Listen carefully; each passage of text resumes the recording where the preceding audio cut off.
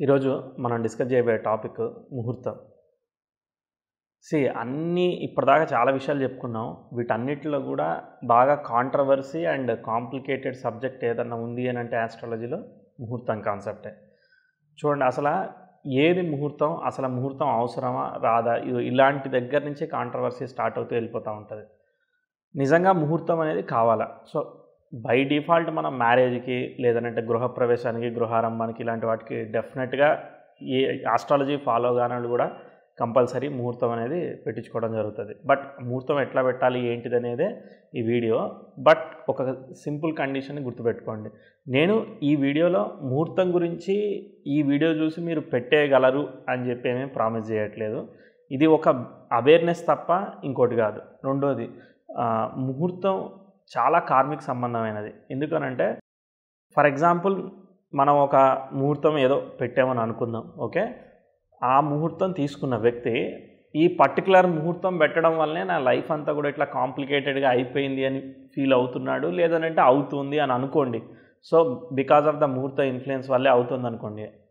అది ఆటోమేటిక్గా వాళ్ళు ఏదైతే బాధపడుతున్నారో ఆ కర్మ యొక్క రిఫ్లెక్షన్ అంతా కూడా మన మీద పడేదానికి అవకాశం ఉంటుంది. అందుకోసమే ని ఓన్లీ అవేర్నెస్ ప్రోగ్రామ్గా చేస్తున్నాం తప్ప కంప్లీట్ లర్నింగ్ బేసిస్గా అయితే చేయట్లేదు. బట్ దీని ద్వారా కొంత మీకు ఒక స్టెప్ నేర్చుకునే వాళ్ళకే అంటే ఆస్ట్రాలజీ లర్నర్స్కి ఒక స్టెప్ అవుతుందనే ఉద్దేశంతోనే చేస్తున్నాను.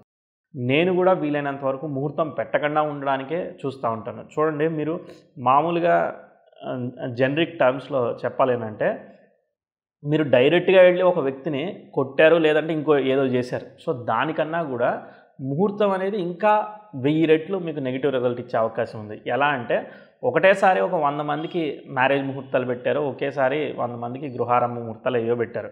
సో ఏకకాలంలో వాళ్ళందరినీ కూడా కాంప్లికేటెడ్ పడేసేదానికి మన యొక్క ముహూర్తం రూల్స్ కనుక సరిగా ఫాలో కాకుండా ఉంటే వాళ్ళకంతా జరిగే నెగిటివ్ ఇన్ఫ్లుయెన్స్ అంతా మన ఒక్కడికే జరుగుద్ది. అంటే ఎంత అంటే ఒక వంద జన్మలు అయితే ఎంత అయితే కర్మ వస్తుందో సో ఒకవేళ ఇండివిజువల్గా చేసుకుంటే అదంతా కూడా ఒకటే లైఫ్లో షార్ట్ పీరియడ్లో వన్ ఇయర్లో కూడా మనం చేసుకునే దానికి అవకాశం ఉంటుంది. సో అందుకోసం ముహూర్తం నేర్చుకునేటప్పుడు చాలా కేర్ఫుల్గా నేర్చుకోవాలి. అలానే ఒకవేళ పెట్టాలనుకుంటే కూడా చాలా కేర్ఫుల్గా పెట్టాలి. అంటే నేను ఇది మీరు భయపెట్టడానికి ఏమీ చెప్పట్లేదు. దానిలో ఉన్న కార్మిక్ ఇన్ఫ్లుయెన్స్నే ఫస్ట్ ఆఫ్ ఆల్ ఇంట్రడక్షన్గా చెప్పాలనుకుంటున్నాను. సో అందుకోసమే ఇది వన్ బై వన్ మీరు ముహూర్తం నేర్చుకోండి. నేర్చుకోవడానికి నేను బుక్స్ అన్నీ కూడా మీకు మళ్ళీ రెఫర్ చేస్తాను. ఏం బుక్స్ స్టాండర్డ్ బుక్స్ ఉన్నాయి ఏంటిది అనేది చెప్తాను. ఒకటి.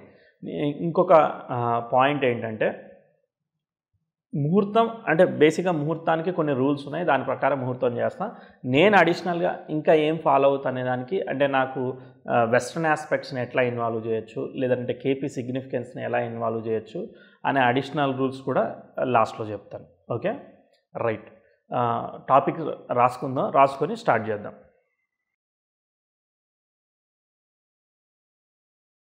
ముహూర్తాన్ని సింపుల్ టర్మ్స్లో అంటే మన భాషలో చెప్పుకోవాలని అనుకుంటే ఏంటంటే మన మనం పుట్టడం మన చేతిలో ఎలానో లేదు. ఓకే మన మన లైఫ్లో రెండు మూడు విషయాలు మనం ముహూర్తం పెట్టుకోవడానికి అవకాశం దొరుకుతూ ఉంటుంది. ఉదాహరణకి మోస్ట్ ఇంపార్టెంట్ మ్యారేజ్ లేదంటే గృహారంభం. ఇలా కొన్ని విషయాలకి మనకి అవకాశం దొరుకుతుంది.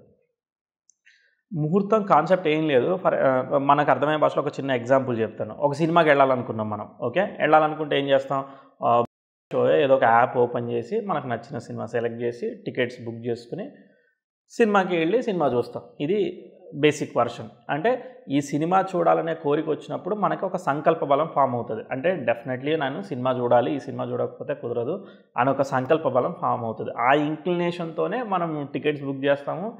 తర్వాత డెస్టినేషన్ రీచ్ అయ్యి సినిమాని ఎంజాయ్ చేయడానికి ట్రై చేస్తాం. ఇది మన యొక్క క్యాలిక్యులేషన్ బట్టి ఎస్టిమేషన్ బట్టి. ఇక్కడ ముహూర్తం టాపిక్ని ఎట్లా ఇన్వాల్వ్ చేస్తున్నా అంటే ఇప్పుడు చూడండి ఈ సంకల్ప బలం అనే కాన్సెప్టే ముహూర్తం అనమాట ఈ ప్రతి మనిషికి జీవితంలో ప్రతి పని చేయడానికి ఒక సంకల్ప బలం స్టార్ట్ అవుతుంది.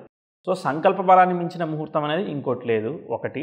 రెండోది ఏంటంటే ఆ ముహూర్తం అనేది అంటే ఈవెన్ వివాహం కోసం ముహూర్తం పెట్టినా అది మన కర్మఫలాన్ని మించి అయితే దొరకదనేది నమ్మకం. అంటే నీ పూర్వపుణ్యం అని బాగుంటే మేబీ దాన్ని బియాండ్ కొంచెం వెళ్తుందేమో కానీ మోస్ట్లీ నీకు ఏదైతే అలైన్మెంట్ ఉందో అంటే నీ హారోస్కోప్లో ఏదైతే ఫిక్స్డ్ కర్మ ఇలాంటివి కొన్ని సిగ్నిఫై అవుతూ ఉన్నాయో సో ఈవెన్ మ్యారేజ్ అనేది కూడా పాస్ట్ కార్మిక ఎక్స్పీరియన్స్. అంటే గత జన్మలో చేసిన పూర్వపుణ్యాన్ని బట్టి ఈ జన్మలో మనకు దొరికే లైఫ్ పార్ట్నర్ ఇవన్నీ కూడా చెప్తారు కాబట్టి. So most of the major things ఏవైతే లైఫ్లో ఉంటాయో అవన్నీ ఫిక్స్డ్గా ఉంటాయి. అంటే కొంచెం ఫ్లక్చువేట్ అవుతూ ఉండొచ్చు కానీ మోస్ట్లీ ఫిక్స్డ్గా ఉండే అవకాశం ఉంటుంది.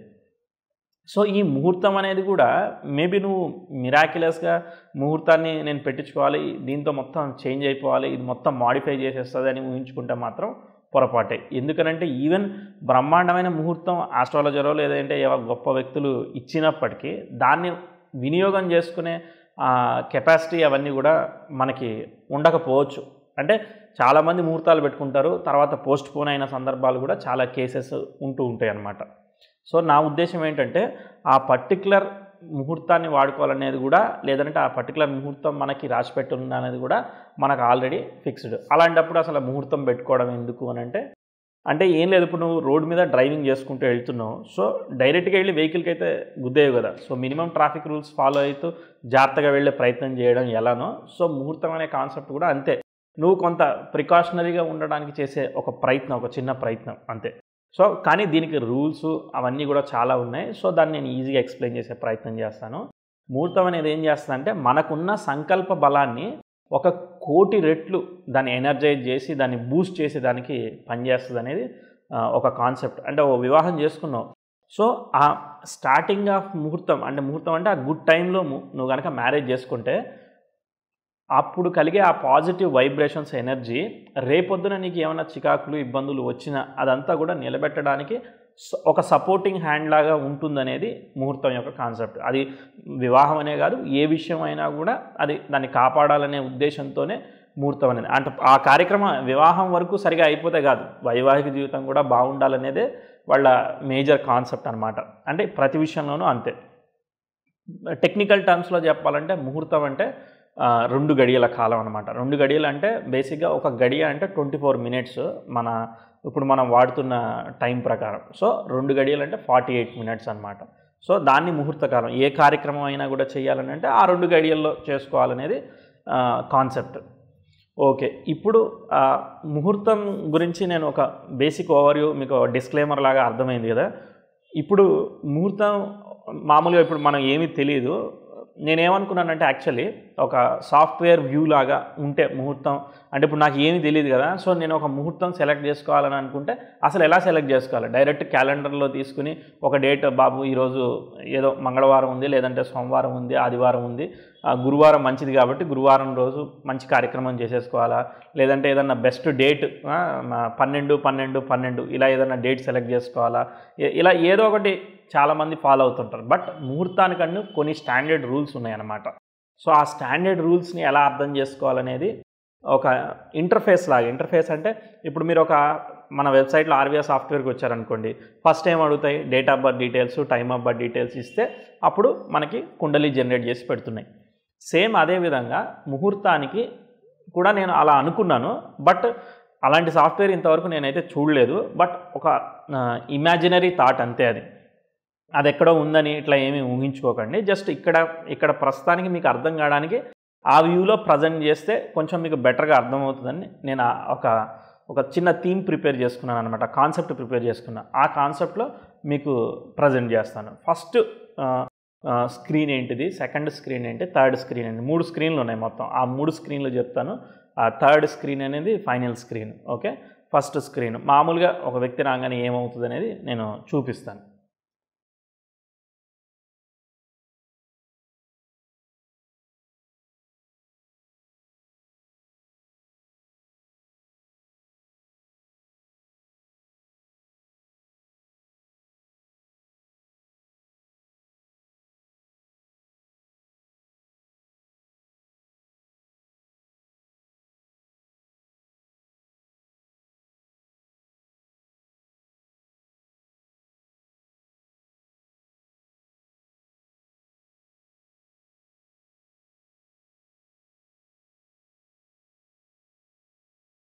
ఫస్ట్ స్క్రీన్ డ్రా చేశాను. చాలా సింపుల్. ఒక వ్యక్తి మన దగ్గరికి ముహూర్తం కోసం వచ్చాడు అని అనుకుందాం.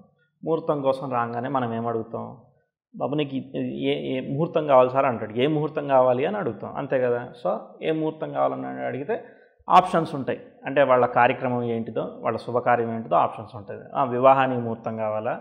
లేదనంటే విద్యాభ్యాసమా? గృహప్రవేశమా? గృహారంభమా? ఇంకా ఏదైనా నామకరణమా? ఇలా ఏదో ఒక పర్పస్ అనేది ఉంటుంది కదా. So purpose compulsory. ఎందుకంటే పర్పస్ని బట్టి ఇక్కడ నెక్స్ట్ మనం దానికి ఫిల్టర్స్ అవన్నీ చేసేటప్పుడు మనకి అవసరం పడుతుందన్నమాట. ఓకే? ఇప్పుడు వివాహం అనుకో అమ్మాయి అబ్బాయి ఇద్దరు డేట్ ఆఫ్ బర్త్లు అవసరం అవుతాయి. అదే నామకరణం అనుకో ఆ పిల్లవాడి డేట్ ఆఫ్ బర్త్ సరిపోద్ది. ఓకే? ఉదాహరణకి ఎగ్జాంపుల్ చెప్తున్నాను. సో ఇలా వాళ్ళ పర్పస్ని తీసుకుంటే మనకు ఫర్దర్గా యూజ్ అవుతుంది. ఫస్ట్ స్టెప్లో మనం పర్పస్ని సెలెక్ట్ చేసాం తర్వాత ఏం అడుగుతాం? వివాహం చేసుకోవాలి సార్ అనే ఉదాహరణకు అనుకుంటే ఏ డేట్ నుంచి ఏ డేట్ లోపు మీరు వెతుకుతున్నారు అని ఎందుకంటే వీళ్ళు డేట్ ఇచ్చేదాన్ని బట్టి వాళ్ళు అన్ని ఫంక్షనల్ బుకింగ్ అవన్నీ చేసుకుంటారు కాబట్టి సో అందుకోసం ఈ రోజుల్లో మేము చాలా బాగుంటుందని అనుకుంటున్నాం. మాకు కుదిరింది. ఓ అప్కమింగ్ రెండు నెలల్లోపు కావాలి లేదనంటే మూడు నెలల్లో కావాలి అని చెప్పి వాళ్ళు అడుగుతారు. ఓకే? నాకు అప్కమింగ్ టూ డేస్లో కావాలని ఎవరు అడగరు అలా అడిగితే ముహూర్తం ఇవ్వడం కూడా చాలా కష్టం. ఎందుకంటే మీరు ఇక్కడ చాలా ఫిల్టర్ చేయాలి. ఆ ఫిల్టర్ గురించి అర్థమైతే ఇంపాసిబుల్ అనేది మీకు నేను చెప్పే ఎండింగ్ వరకు మీకు అర్థమైపోద్ది. ఓకే. సో ఇక్కడ వాళ్ళు డేట్ రేంజ్ తీసుకొని ఆ డేట్ రేంజ్ని బట్టి మనం ముహూర్తాన్ని ఫిల్టర్ చేయొచ్చు. సో మనం డేట్ రేంజ్ అనేది కలెక్ట్ చేసుకోవాలి. ఇది సాఫ్ట్వేర్ లాగా చెప్తున్నా కాబట్టి ఆ స్క్రీన్ చెప్తున్నాను. ఫస్ట్ స్క్రీన్ అయిపోయింది. ఓకే. నెక్స్ట్ రెండో స్క్రీన్లోకి వెళ్దాం.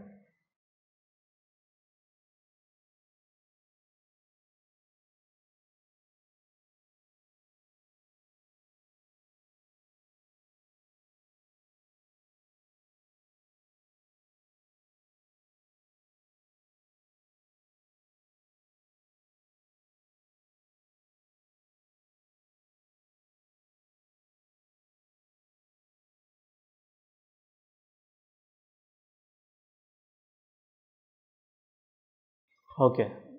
Screen number two prepare చేశాను. ఫస్ట్ స్టెప్లో ఏం చేసాం వాళ్ళ పర్పస్ ఏంటిదో తెలుసుకున్నాం. దేనికోసం? వివాహం కోసం దేనికి తెలుసుకున్నాం. టైం రేంజ్ తెలుసుకున్నాం. సెకండ్ స్టెప్లో ఏం చేయాలని అంటే వాళ్ళ డీటెయిల్స్ అన్నీ కలెక్ట్ చేయాలి. ఏంటిది? నేమ్ నేమ్ తీసుకోవాలి. Date of birth time of birth place of birth తీసుకోవాలి. తర్వాత అలానే వాళ్ళ కార్యక్రమం అంటే ఫంక్షన్ ఎక్కడ చేసుకుంటున్నారో ఆ లొకేషన్ కాడ కావాలి. ఎందుకనంటే మనం ఒక ముహూర్తం పెడుతున్నాం అని అంటే ఎక్కడైతే కార్యక్రమం జరుగుతుందో అక్కడికి మనం ఫిక్స్ చేయాలి. ఆ వ్యక్తి ఏ బెంగళూరులోనో పుట్టి ఉండొచ్చు. కార్యక్రమం మాత్రం చెన్నైలో జరుగుతుండొచ్చు. సో అలాంటి సందర్భంలో మనం ముహూర్తం చెన్నైకే పెడతాం అనమాట సో కాబట్టి చెన్నై లాంగిట్యూడ్స్కి పెట్టాలని అంటే మనం అది చెన్నై అని తెలియాలి. అందుకోసం ఆ కార్యక్రమం ఎక్కడ జరుగుతుందో తెలియాలి. ఇలానే అబ్బాయి డీటెయిల్స్ కలెక్ట్ చేసినట్టుగానే అమ్మాయి పేరు date of birth time of birth place of birth అవన్నీ కూడా తీసుకోవాలి. వెన్యూ ఒకటే వెన్యూ.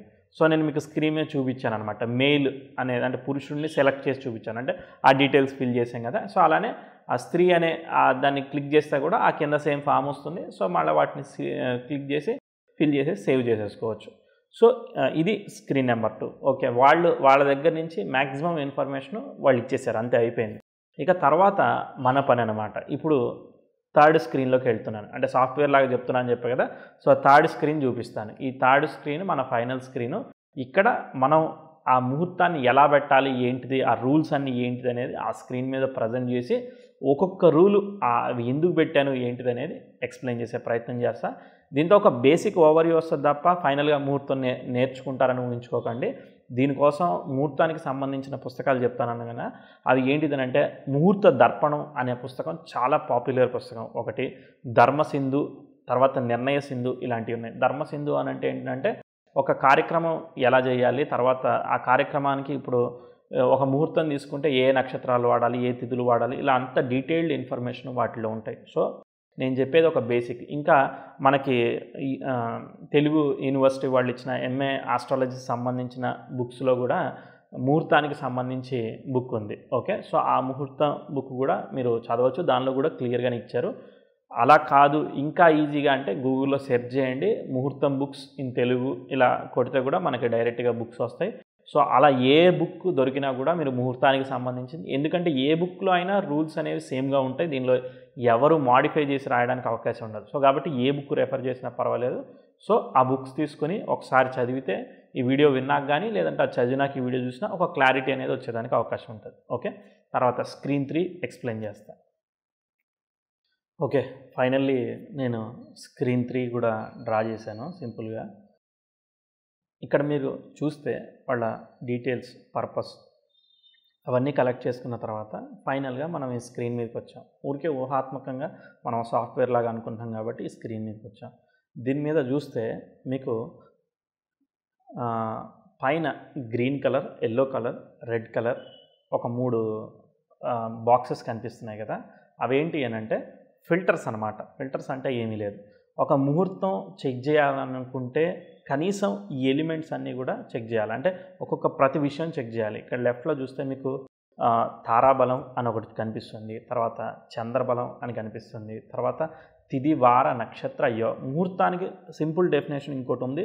తిది వార నక్షత్ర యోగ కరణాలన్నీ సరిపోతూ దాన్ని పంచకరహితం చేస్తే అది ముహూర్తంగా అప్రూవ్ అవుతుంది. సో అప్రూవ్ అయిన ముహూర్తాన్ని వ్యాలిడేట్ చేయాలి. అంటే ఇది ముహూర్తం అని కంపల్సరీ వ్యాలిడేట్ చేయాలని అంటే మీరు దాన్ని పంచగ్రహితం అయిన తర్వాత ఏకవింశతి దోషాలని వెరిఫై చేయాలి. ఏకవింశతి దోషాలు అంటే ఇరవై ఒక్క రకాల దోషాలు ఉన్నాయి. అంటే నువ్వు ఏదో ఒక టైము ఒక ముహూర్తంగా సిగ్నిఫై చేస్తే దానిలో అనేక రకమైన దోషాలు అంటే ఏదో రకమైన దోషాలు ఉంటూ ఉంటాయి అన్నమాట. ఆ దోషాలు రాకుండా పెట్టాలి. సో అలా దోషాలు రాకుండా పెట్టడం ఈవెన్ బ్రహ్మకి కూడా సాధ్యం కాదనేది ఒక స్టేట్మెంట్ అయితే ఏం చెప్తారనంటే దోషాలని తక్కువగా పెట్టి పాజిటివ్స్ అంటే దోషాలను తగ్గించితే పాజిటివే కదా. సో ఎన్ని నువ్వు స్కోర్ చేసావు పాజిటివ్ పాయింట్స్ని స్కోర్ చేస్తూ ముహూర్తం పెట్టాలనేది ఇక్కడ కాన్సెప్ట్. అంటే మినిమం ఇన్ని పెట్టాలి అన్ని పెట్టాలనేది ఏముండదు అక్కడ సమయాన్ని బట్టి సందర్భాన్ని బట్టి నువ్వు ఏ ఏ దోషాన్ని వదిలేయచ్చు వదిలేసినా కూడా ఆ దోషాన్ని నల్లిఫై చేయడానికి ఏమన్నా గ్రహస్థితి ఏమన్నా సపోర్ట్ చేస్తుందా? ఇలాంటి అన్ని రూల్స్ కూడా మనకి ముహూర్త దర్పణం వీటన్నిటిలో కూడా ఇచ్చారు. సో ఈ ఈ ఈ ఓవర్ ఇచ్చాను కాబట్టి మీరు వెళ్ళి వెతుక్కోవడానికి అవకాశం ఉంటుంది. సో ఇవన్నీ చెక్ చేయాలి. సో మన స్క్రీన్ పరంగా చూస్తే అక్కడ తారాబలం అనగానే అక్కడ తార అంటే ఏమీ లేదు చంద్రుడు అనమాట సో అక్కడ తొమ్మిది రకాల తారలు ఉంటాయి. సో ఏ తారాబలం మంచిది? తారాబలం ఇంపార్టెన్స్ గురించి చెప్తాను. సో ఈ ఇక్కడ కనిపిస్తుంది కదా రైట్ సైడ్ మీకు ఒక క్యాలెండర్ ఫార్మాట్లో కనిపిస్తుంది. నవంబర్ నెల తీసుకున్నాను ఉదాహరణకి. పైన పర్పస్ పి అని పెట్టాను. పర్పస్ అంటే వివాహం కోసం వెతుకుతున్నాను ఊరికి క్యాలెండర్లో. అది అబ్బాయి నక్షత్రం పురుషుడి యొక్క నక్షత్రం స్త్రీ యొక్క నక్షత్రం తీసుకుంటారు. ఎందుకనంటే ఆ ముహూర్తం రోజు ఉండే నక్షత్రం అనేది వాళ్ళిద్దరికీ కంఫర్టబుల్ ఉండాలి. దాన్ని తారాబలం ద్వారా చెక్ చేస్తారు. తారాబలం ఎలా చెక్ చేయాలో చెప్తాను. తర్వాత నెక్స్ట్ క్యాలెండర్ ఆ నెల ఉంది. నెలకి right side left side arrows కనిపిస్తున్నాయి కదా. సో నెక్స్ట్ మంత్ క్లిక్ చేస్తే మనకి నెక్స్ట్ మంత్ క్యాలెండర్ వచ్చేస్తుంది. తర్వాత నేను ఈ క్యాలెండర్ ఏది వాడాలి నేను ముహూర్తం పెట్టడానికి అంటే మీరు పంచాంగం వాడండి. ఇంకా బెస్ట్ ఏంటిదనంటే పంచాంగంలో సమస్య మీరు ఏదో అమెరికాలో ఉన్నారు లేదంటే కాలిఫోర్నియాలో ముహూర్తం పెట్టాలనుకుంటున్నారు. అలాంటి సందర్భంలో మీరు కాకినాడ పంచాంగం వాడారనుకోండి లేదంటే రాజమండ్రి పంచాంగం వాడారనుకోండి. అక్కడ మీకు కోఆర్డినేట్స్ అవన్నీ డిఫరెన్స్ వస్తుంది కాబట్టి ఆన్లైన్ పంచాంగం ఏదైనా ప్రిఫర్ చేస్తే దానిలో మీరు లొకేషన్ ఎంటర్ చేసుకోవడానికి గూగుల్ సెర్చ్ ద్వారా అక్కడ లొకేషన్ డిఫాల్ట్ లొకేషన్ సెట్ చేసుకోవచ్చు అనమాట సో దృక్ పంచాంగం ఇలాంటి వెబ్సైట్లో మనం లొకేషన్ చేంజ్ చేసుకుని అక్కడ వాడుకునే దానికి అవకాశం ఉంటుంది. సో అప్పుడు ఆ లొకేషన్ చేంజ్ చేయగానే అక్కడ ఆ టైంకి సూర్యోదయం కానీ సూర్యాస్తమయం కానీ లేదనంటే తిది కానీ వర్జం ఇలాంటి చాలా ఎలిమెంట్స్ ఉంటాయి కదా. సో అవన్నీ కూడా మనకు అక్కడ ఆ టైంకి తగ్గట్టు సెట్ అయిపోతాయి అన్నమాట. సో కాబట్టి ఆన్లైన్ పంచాంగాన్ని వాడడం చాలా బెస్ట్ ఆప్షన్ ఎందుకంటే మనం మళ్ళీ రీక్యాలిక్యులేషను అడిషన్స్ సబ్స్ట్రాక్షన్స్ ఇలాంటివి ఏమి చేయని అవసరం లేదనమాట అంటే ఇన్ని గంటలు కూడాలి ఇన్ని గంటలు తీసేయాలి. ఇవన్నీ కన్ఫ్యూజన్స్ వచ్చి మనం ఏదైనా మిస్టేక్ చేసే అవకాశం ఉంటుంది కాబట్టి సో అందుకనే ఆన్లైన్ పంచాంగం వాడమని చెప్పాను. ఇక్కడ ఈ క్యాలెండర్లో మీకు ఆదివారం నుంచి అన్నీ ఉన్నాయి. వారం స్టార్ట్ అయ్యేది ఆదివారం. ఆదివారం సోమవారం మంగళవారం అలా మీకు వారాలన్నీ కూడా వెళ్ళిపోతున్నాయి. సో అలా ఏడు వారాలకి అక్కడ ఏమేమి వస్తున్నాయి డేట్స్ అవన్నీ కూడా మనకి క్యాలెండర్లో కనిపిస్తాయి. ఆ డేట్కి ఎక్కడి వరకు ఆ తిథి ప్రారంభమైంది నక్షత్రం ప్రారంభమైంది తర్వాత సూర్యోదయం ఎప్పుడు సూర్యాస్తమయం ఎప్పుడు రాహుకాలం యమగండం వర్జ్యం ఇవన్నీ కూడా మనకి కనిపిస్తాయి అన్నమాట. ఓకే? ఇప్పుడు ఒక్కొక్కటి మనం ఎక్స్ప్లెయిన్ చేసుకుందాం. ఒక్కొక్కటి ఎక్స్ప్లెయిన్ చేసే ముందు దీనికన్నా ముందు మనం బేసిక్ కాన్సెప్ట్ ఆఫ్ ముహూర్తం గురించి డిస్కస్ చేసి దీని దగ్గరికి వద్దాం. అంటే ఇప్పుడు తారాబలం డైరెక్ట్గా అసలు నేను ఏమీ తెలియకుండా అన్న సార్ నాకు తెలుగు నెలలు అంటే ఏంటో కూడా సరిగా తెలియదు అన్న సందర్భం చాలామందికి ఏర్పడుతూ ఉంటుంది. అసలు వేరే వాళ్ళ సంగతి ఎందుకు? నాకే తెలుగు నెలలు గుర్తుపెట్టుకోవడం అది ఒక పెద్ద ఇబ్బంది. ఓకే? జనవరి వచ్చిందంటే ఏమి తెలుగు నెల ఉందో తెలియదు మనకి. ఓకే? ఎందుకంటే మనం ఇంగ్లీష్ క్యాలెండర్కి అలవాటు పడ్డాం కాబట్టి ఆ తెలుగు నెలలో అవి తెలియదు కాబట్టి ఒకసారి ఆ ఓవర్ వ్యూ చెప్తాను. ఓకే? తర్వాత మనం కొన్ని బేసిక్స్ చెప్పుకొని తర్వాత దీనికి వచ్చేద్దాం అప్పుడు కొంచెం స్టాండర్డ్గా మనకి కొంత అవేర్నెస్ వస్తుంది. ఓకే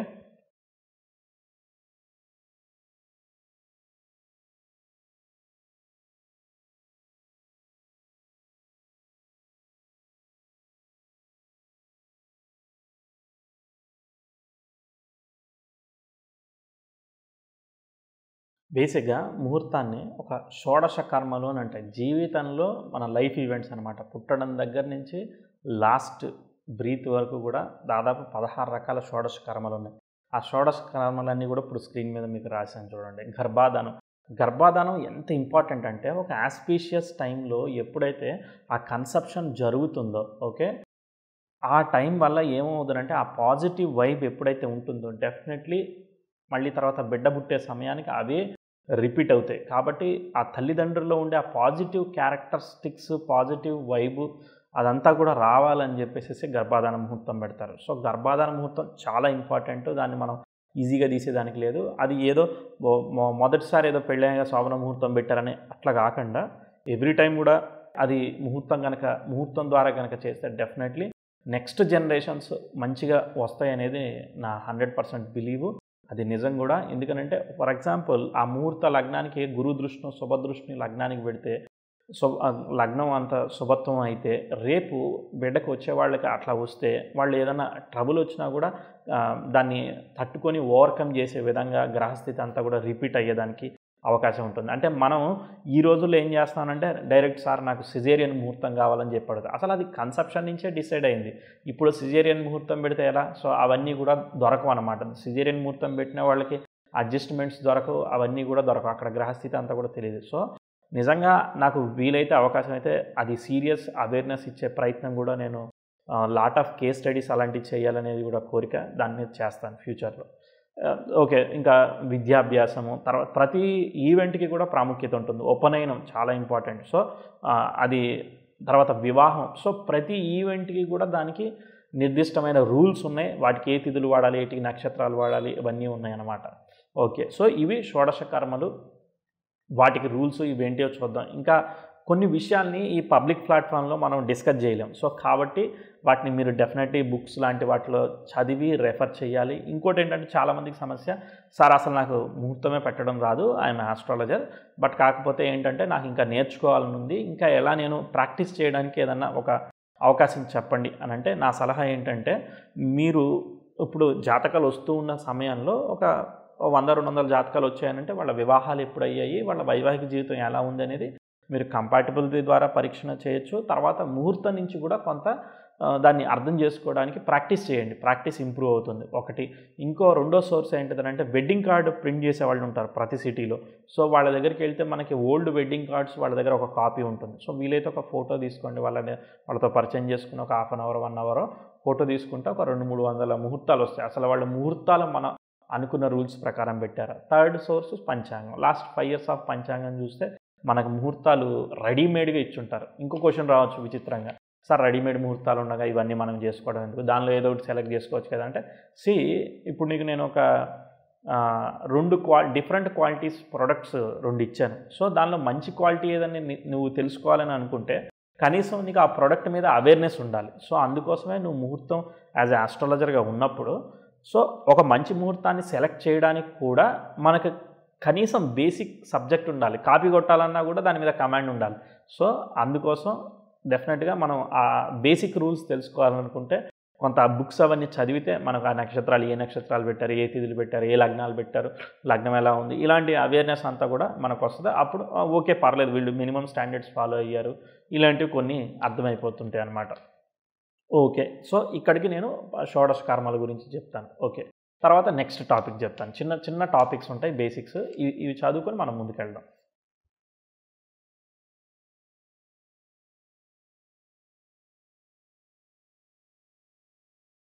ఓకే ఒక్కొక్క కాన్సెప్ట్ చెప్తా. ఫస్ట్ సంవత్సరాలు. తెలుగు సంవత్సరాలు ఏంటిది? అరవై తెలుగు సంవత్సరాలు. ప్రభవ విభవ ఇవన్నీ ఉన్నాయి. మనం చిన్నప్పుడు రెండో తరగతిలో మూడో తరగతిలో కూడా ఇవన్నీ చదువుకున్నాం. సో కాబట్టి ఆ తెలుగు సంవత్సరాలు. సార్ తెలుగు సంవత్సరాలు ఎందుకనంటే సి నేను ఒక బుక్ చదివాను ఒక old book HR Seshadri Iyer అని ఒక ఆయన రాశాడు. New prediction techniques one and two అని బుక్స్ రాసి ఉండే.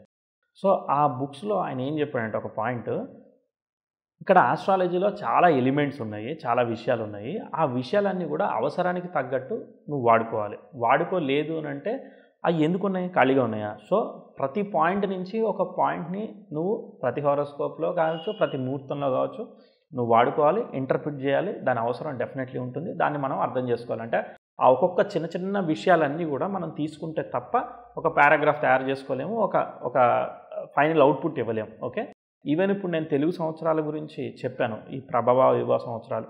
ఒక్కొక్క రాశి రాశికి ఐదైదు సంవత్సరాలు చొప్పున కూడా ఐదు ఐదు పన్నెండుల అరవై అవుతాయి కదా. సో ఐదైదు సంవత్సరాలు చొప్పున కూడా డివైడ్ చేశారు. అంటే ఇన్ని డిగ్రీలకి ఇన్ని సంవత్సరాలు ఇది అసలు ఎక్కడ కూడా లేదనమాట. సో నాకు అది థ్రిల్లింగ్ అనిపించింది. ఈ పాయింట్ ఇక్కడ వచ్చింది కాబట్టి చెప్పాను. ఓకే? సో తెలుగు సంవత్సరాలు అరవై సంవత్సరాలు దాన్ని కూడా రిప్రజెంట్ చేస్తారు. అది ఈవెన్ హారోస్కోప్ రీడింగ్లో కూడా వాడుతూ ఉంటారు. ఆ పర్టికులర్ సంవత్సరం రోజు ఆ ఒకవేళ నీ డిగ్రీ పర్టికులర్ లగ్నం యొక్క డిగ్రీ అక్కడ కనుక ఫామ్ అయిందనుకో ఆ సంవత్సరం యొక్క ఇన్ఫ్లుయెన్స్ ఆ సంవత్సరానికి ఉండే ఫలితం యొక్క ఇన్ఫ్లుయెన్స్ ఉండేదానికి అవకాశం ఉంటుంది. ఆ ఇన్ఫ్లుయెన్స్ గురించి మనకి డాక్యుమెంటేషన్ ఆల్రెడీ బృహత్వరహార శాస్త్రాలు లేదంటే ఏదో ఒక రెఫరెన్స్ బుక్లో దొరుకుతూ ఉంటాయి. ఓకే సంవత్సరం యొక్క ఇంపార్టెన్స్ ఏంటో చెప్పాను. తర్వాత సంవత్సరం కన్నా కొంత చిన్నది. సంవత్సరం అంటే పన్నెండు నెలలు. తర్వాత దానికన్నా చిన్నది అయినం అనమాట అయినం అని ఒక కాన్సెప్ట్ ఉంది. అయినం అంటే ఏం లేదు ఉత్తరాయణం దక్షిణాయనం అనే రెండు పార్ట్స్ కింద డివైడ్ చేశారు.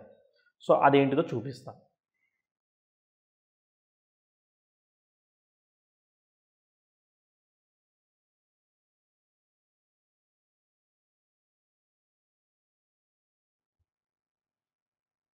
ఓకే. ఇది రవిని బేస్ చేసుకొని ఉంటుంది.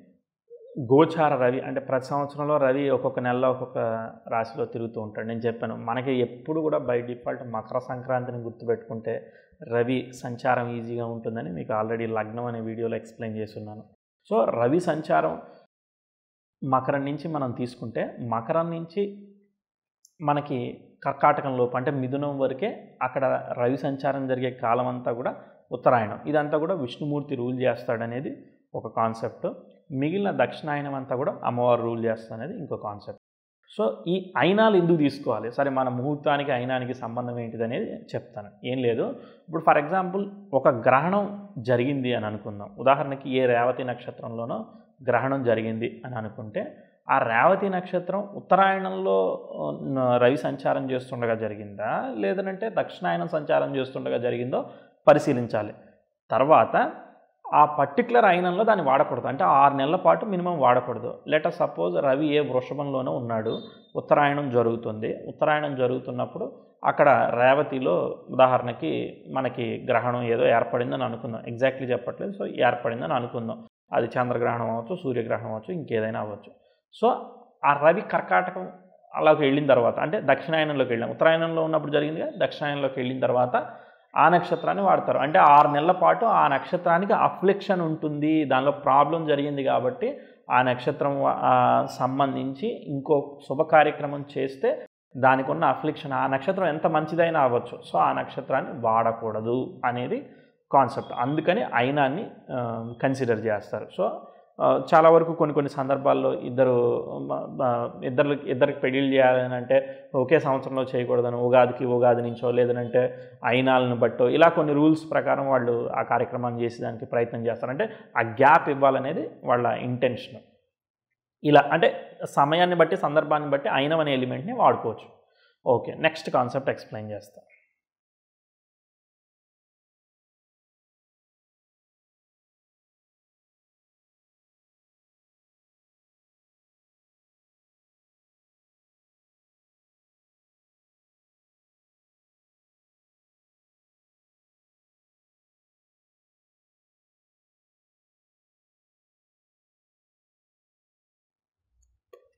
తెలుగు నెలలు పన్నెండు ఇంగ్లీష్ నెలలు పన్నెండు. ఇంగ్లీష్ నెలలు ఈజీగా గుర్తుంటాయి తెలుగు నెలలు గుర్తుండడం చాలా కష్టం. ఎందుకనంటే అవి ఈక్వలెంట్గా ఇంగ్లీష్ నెలలతో పాటు ఫాలో కావు కాబట్టి అదొక సమస్య మనకేం గుర్తుండదు. తర్వాత చాలామందికి ఉన్న మేజర్ సమస్య ఏంటంటే అమావాస్య ఎప్పుడు పౌర్ణమి ఎప్పుడు తర్వాత క్షీణచంద్రుడు ఎప్పుడు పూర్ణచంద్రుడు ఎప్పుడు ఇట్లాంటి ఏమి కూడా నా కూడా చాలా కాలం గుర్తుండే కాదు. మీరు అసలు రిగ్రెట్ ఫీల్ అవ్వాల్సిన అవసరం లేదు. అది ఫోన్ ఫోన్ ఫోన్ వస్తుంది. ఏం కాదు. సో ఇప్పుడు నేను కొంత ఈజీగా అర్థం చేసుకోవడానికి మీరు అర్థం చేసుకోవడానికి నాకు నేను ఎట్లా ఈజీగా అర్థం చేసుకున్నాను అనేది ప్రజెంట్ చేస్తాను ఇప్పుడు చూడండి ఈ జోడియాక్ సైన్ అనేది మనకు అలవాటైపోయింది. ఈ పన్నెండు గళ్ళ రాశిచక్రం అనేది ఇక మనకు బండ గుర్తు కదా. సో దానిలో వాటిని అరేంజ్ చేస్తూ మీకు చెప్పే ప్రయత్నం చేస్తున్నాను. ఇక్కడ చూడండి మేషం నుంచి మీనం వరకు సహజ చక్రంలో కొన్ని నక్షత్రాలు రాశాను. సో ఆ నక్షత్రం రోజు ఏంటంటే ఆ పర్టికులర్ మంత్లో పౌర్ణమి ఏర్పడుతుంది ఉంటుందన్నమాట. ఓకే? సో అమావాస్య నుంచి పదిహేను రోజులు దాటి పౌర్ణమి ఏర్పడుతుంది. ఆ అమావాస్య శుక్లపక్షం కృష్ణపక్షం ఉంటారు. వాటిని కూడా చెప్తాను. ఫస్ట్ నెలలు నేర్చుకోండి. నెలలు నేర్చుకోవడం చాలా సింపుల్. మనకి ఉగాది స్టార్ట్ అయినప్పుడు మనకి తెలుగు సంవత్సరం స్టార్ట్ అవుతుంది. జనవరి ఫస్ట్ ఎలానో తెలుగులో ఉగాది స్టార్ట్ అయినప్పుడు మనకి అక్కడ రవి సంక్రమణ అనేది అక్కడ చైత్రమాసం అవన్నీ కూడా స్టార్ట్ అవుతాయి. మేషంలో రవి ఇంచుమించుగా సంక్రమణ అవన్నీ స్టార్ట్ అవుతాయి. సో అక్కడ మనకి ఉగాది అవన్నీ కూడా ఏర్పడుతూ ఉన్నాయి.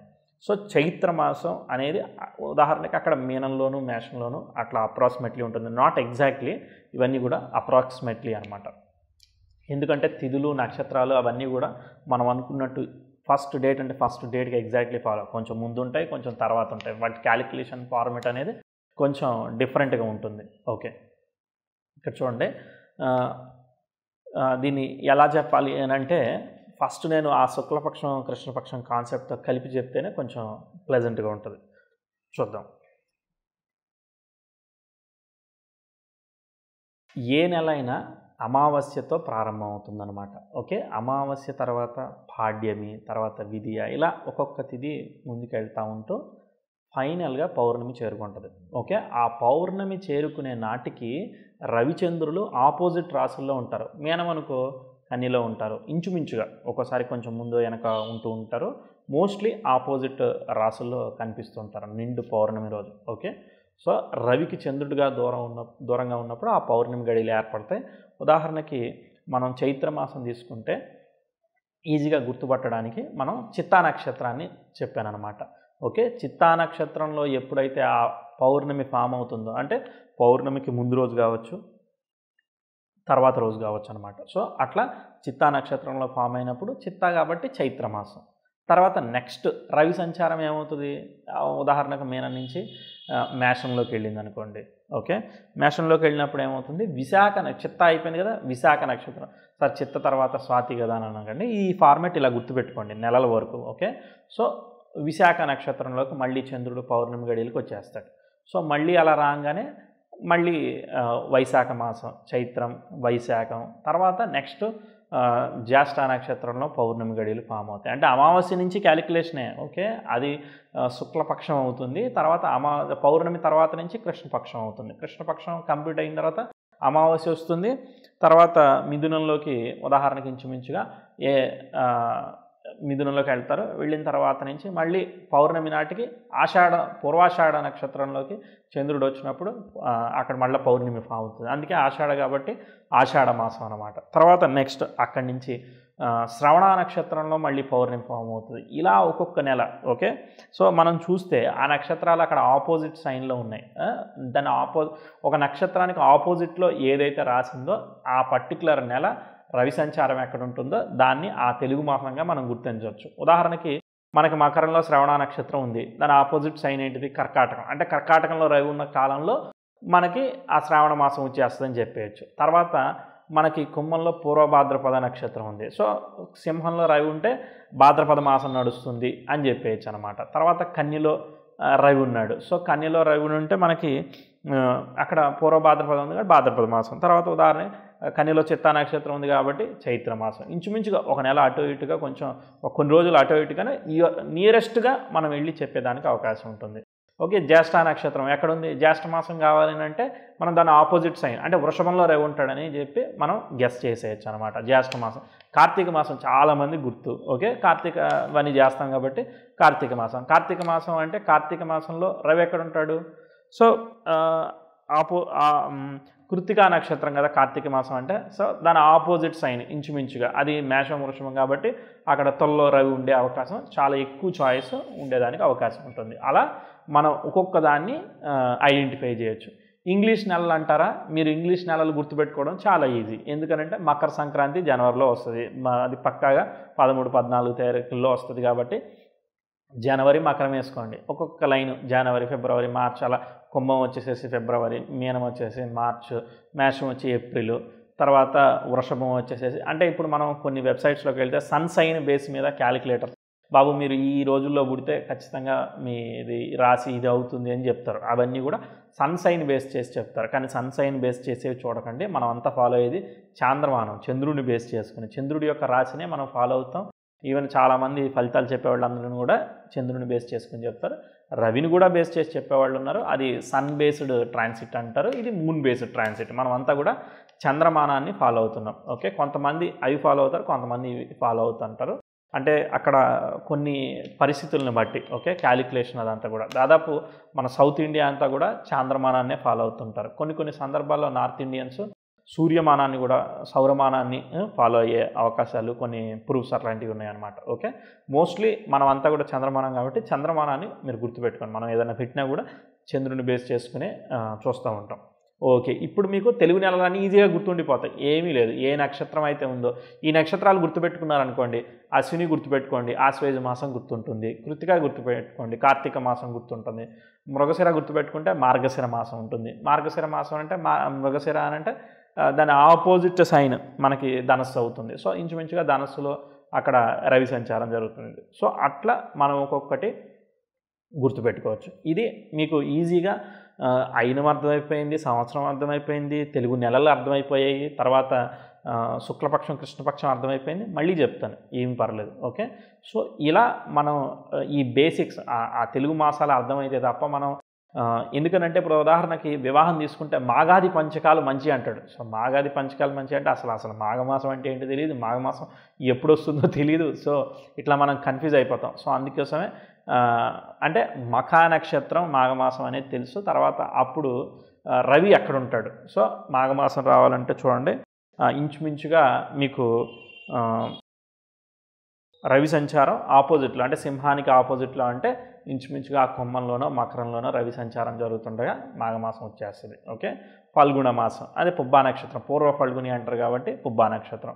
నాకు తెలిసి ఈ స్క్రీన్ చూస్తూ నేను చెప్పేది వింటే నెలలన్నీ కూడా మీకు ఈజీగా అర్థమైనవి అనుకుంటున్నాను. ఏమి కాంప్లికేషన్ లేదు. చాలా ఈజీ. కాకపోతే మనం తెలుగు నెలల్ని ఇంగ్లీష్ నెలలతో మెర్జ్ చేస్తున్నాం. ఇప్పుడు ఎలా అంటే ఒక తెలుగు వాడికి ఇంగ్లీష్ ట్రాన్స్లేట్ చేస్తే రెండు చూస్తే ఎలా కన్ఫ్యూజింగ్ అవుతుందో. సో మనకి అట్లాంటి కన్ఫ్యూజన్ ఇక్కడ ఏర్పడింది. అంతే తప్ప ఏం లేదు. మనం ఒక క్యాలెండర్ ఫాలో అవుతున్నాం కాబట్టి దాని నుంచి ఇంకో దానికి స్విచ్ అవ్వాల్సి వస్తుంది కాబట్టి దానికి దీనికి కంపారిజన్గా నేర్చుకుంటాం కాబట్టి అట్లా అనిపిస్తుంది అంతే. ఓకే? బట్ దాని స్టాండర్డ్ రూల్స్ అదే. ఓకే నెక్స్ట్ టాపిక్కి వెళ్దాం. ఓకే దాదాపు చిన్న చిన్న బేసిక్స్ అన్నీ నేర్చుకున్నాం. అంటే నెల అంటే ఏంటిది? మాసం అంటే ఏంటి? అయినం అంటే ఏంటిదో తెలుసుకున్నాం. ఇప్పుడు మనకి ఇక్కడ ఉన్న ఎలిమెంట్స్ అన్నీ కూడా అంటే ఏమున్నాయి? అసలు ముహూర్తానికి చూడాల్సిన బేసిక్ కామన్ రూల్స్ తిదివార నక్షత్ర యోగ కరణాలు దానికి తోడు పంచకరహితం ఎలా చేసుకోవాలి? ఇవి కామన్ సెన్స్గా మనకు తెలిసి ఉండాల్సిందే. ఏకవింశతి దోషాలు అంటే ఏంటిది? వాటిని మనం ఎట్లా రెక్టిఫై చేయొచ్చు? ఇలాంటి విషయాలన్నీ కూడా తెలియాలి. ఓకే? వీలైనంత వరకు కొంత చెప్తాను. మిగిలిన కొంత చదవండి. చాలా ఈజీగానే ఉంది. సో అది చూస్తే మనం అప్లై చేయగలుగుతాం. ఇప్పుడు ఒక్కొక్క కాన్సెప్ట్ మనకి స్క్రీన్ మీద మనకు ఆ క్యాలెండర్ మీద కమాండ్ రావాలి అని అంటే మీకు పైన ఇంతకుముందు చెప్పాను కదా రెడ్ గ్రీన్ ఎల్లో ఉన్నాయని చెప్పాను. సో ఆ ఎందుకు పెట్టాను అనేది కూడా మీకు అర్థమైపోద్ది. ఏంటంటే ఉదాహరణకి ఒక నాలుగు నక్షత్రాలు ఒక ఒక మీరు ఒక నెల రోజులు ముహూర్తానికి టైం రేంజ్ తీసుకున్నారని అంటే అక్కడ ఒక పది పదిహేను నక్షత్రాలు ఉంటాయి. ఓకే? ఆ, నక్షత్రాల్లో ఏదో ఒక నక్షత్రాన్ని మీరు సెలెక్ట్ చేసినప్పుడు ఈ నక్షత్రం చాలా టాప్ నక్షత్రం. వివాహానికి ఉదాహరణకు ఒక పర్టికులర్ కార్యక్రమానికి ఒక పర్టికులర్ నక్షత్రం సూపర్గా ఉంటాయి. మీకు ఒక చిన్న ఎగ్జాంపుల్ చెప్తాను. ఓకే? ఒక వేరుశనగ పంట వేస్తున్నారనుకోండి. వేరుశనగకాయలు ఎక్కడ కాస్తాయి? వేరుశనగ చెట్టు ఉండి చెట్టుకి కొమ్మలు ఉండి దానికి వేరుశనగకాయలు కాయవు. వేరుశనగకాయలన్నీ కూడా మట్టిలో ఉంటాయి చెట్టు పైన ఉంటుంది. ఓకే? సో ఆ మట్టి లోపల అది పంట పండుతుంది కాబట్టి దాన్ని ఊర్ధ్వం అంటారు. ఊర్ధ్వం అంటే లోపలదనమాట. అదో అంటే పైన. సో ఊర్ధ్వముఖ నక్షత్రాలు అధోముఖ నక్షత్రాలు అనే రెండు రకాల కాన్సెప్ట్స్ ఉంటాయి. ఒక పైన పండే పంటలకేమో అధోముఖ నక్షత్రాలు పెడతారు. ఊర్ధ్వముఖ నక్షత్రాలు అంటే లోపల పండే వాటికి పెడతారు. సో ఊరికే ఆ నక్షత్రం యొక్క ఎగ్జాంపుల్ చెప్పడానికి ఆ- టాపిక్ చెప్పాను. అలానే ప్రతి పనికి చాలా సిల్లీ సిల్లీగా అనిపిస్తూ ఉంటాయి. చెప్పులు వేసుకోవడానికి కూడా ఏ నక్షత్రానికి కంఫర్టబుల్ ఏ లగ్నాలు కంఫర్టబుల్ కూడా మనకి రాశారు. సో అంటే ఫాలో కావాలంటే మీరు ఫాలో కావచ్చు దాని వద్దనను బట్ నా ఉద్దేశం ప్రకారం ఆటోమేటిక్గా అన్నీ అయిపోవాలి. నువ్వు సీరియస్గా సీరియస్ విషయాలకు తప్ప చిన్న చిన్న విషయాలన్నిటికీ కూడా చూసుకుంటూ వెళ్తే ప్రశాంతంగా జీవించలేము సో ఇదంతా కూడా లైఫ్లో ఏమి లేదు. నువ్వు పక్కోడికి మంచి చేసినావు అంటే నీకు మంచి రిటర్న్ వస్తుంది. సో మనం ఇస్తే మనకి వస్తుంది. అంటే మన డబ్బులు పోయినాయి కదా అని లేదు. మనం దాన్ని పూర్వపుణ్యంగా కన్వర్ట్ చేస్తున్నాం అనమాట సో నువ్వు ఏదన్నా ఎదుటివాడికి ఇచ్చి వాడికి మంచి కలిగింది అని అంటే ఆటోమేటిక్గా వస్తుంది. నిజంగా అసలు ముహూర్తాలు లేకుండా కొన్ని లక్షల మంది కొన్ని కోట్ల మంది మన ఇండియాలో ఫాలో అవుతున్నాం. ప్రతి కంట్రీలో ఫాలో అవుతున్నారు ముహూర్తాలు. లేదు కదా? సో వాళ్ళందరూ కూడా చాలామంది హ్యాపీగా ఉంటున్నారు. మేబీ ఒక టెన్ ఫిఫ్టీన్ పర్సెంట్ సఫరింగ్లో ఉంటూ ఉండొచ్చు. ఓకే? అదంతా కూడా వాళ్ళ పూర్వకర్మ అని మనం అనుకోవచ్చు. అంటే ఏంటిదని అంటే ఈ ముహూర్తాలు ఇవన్నీ కూడా మనం మాన్యువల్గా వెరిఫై చేస్తున్నాం. అంటే బైనోక్యులర్ పెట్టి ఇట్లా డీటెయిల్డ్గా చూసినట్టు చూస్తున్నాం. వాళ్ళు ఏంటిది? వాళ్ళ పూర్వపుణ్యాన్ని బట్టి వాడికి ఆటోమేటిక్గా వాడు ముహూర్తం ఫాలో కాకపోయినా ఆ నిర్దిష్ట సమయానికి ముహూర్తం క్రియేట్ అయిపోతుంది. నేను ఒక మన భాషలో ఒక చిన్న ఉదాహరణ ఇచ్చి టాపిక్లోకి వెళ్తాను డైవర్షన్ ఏం లేదు.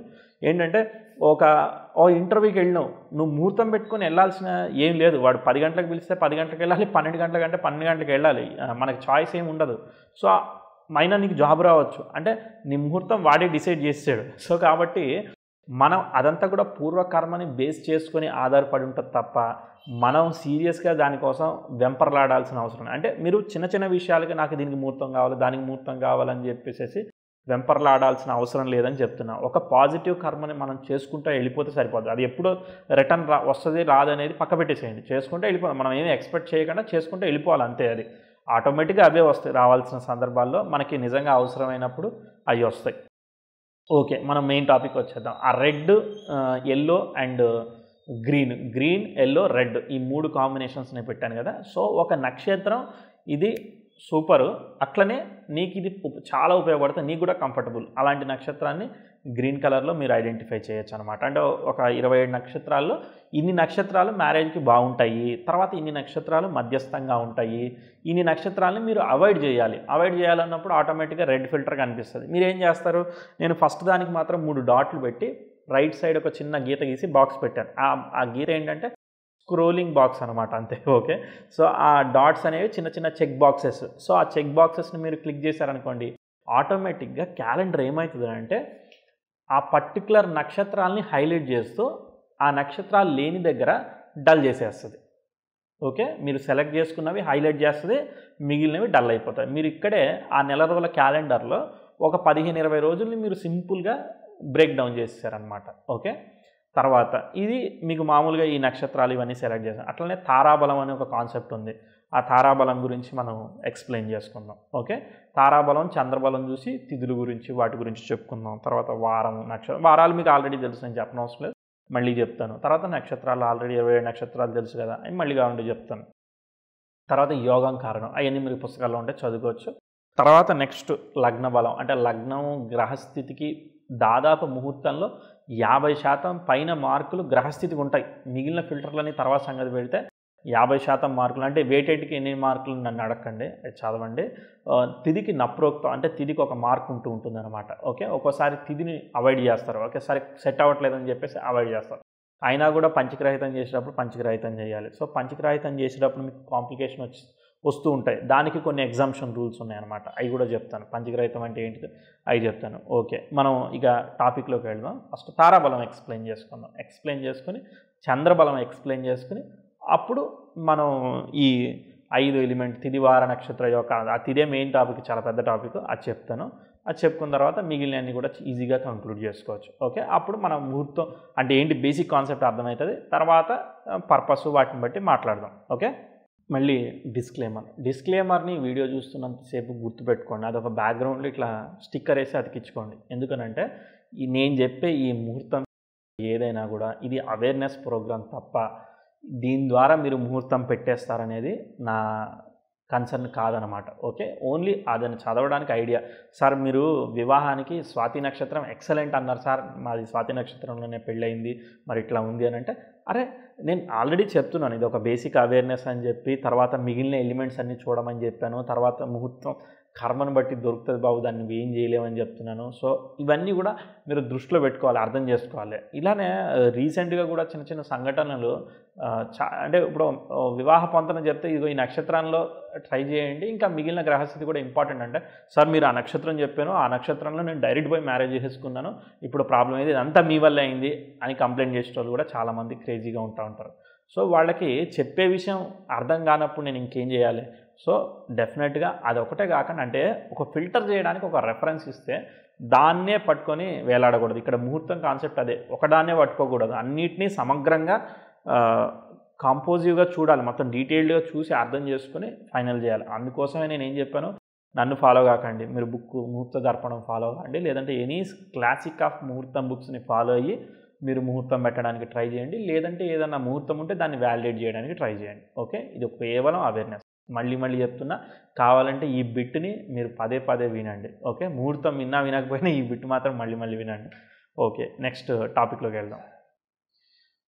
ఈ ఛానల్ మొత్తంలో కూడా ముహూర్తం మీద ఉండే ఒకే ఒక్క వీడియో ఆ వీడియో ఇదే. మళ్ళీ ఇంకో ఇంకోసారి నేను ముహూర్తం గురించి చెప్పే సాహసం కానీ ప్రయత్నం కానీ చెయ్యను. ఓకే?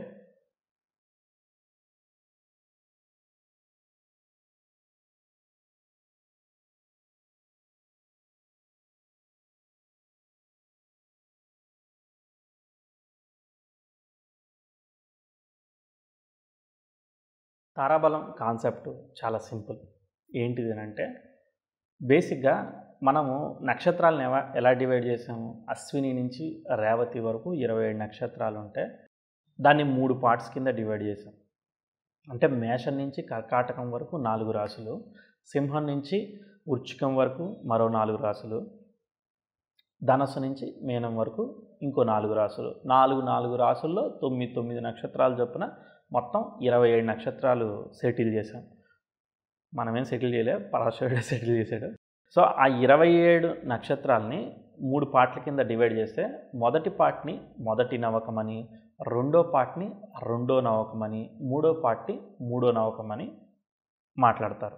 అయితే ఇక్కడ ఏంటంటే మనం మ మనం పుట్టిన నక్షత్రం నుంచి ఒక్కొక్క నక్షత్రాన్ని క్యాలిక్యులేట్ చేసుకుంటే తొమ్మిది తారలు వస్తాయి. అంటే తొమ్మిది నక్షత్రాలు లైన్గా చదువుకుంటే మనం పుట్టింది జన్మ తార అవుతుంది.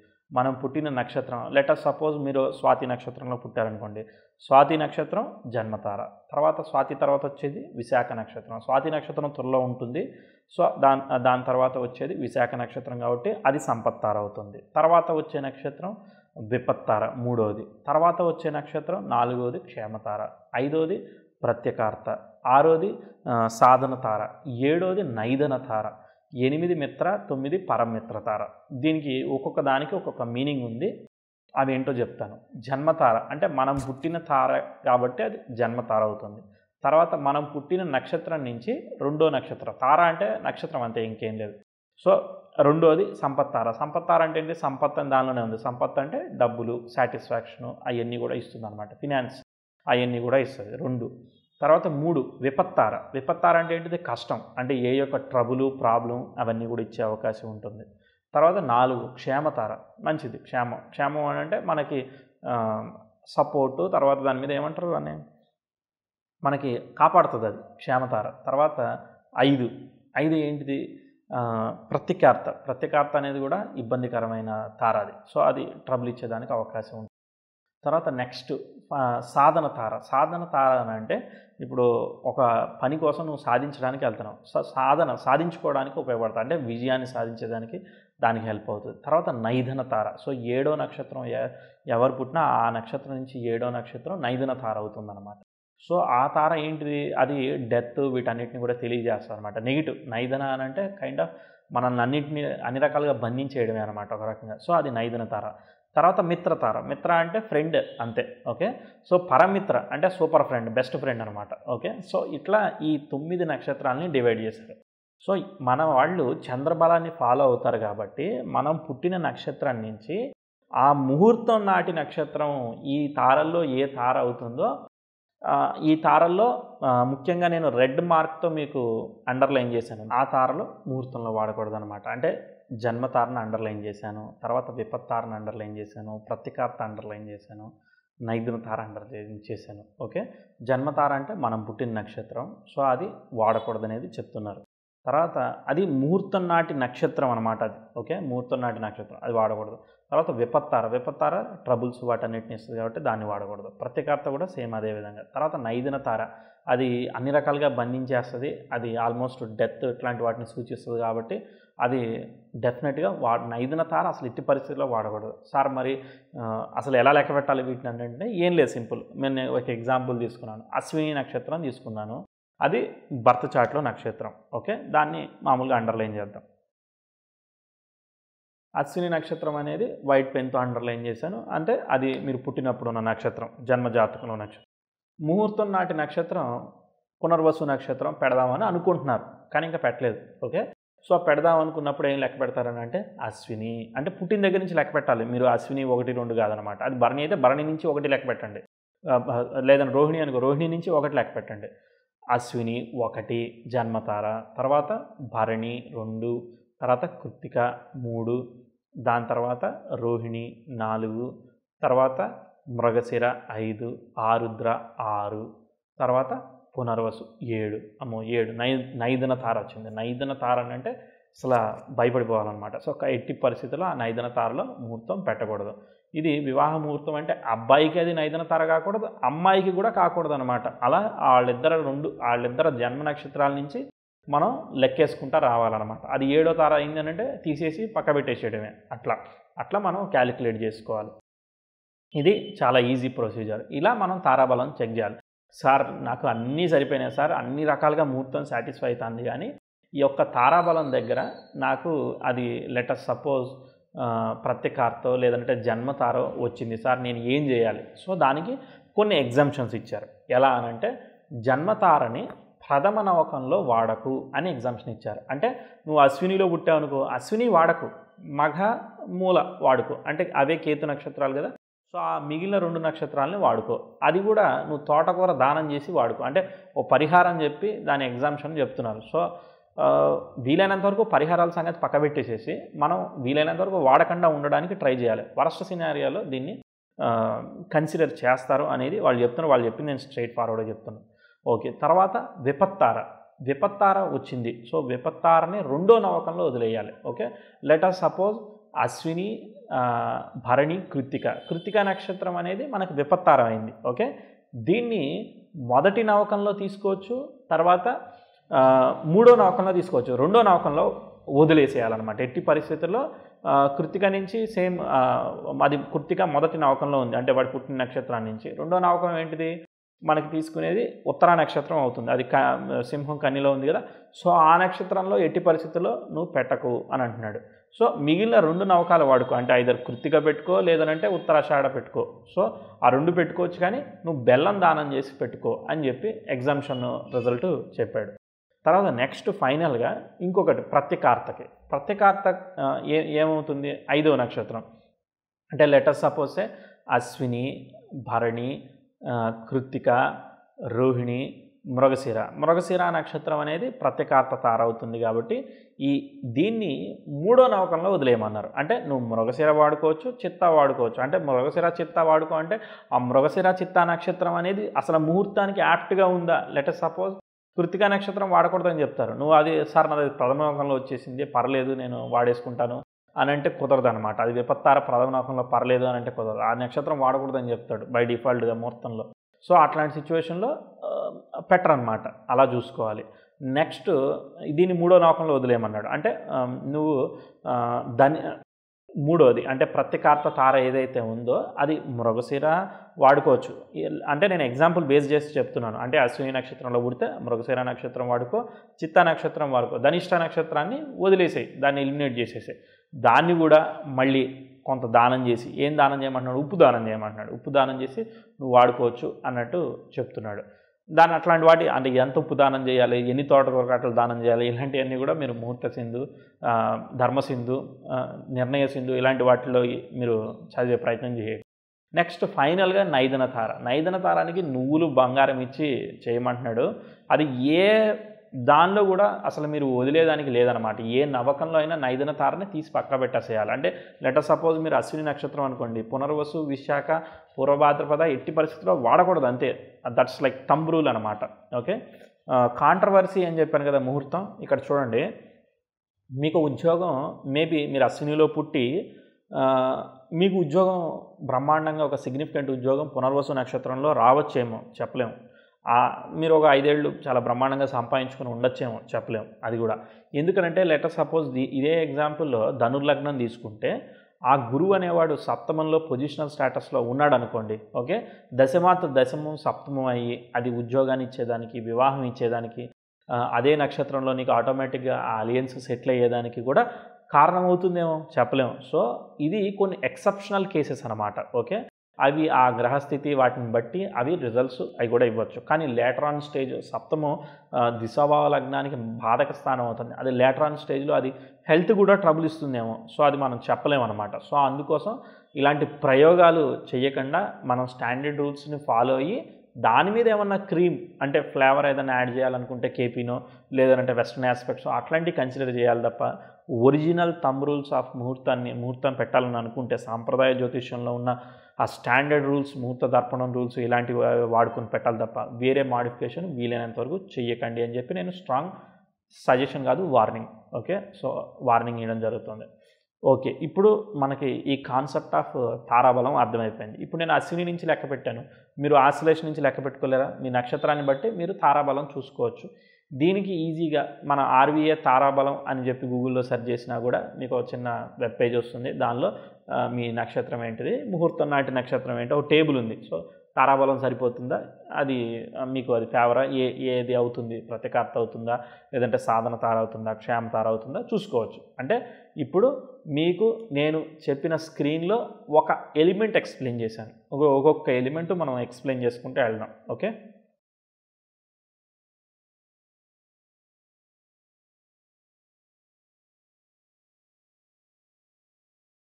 తారాబలం ఫినిష్ చేసుకున్నాం. నెక్స్ట్ ఏంటిది? చంద్రబలం చూద్దాం.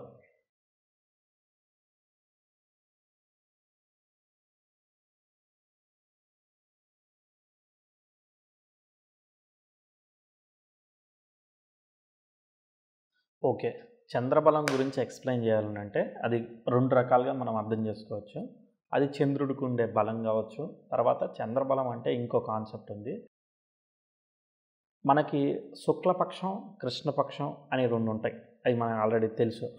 సో శుక్లపక్షం ఎలా ఏర్పడుతుంది కృష్ణపక్షం ఎలా ఏర్పడుతుందో ఎక్స్ప్లెయిన్ చేసిన తర్వాత మీకు అది అర్థమవుతుంది. ఫస్ట్ అది ఎక్స్ప్లెయిన్ చేస్తాను.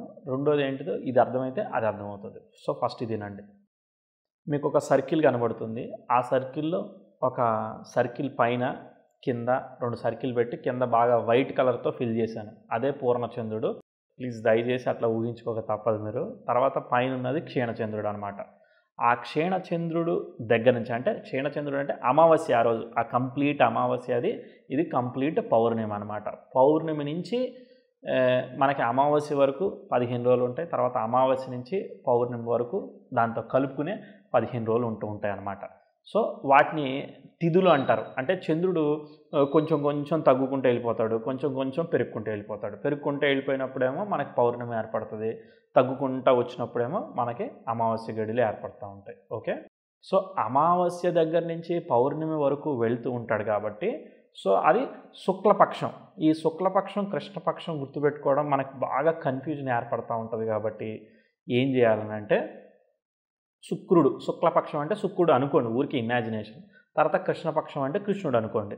శుక్ శుక్రుడు ఎలా ఉంటాడో తెల్లగా ఉంటాడు. కృష్ణుడు నల్లగా ఉంటాడు మనకు తెలుసు కాబట్టి ఆపోజిట్ శుక్రుడు తెల్లగా ఉంటాడని అనుకుందాం. ఓకే?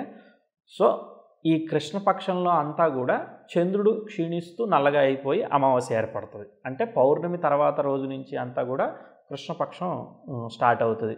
ఇక్కడ మనకి కన్ఫ్యూజ్ చేయడానికి వీళ్ళు ఏం చేస్తారంటే ఒకదానికి రెండు మూడు పేర్లు పెడతా ఉంటారు. అంటే అలియాస్లు అనమాట అంటే ఈ కృష్ణపక్షాన్నే బహుళ పాడ్యమి అని బహుళ ద్వితీయ అని ఇలా ఇలా మనకి మార్చి కూడా క్యాలెండర్లలో రాస్తూ ఉంటారు. ఓకే? తర్వాత శుక్లపక్షాన్ని శుద్ధ నవమి శుద్ధ దశమి శుద్ధ ఏకాదశి ఇట్లా కూడా మాట్లాడతారనమాట ఓకే? మనం స్టాండర్డ్గా గుర్తుపెట్టుకోవడానికి మన చిన్నప్పటి నుంచి ఫాలో అయ్యేది శుక్లపక్షం కృష్ణపక్షం సో నా నా ప్రాబ్లమే గుర్తుపెట్టుకోవడం. సో ఆ- ఆ గుర్తుపెట్టుకోవడానికి చిన్న చిన్న టెక్నిక్స్తో కలిపి మీకు ఎక్స్ప్లెయిన్ చేస్తున్నాను. అంతే ఏం లేదు. సో ఈ శుక్లపక్షం కృష్ణపక్షంలో ఆ తిథుల్లో అసలు ఏవి వాడాలి ఏది వాడకూడదు అనేది వీళ్ళు చెప్పున్నారనమాట అంటే ఆ ముహూర్తం నాటి చంద్రుడు అనేవాడు కృష్ణపక్షంలో ఉంటే ఎట్లా వాడుకోవాలి శుక్లపక్షంలో ఉంటే ఎలా వాడుకోవాలి అనేది చెప్తారు వాళ్ళు. సో అది చెప్తాను. ఫస్ట్ ఈ శుక్లపక్షం కృష్ణపక్షం గీద్దాం.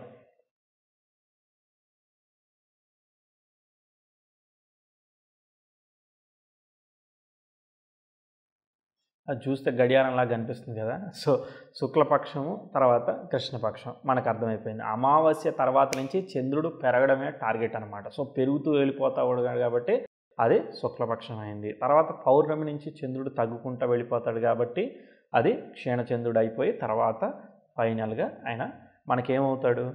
అమావాస్య ఏర్పడుతుంది. ఓకే? సో ఇక్కడ అమావాస్యకి పౌర్ణమికి రెండు ప్రాముఖ్యతలు ఉన్నాయి. చంద్రబలం అంటే ఏంటంటే చంద్రుడు పౌర్ణమి గడియల్లో ఉంటే అది అందరికీ కూడా ప్రశాంతతనిస్తుంది వెలుగునిస్తుంది. తర్వాత ఎమోషనల్ డిస్టర్బెన్స్ లేకుండా పాజిటివ్గా ఉంటుందనేది ఒక కాన్సెప్ట్. మన చంద్రబలం ఫాలో అయ్యే వాళ్ళందరూ కూడా ఇది తెలిసిన కాన్సెప్ట్ అనమాట సో ఆ చంద్రబలం బాగుంటే అంటే ఏం లేదు చూడండి ఒక జాతక చక్రంలో మనం చంద్రుడు బాగున్నాడా లేదా అబ్జర్వ్ చేస్తాం. ఎందుకు అబ్జర్వ్ చేస్తాం? చంద్రుడు బాగుంటే వాడు మానసిక స్థితి బాగుంటుంది. వాడు ఏదైనా పని చేసేటప్పుడు వాడి మనసు అనేది డిస్టర్బ్ చేయదు. లెటర్ సపోజ్ నువ్వు ఓ సినిమాకి వెళ్ళావు ఓ సినిమా చూస్తున్నావు.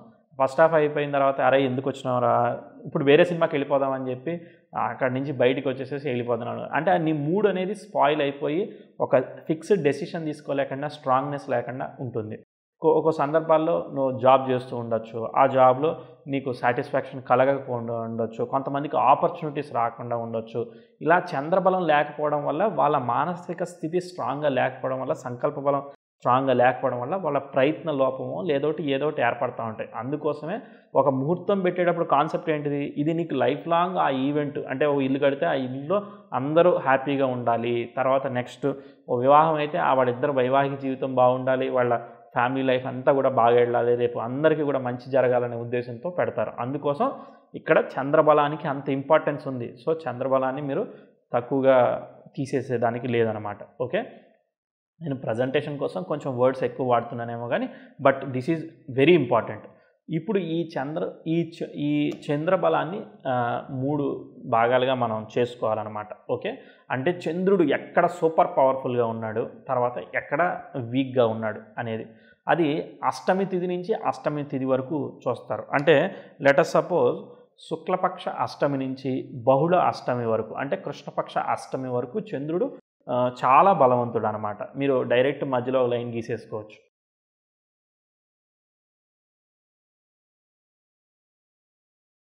సో నేను ఆ అష్టమి నుంచి అష్టమి వరకు పెట్టాను. అంటే అవన్నీ పౌర్ణమి యొక్క రేసెస్ అనుకోండి మీరు. ఓకే? ఊరికి ఇమాజిన్ చేసుకోండి.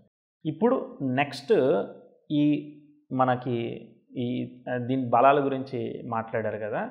సో దానిలో అసలు ఎలా వాడారు ఏంటిది అనేది నేను చెప్తాను.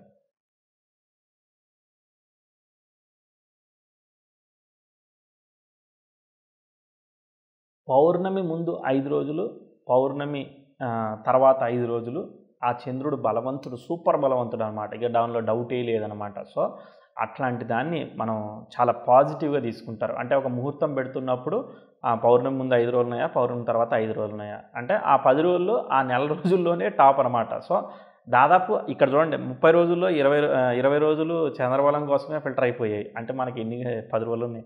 ఈ పది రోజుల్లో తారాబలాలు సరిపోవాలి చంద్రబలాలు సరిపోవాలి తర్వాత మిగిలిన అన్ని సరిపోవాలి. అప్పుడు కానీ మనకి ఫిల్టర్ కాదు. అంటే ముహూర్తం దొరికింది అంటే గెంతులు వేసుకుంటే ఇంటికి వెళ్ళిపోవడమే ఎందుకనంటే అంత ఈజీగా దొరకదు. ఇలా ఫిల్టర్ చేసుకుంటా పోతా ఉంటే ముహూర్తం దొరుకుద్దా? సో అలాంటి ముహూర్తాన్ని మళ్ళీ ఇంకో ముహూర్తం ఉంటే చూడండి సార్. రాత్రి ఫోటోలు బాగా వస్తాయి. అక్కడ వీలైతే అక్కడ ముహూర్తం ఇవ్వండి సార్. రెండు మూడు ఇవ్వండి సార్. మేము ఏదో ఒకటి వాడుకుంటాం. మా కన్వీనియంట్ని బట్టి మేము వాడుకుంటాం.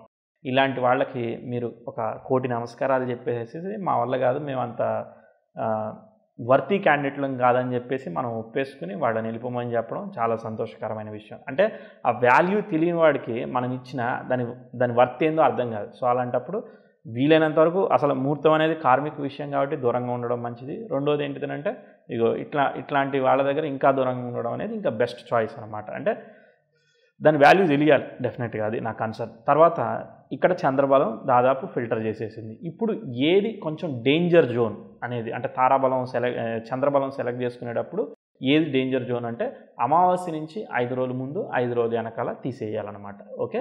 దాన్ని కూడా వాడతారు. కొన్ని ఎక్సెప్షనల్ కేసెస్లో ఎలా వాడతారు అనేది నేను మళ్ళీ చెప్తాను.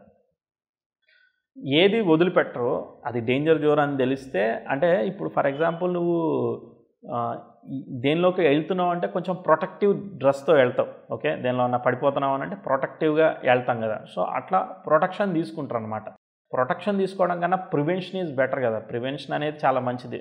అంటే ప్రొటెక్షన్ కన్నా ప్రివెన్షన్ చాలా బెటర్ ఓకే ఇప్పుడు ఈ డేంజర్ జోన్ని కూడా డ్రా చేస్తా. సేమ్ పౌర్ణమి ముందు ఐదు రోజులు ఎలానో అలానే అమావాస్య ముందు ఐదు రోజులు అమావాస్య తర్వాత ఐదు రోజులు కూడా కష్టంగా ఉంటాయి.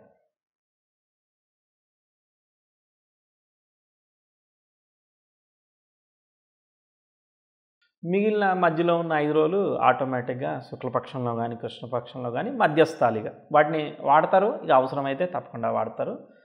దాదాపు డేంజర్ జోన్లోకి వెళ్ళకుండా ఐదర్ ఎల్లో జోన్ ఆ గ్రీన్ జోన్లో ఉండేదానికి ప్రయత్నం చేస్తారు. ఇప్పుడు మీకు అర్థమై ఉంటుంది. నేను పైన గ్రీన్ ఇక చూడండి స్క్రీన్ మీద.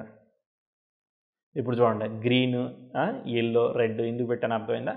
ఇలా మనకి అక్కడ చంద్రుడి యొక్క బలాన్ని బట్టి మనం ఎలాంటి దాన్ని సెలెక్ట్ చేసుకోవాలనే దానికి ఇలా పనిచేయడం కోసం ఏ జోన్ని తీసుకోవాలి? అది మనకి తిథుల్లో కనిపిస్తుంది. తిథుల యొక్క ఫిల్టర్లో కనిపిస్తుంది అనమాట ఏ తిథిని తీసుకోవాలనేది. చంద్రబలం గురించి మళ్ళీ చెప్తాను ఇప్పుడు.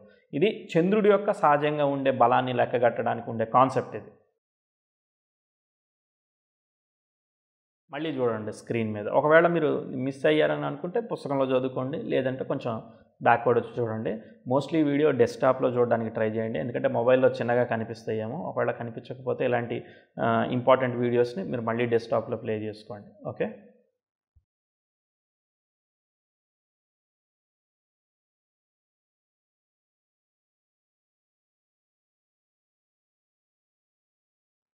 మీరు తారాబలంలో ఏం చేశారంటే ఒక్కొక్క నక్షత్రం జన్మ తార అని అంటేనేమో మీ నక్షత్రం నుంచి లెక్క పెట్టుకున్నారు. చంద్రబలంలో ఏం చేయాలనంటే రాసులతో లెక్క పెడతాం అనమాట నక్షత్రంతో లెక్క పెడతాం రాసులతో లెక్క పెడతాం. లెటర్ సపోజ్ మీరు అశ్విని నక్షత్రంలో పుట్టారనుకో మేష రాశి అంటారు అంతే. అది భరణిలో పుట్టినా అంతే లేదనంటే కృత్తిక ఒకటో పాదం వరకు పుట్టినా కూడా అది మేష రాశి అవుతుంది కాబట్టి దాన్ని మేషం అంటారు. సో అలా రాశిని బేస్ చేసుకుని దీన్ని క్యాలిక్యులేట్ చేస్తారనమాట దీనిలో మొత్తం మూడు రూల్స్ ఉన్నాయి. ఇక్కడ రెండు చార్ట్స్ డ్రా చేశాను ఎగ్జాంపుల్స్ చెప్పడానికి. ఫస్ట్ చార్ట్ శుక్లపక్షం గురించి రెండో చార్ట్ కృష్ణపక్షం గురించి. మూడు రూల్స్ చెప్తాను. శుక్లపక్షంలో ముహూర్తం నాటి చంద్రుడు రెండు ఐదు స్థానాల్లో గనక ఉన్నట్లయితే అది మీకు కన్వీనియంట్గా అంటే చంద్రబలం సరిపోయిందనమాట రూల్ పాస్ అయింది. చంద్రబలం సరిపోయింది తారాబలం సరిపోయింది అంటే సూపర్. అంటే మీ మనసు అనేది ఆ రోజు కంట్రోల్గా ఉందనేది ఐడెంటిఫై చేయడం కోసం ఇది. ఓకే? సో మనది బాగుంటేనే కదా అదంతా కార్యక్రమం అంతా సక్సెస్ఫుల్గా చేసుకుని అదే ఆ మానసిక అవస్థ అదంతా కూడా ఫర్దర్గా క్యారీ ఫార్వర్డ్ అవ్వడానికి కాన్సెప్ట్ కాబట్టి ఆ చంద్రబలంలో ఎస్పెషల్లీ శుక్లపక్షంలో రెండు ఐదు తొమ్మిది స్థానాల్లో చంద్రుడి యొక్క స్థితి. ఉదాహరణకు మీరు మేషం అయితే వ- వృషభంలో ముహూర్తం నాటి చంద్రుడు ఉండాలి. ఓకే? ఇది ఒక రూల్. తర్వాత కృష్ణపక్షంలో అయితే మీ చంద్రుడి దగ్గర నుంచి ముహూర్తం నాటి చంద్రుడు నాలుగు ఎనిమిది పన్నెండు పొజిషన్స్లో గనక ఉన్నట్లయితే అది మీకు కన్వీనియంట్గా ఉంటుంది. ఓకే? ఇది రెండో ఎగ్జాంపుల్ అసలు నాకు శుక్లపక్షం కృష్ణపక్షం సంబంధం లేదు. బై డిఫాల్ట్గా ఉన్న రూల్ ఏంటిదనంటే ఒకటి మూడు ఆరు ఏడు పది పదకొండు స్థానాల్లో గనక ముహూర్తం నాటి చంద్రుడు మీ జన్మ నక్షత్రం జన్మ రాశి నుంచి లెక్క పెట్టుకుంటే అలా ఉన్నాడు అనుకో బాగానే ఉంటుంది. ఉదాహరణకి ఆ థర్డ్ ఎగ్జాంపుల్కి చాట్ ఏమి డ్రా చేయలేదు ఊరికే చెప్తాను. ఉదాహరణకి మీది తులారాశి అనుకోండి మీరు సింహరాశిలో పెట్టుకోవచ్చు ముహూర్తం. అంటే ముహూర్తం నాటి చంద్రుడు ఏకాదశంలో ఉన్నాడు. మీది తులారాశి అనుకోండి మీరు కర్కాటకంలో నక్షత్రాన్ని సెలెక్ట్ చేసుకోవచ్చు. కర్కాటక రాశిని ముహూర్తానికి సెలెక్ట్ చేసుకుంటే చంద్రబలం బాగానే ఉందని చెప్పుకోవడం అనమాట ఉదాహరణకి మళ్ళీ మీది తులారాశి అనుకోండి ఓకే? ముహూర్తం నాటి చంద్రుడు మీనంలో ఉన్నాడు అనుకోండి అంటే అక్కడి నుంచి ఆరో రాశి కదా తొల నుంచి ఒకటి రెండు మూడు నాలుగు లెక్క పెట్టుకుంటే ఆరో రాశి మీన రాశి అవుతుంది. అది బాగానే ఉంది ఓకే? ఇట్లా మీరు స- తులారాశి అనుకోండి. నేను తులారాశిలోనే ముహూర్తం పెట్టుకుంటా అంటే పెట్టుకోవచ్చు. No problem. అంటే అక్కడ మళ్ళీ ఇప్పుడు ఇప్పుడు మీరు అర్థం చేసుకోండి. సార్ నాది స్వాతి నక్షత్రం తులారాశిలో అంటే స్వాతిలో పెట్టుకోకూడదని ఆల్రెడీ చెప్పాం. జన్మతార పెట్టుకోకూడదని. అప్పుడు ఏం చేయాలి? విశాఖ నక్షత్రం పెట్టుకోవచ్చు. అసలు విశాఖ నక్షత్రం అనేది ముహూర్తానికి పనికొస్తుందా లేదో చూసుకోవాలి. అది రాక్షస గణం అయి ఉంటుంది. తర్వాత అది- అది ఏ కార్యక్రమానికి పనికి వస్తుంది ఏ కాలంలో పనికి వస్తుంది గ్రహణం జరిగిందా లేదా? ఇదిగో ఇలా మనం దాన్ని ఒక్కొక్క రకంగా ఫిల్టర్ చేసుకుంటూ రావాలన్నమాట. ఓకే? ఇది ఒక్క రూల్ అంటే ఈ రూ- చంద్రబలం సాటిస్ఫై అయింది. కానీ మిగిలిన రూల్స్తో దీన్ని మెర్జ్ చేసి చూడాల్సి వస్తూ ఉంటుందన్నమాట. అర్థమై ఉంటుంది కాన్సెప్ట్ మీకు ఇప్పటికీ. ఓకే ఇప్పుడు ఆ కృష్ణపక్షంలోనూ శుక్లపక్షంలోనూ ఊరికే ఎగ్జాంపుల్ తీస్తాను. ఏదో ఒక రాసి పెట్టేసేసి మీకు ఎగ్జాంపుల్ చెప్తాను.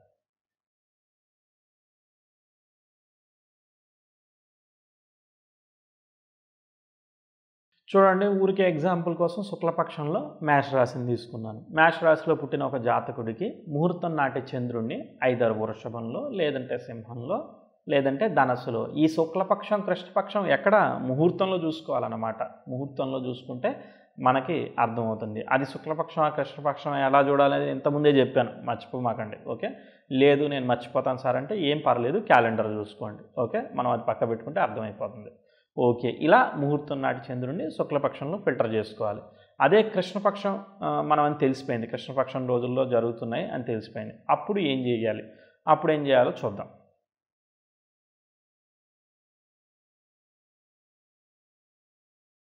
కృష్ణపక్షంలో మీ జన్మ జాతకంలో చంద్రుడు మేషంలో ఉన్నాడు అని అనుకుంటే ఆ ముహూర్తం నాటి చంద్రుడు కర్కాటకంలో కానీ వృచ్చికంలో కానీ మీనంలో కానీ ఉన్నట్లయితే అది ముహూర్త ప్రకారం మనకి చంద్రబలం లెక్క సరిపోయినట్టు అనమాట ముహూర్తంలో వాడుకోవచ్చుగా. చంద్రబలం సరిపోయింది కాబట్టి. ఓకే?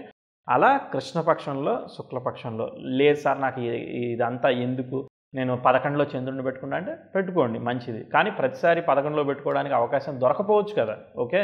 ఎందుకంటే అదర్ ఫిల్టర్స్ అవన్నీ కాంప్లికేట్ చేస్తాయి కాబట్టి ఎగ్జామ్షనల్ రూల్స్ కూడా మనం అర్థం చేసుకుంటే అవసరాన్ని బట్టి ఎస్ దీన్ని ఇలా వాడుకోవచ్చు దీన్ని ఇలా వాడుకోవచ్చు అని ప్రతి ఎలిమెంట్ని అర్థం చేసుకుంటాం ఓకే వెరీ గుడ్. చంద్రబలాన్ని అద్భుతంగా కంప్లీట్ చేసాం ఏంది తారాబలం కంప్లీట్ చేసాము చంద్రబలం కంప్లీట్ చేసుకున్నాము. ఇక ఫైనల్గా మనం తిథుల్లోకి వెళ్తే చాలా టాపిక్స్ కవర్ అయిపోతాయి. తర్వాత ఫైనల్గా మనం డిస్కస్ చేసుకుంటే కంక్లూడ్ చేసేసుకోవచ్చు. ఓకే?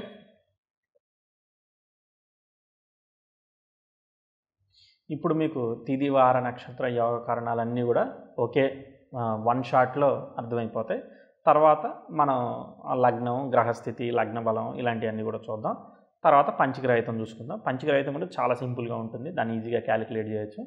దాని తర్వాత ఏకవింశతి దోషాలు ఏంటియో ఒకసారి వెరిఫై చేసుకున్నాం అంటే ఫండమెంటల్స్ ఆఫ్ ముహూర్తం మనకు అర్థమైపోతుంది అంటే బేసిక్స్ ఏమైతే ఉన్నాయో అర్థమైపోతాయి. ఇక మనం పుస్తకం చదవగానే అరే మనం ఆల్రెడీ మనకు తెలిసినవి చదువుతున్నట్టు ఫీలింగ్ వచ్చేస్తుంది. ఓకే? తిథుల్లో రెండు పాటలు ఉన్నాయి ఇది ఒక పాట అనమాట ఓకే? మామూలుగా తిథులు అంటే మనకు తెలుసు. పాడ్యమి విధియ తదియ ఇలా వెళ్ళిపోతూనే ఉంటాయి. దాదాపు పౌర్ణమి వరకు ఆ పదిహేను తిథులు ఉన్నాయి. ఆ పదిహేను తిథుల్ని మీకు సీరియస్గా ఇక్కడ రాశాను క్లియర్గా. ఓకే? సో మీరు చూస్తే ఈ తిథుల్ని ఐదు రకాలుగా డివైడ్ చేశారనమాట అంటే నంద తిథులు భద్ర తిథులు జయ తిథులు రక్త తిథులు పూర్ణ తిథులు అని ఐదు పార్టీలు చేశారనమాట నంద తిథులు సూపర్. ఓకే? ఈవెన్ పూర్ణతిథులు కూడా బాగానే ఉంటాయి. కానీ రక్తతిథుల్ని మాత్రం ఎట్టి పరిస్థితుల్లో కూడా వాడకూడదు. అవాయిడ్ చేయాలనేది ముహూర్తం రూల్. అంటే నువ్వు తారాబలం సరిపోయింది చంద్రబలం సరిపోయింది. అయినా తిథి అనేది నీకు కంఫర్టబుల్గా లేదనుకో సో అట్లాంటి తిథిని అవాయిడ్ చేయాలన్నమాట. ఓకే? ఆ రిక్త అంటే తర్వాత మళ్ళీ ఇంకోటి చూడండి. దానిలో సిద్ధ తిథులని మృత్యు తిథులని ఇంకా రెండు రకాలుగా మళ్ళీ డివైడ్ చేశారు. అంటే పాడ్యమి షష్ఠి ఏకాదశి ఉందనుకోండి. షష్ఠి ఏకాదశి రోజు సన్ ట్రైన్ మూన్ ఉంటుంది. అంటే రవిచంద్రులకి మంచి కోణస్థితిలో ఉంటారు. సూపర్ అనమాట ఓకే? అట్లాంటి తిథి వస్తూ శుక్రవారం రోజు నీకు ముహూర్తం దొరికింది అనుకో ఎక్సలెంట్ అని చెప్పుకోవచ్చు అనమాట అంటే నీకు ఆ తిథి వారం కాంబినేషన్ అనేది ఎక్సలెంట్గా సెట్ అయింది. దాంతోపాటు యోగం కారణం కూడా సెట్ చేసుకున్నాం అంటే యోగం కారణం గురించి నేనేం చెప్పట్లేదు. డైరెక్ట్గా మనం పుస్తకాల్లో దొరికితే ఏ యోగాలు దేనికి మంచి ఏ కారణాలు దేనికి మంచిది దేనికి వాడుకోవచ్చు వాడకూడదు ఆల్రెడీ వాళ్ళు లిస్ట్ ఇచ్చున్నారు సో మళ్ళీ నేను రిపీట్ చేయడం ఎందుకు? సో దాన్ని ఫాలో అవ్వండి. నెక్స్ట్ అదే తిథులు అంటే షష్ఠి ఏకాదశి వచ్చి మంగళవారం ఆదివారం కనుక అయిందనుకో సో ప్లీజ్ దయచేసి అవాయిడ్ చేయండి అని చెప్పి చెప్పేస్తున్నాడు. అంటే మృత్యు తిథులుగా వాళ్ళు కన్సిడర్ చేస్తారు అంటే ఏంటంటే అది అంత ఆస్పీషియస్ కాదు. ఇంకోటి ముహూర్తం పెట్టేటప్పుడు అసలు ఏదీ లేకుండా మీరు మంగళవారాలు డైరెక్ట్గా ఎలిమినేట్ చేసేయాలి. మంగళవారం అసలు దాదాపు ఏ శుభకార్యము చెయ్యరనమాట ఎందుకంటే కుజుడు యుద్ధకారకుడు కాబట్టి గొడవలు ఇష్యూస్ లేదంటే ఏదైనా ప్రాబ్లమ్స్ వస్తాయనే ఉద్దేశంతో మంగళవారాన్ని సీరియస్గా అవాయిడ్ చేశారు. కొన్ని కొన్ని ఎక్సెప్షన్స్ ఉన్నాయేమో అనేది మీరు అబ్జర్వ్ చేయండి. తర్వాత నెక్స్ట్ సోమవారం నాటి భద్రతిథులు వాడకూడదు. బుధవారం నాటి భద్రతిథులు వాడుకోవచ్చు. బుధవారం బుధుడు భద్రతిథి ఆ కాంబినేషన్ సెట్ అయిపోయింది. సో బుధుడికి చంద్రుడు ఆపోజిట్ కాబట్టి సోమవారం రోజు అవాయిడ్ చేసి ఉంటారు. నా నా ఇమాజినేషన్ పర్సెప్షన్ అనుకోండి. తర్వాత జయతిథులు సేమ్ మంగళవారం కుజుడికి సంబంధించింది జయతిథి కాబట్టి మంగళవారం నాటి జయతిథులు వాడుకోమన్నారు. తర్వాత నేను చెప్పాను కదా ఎక్సెప్షన్స్ అని. సో అట్లాంటి సందర్భాల్లో ఎక్సెప్షన్స్లో వాడుకోవచ్చు. తర్వాత బుధుడు బుధుడు కుజుడికి ఆపోజిట్ కాబట్టి దాన్ని అవాయిడ్ చేస్తారు. తర్వాత శనివారం నాటి రక్తతిథులు రక్తతిథులు అసలే వాడద్దన్నాం. వాడాలని అనుకుంటే శనివారం రోజు అంటే minus into minus formula apply చేసి ఉంటారు వాళ్ళు.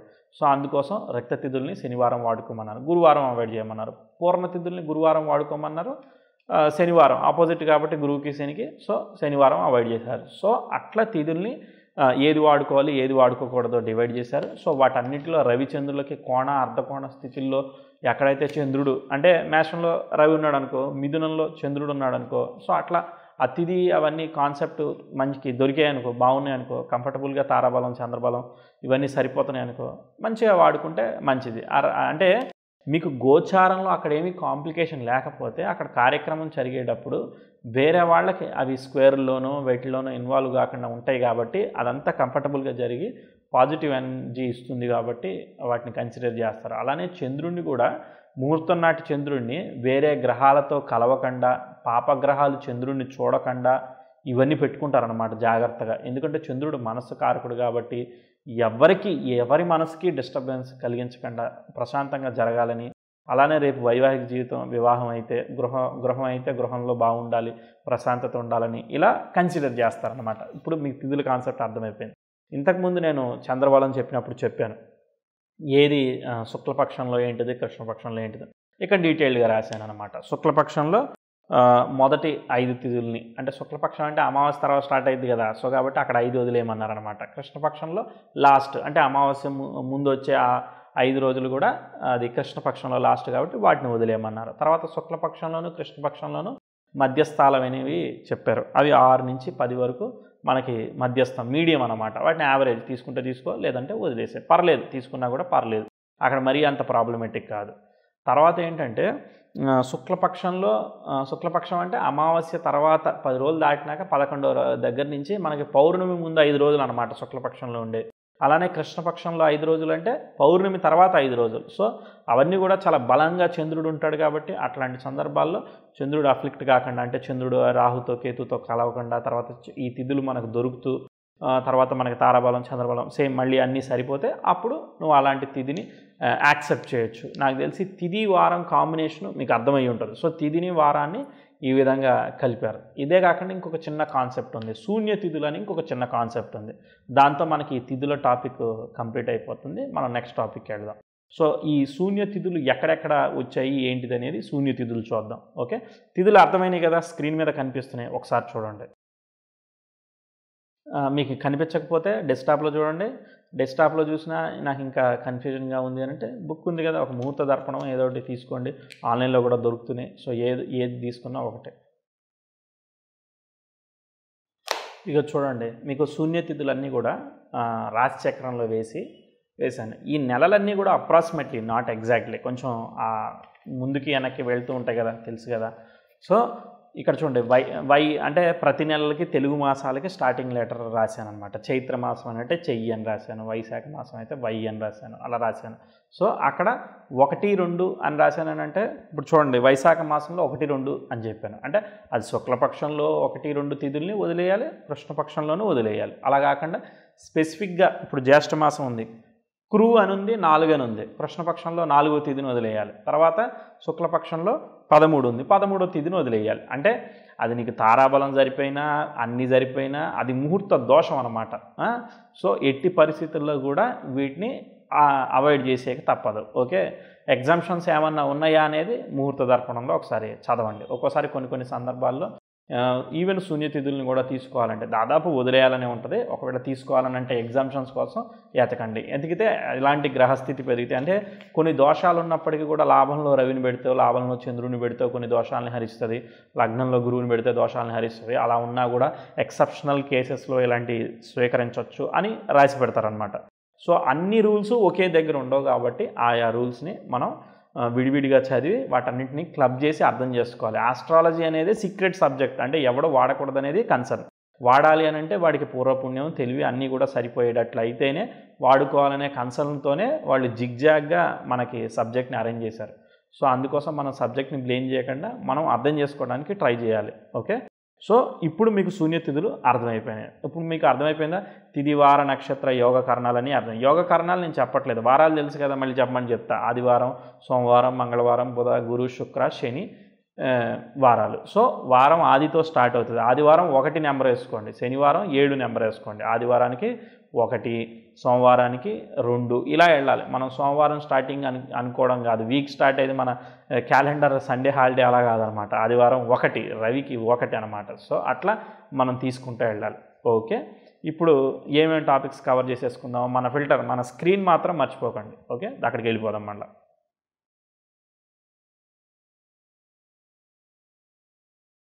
ఓకే. ఇప్పుడు మీరు ఇంత ఫిల్టర్ చేస్తే అంటే ఆల్రెడీ తారాబలం చంద్రబలం ఫిల్టర్ చేశారు. మళ్ళీ అక్కడ ఏదన్నా తిది ఏమన్నా పొరపాటు పడిందా? శూన్య తిది ఏమన్నా ఉందా? అని చెప్పి మళ్ళీ డబుల్ చెక్ చేసుకోవడానికి ఇలా మనం ఆ తిథులు అవన్నీ చూసుకుంటాము.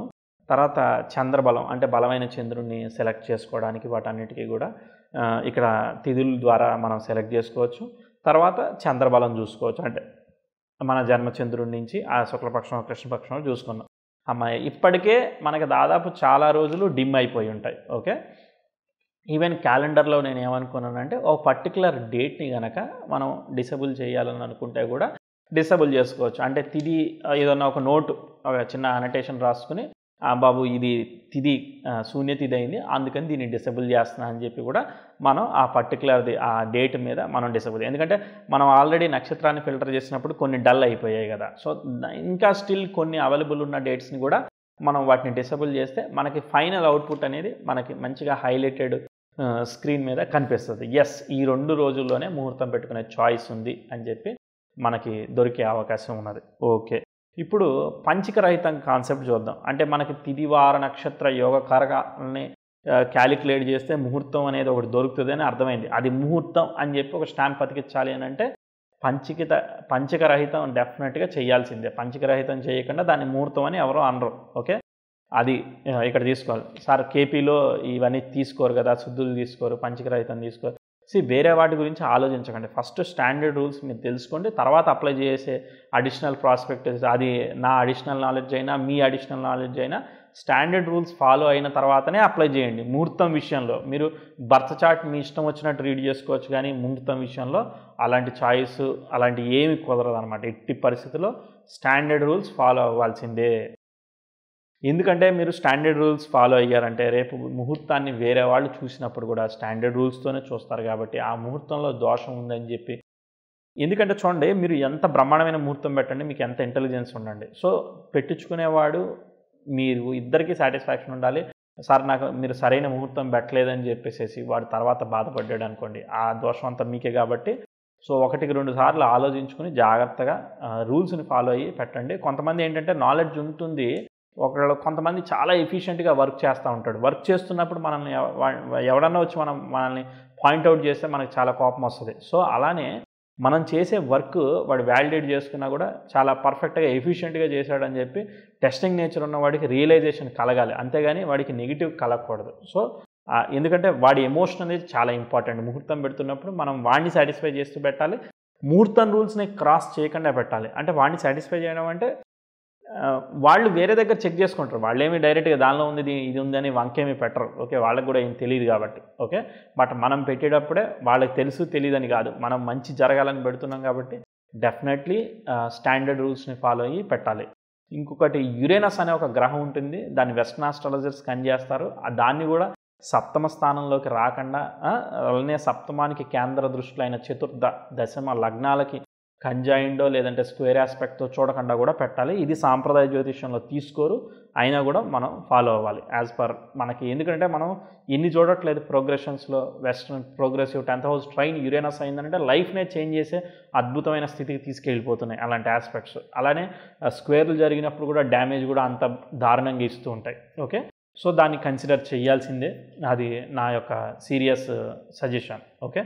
So next టాపిక్కి ఏంటిది? పంచిక రహితం చూద్దాం. పంచిక రహితం చాలా సింపుల్. ఆ తిథి వార నక్షత్రాలు వాటన్నిటిని కూడా క్యాలిక్యులేట్ చేసి భాగించేది ఉంటుంది. చెప్తాను. సింపుల్గా చెప్తాను. పంచిక రహితం క్యాలిక్యులేట్ చేయడం చాలా సింపుల్. తిథి మనకి శుక్లపక్షం కావచ్చు కృష్ణపక్షం కావచ్చు ఏదైనా పర్లేదు. ఓకే. మనకి ఏదో ఒక తిథి వచ్చింది. లెటర్ సపోజ్ దశమి అనుకో. దశమి అంటే ఏంటిది? పదో తిథి కదా. సో కాబట్టి ఆ పది వేసుకోవాలి. తిథి వారం. వారం. లెటర్ సపోజ్ సే శనివారం వచ్చింది. శనివారం ఏంటిది? ఏడో నెంబర్. సో నెంబర్ ఏడు వేసుకోవాలి. తర్వాత నక్షత్రం. అశ్విని అనుకో ఒకటి భరణి అనుకో రెండు. అలా సహజంగా ఉండే నెంబర్లు వేసుకోవాలన్నమాట ఇవి ఇక్కడ. తర్వాత ఫైనల్గా లగ్నం. మీరు మ్యాష్ లగ్నం పెట్టారనుకో ముహూర్తం అది ఒకటి అవుతుంది. కర్కాటక లగ్నం పెట్టారనుకో అది నాలుగో లగ్నం. సహజంగా ఉండే నెంబర్లు అవి కూడా. సో అలా అన్నీ వేసుకుంటే మొత్తం టోటల్ చేయాలి. అంటే అవన్నీ కూడికే. చిన్న కూడికే మీరు చేయగలుగుతారు.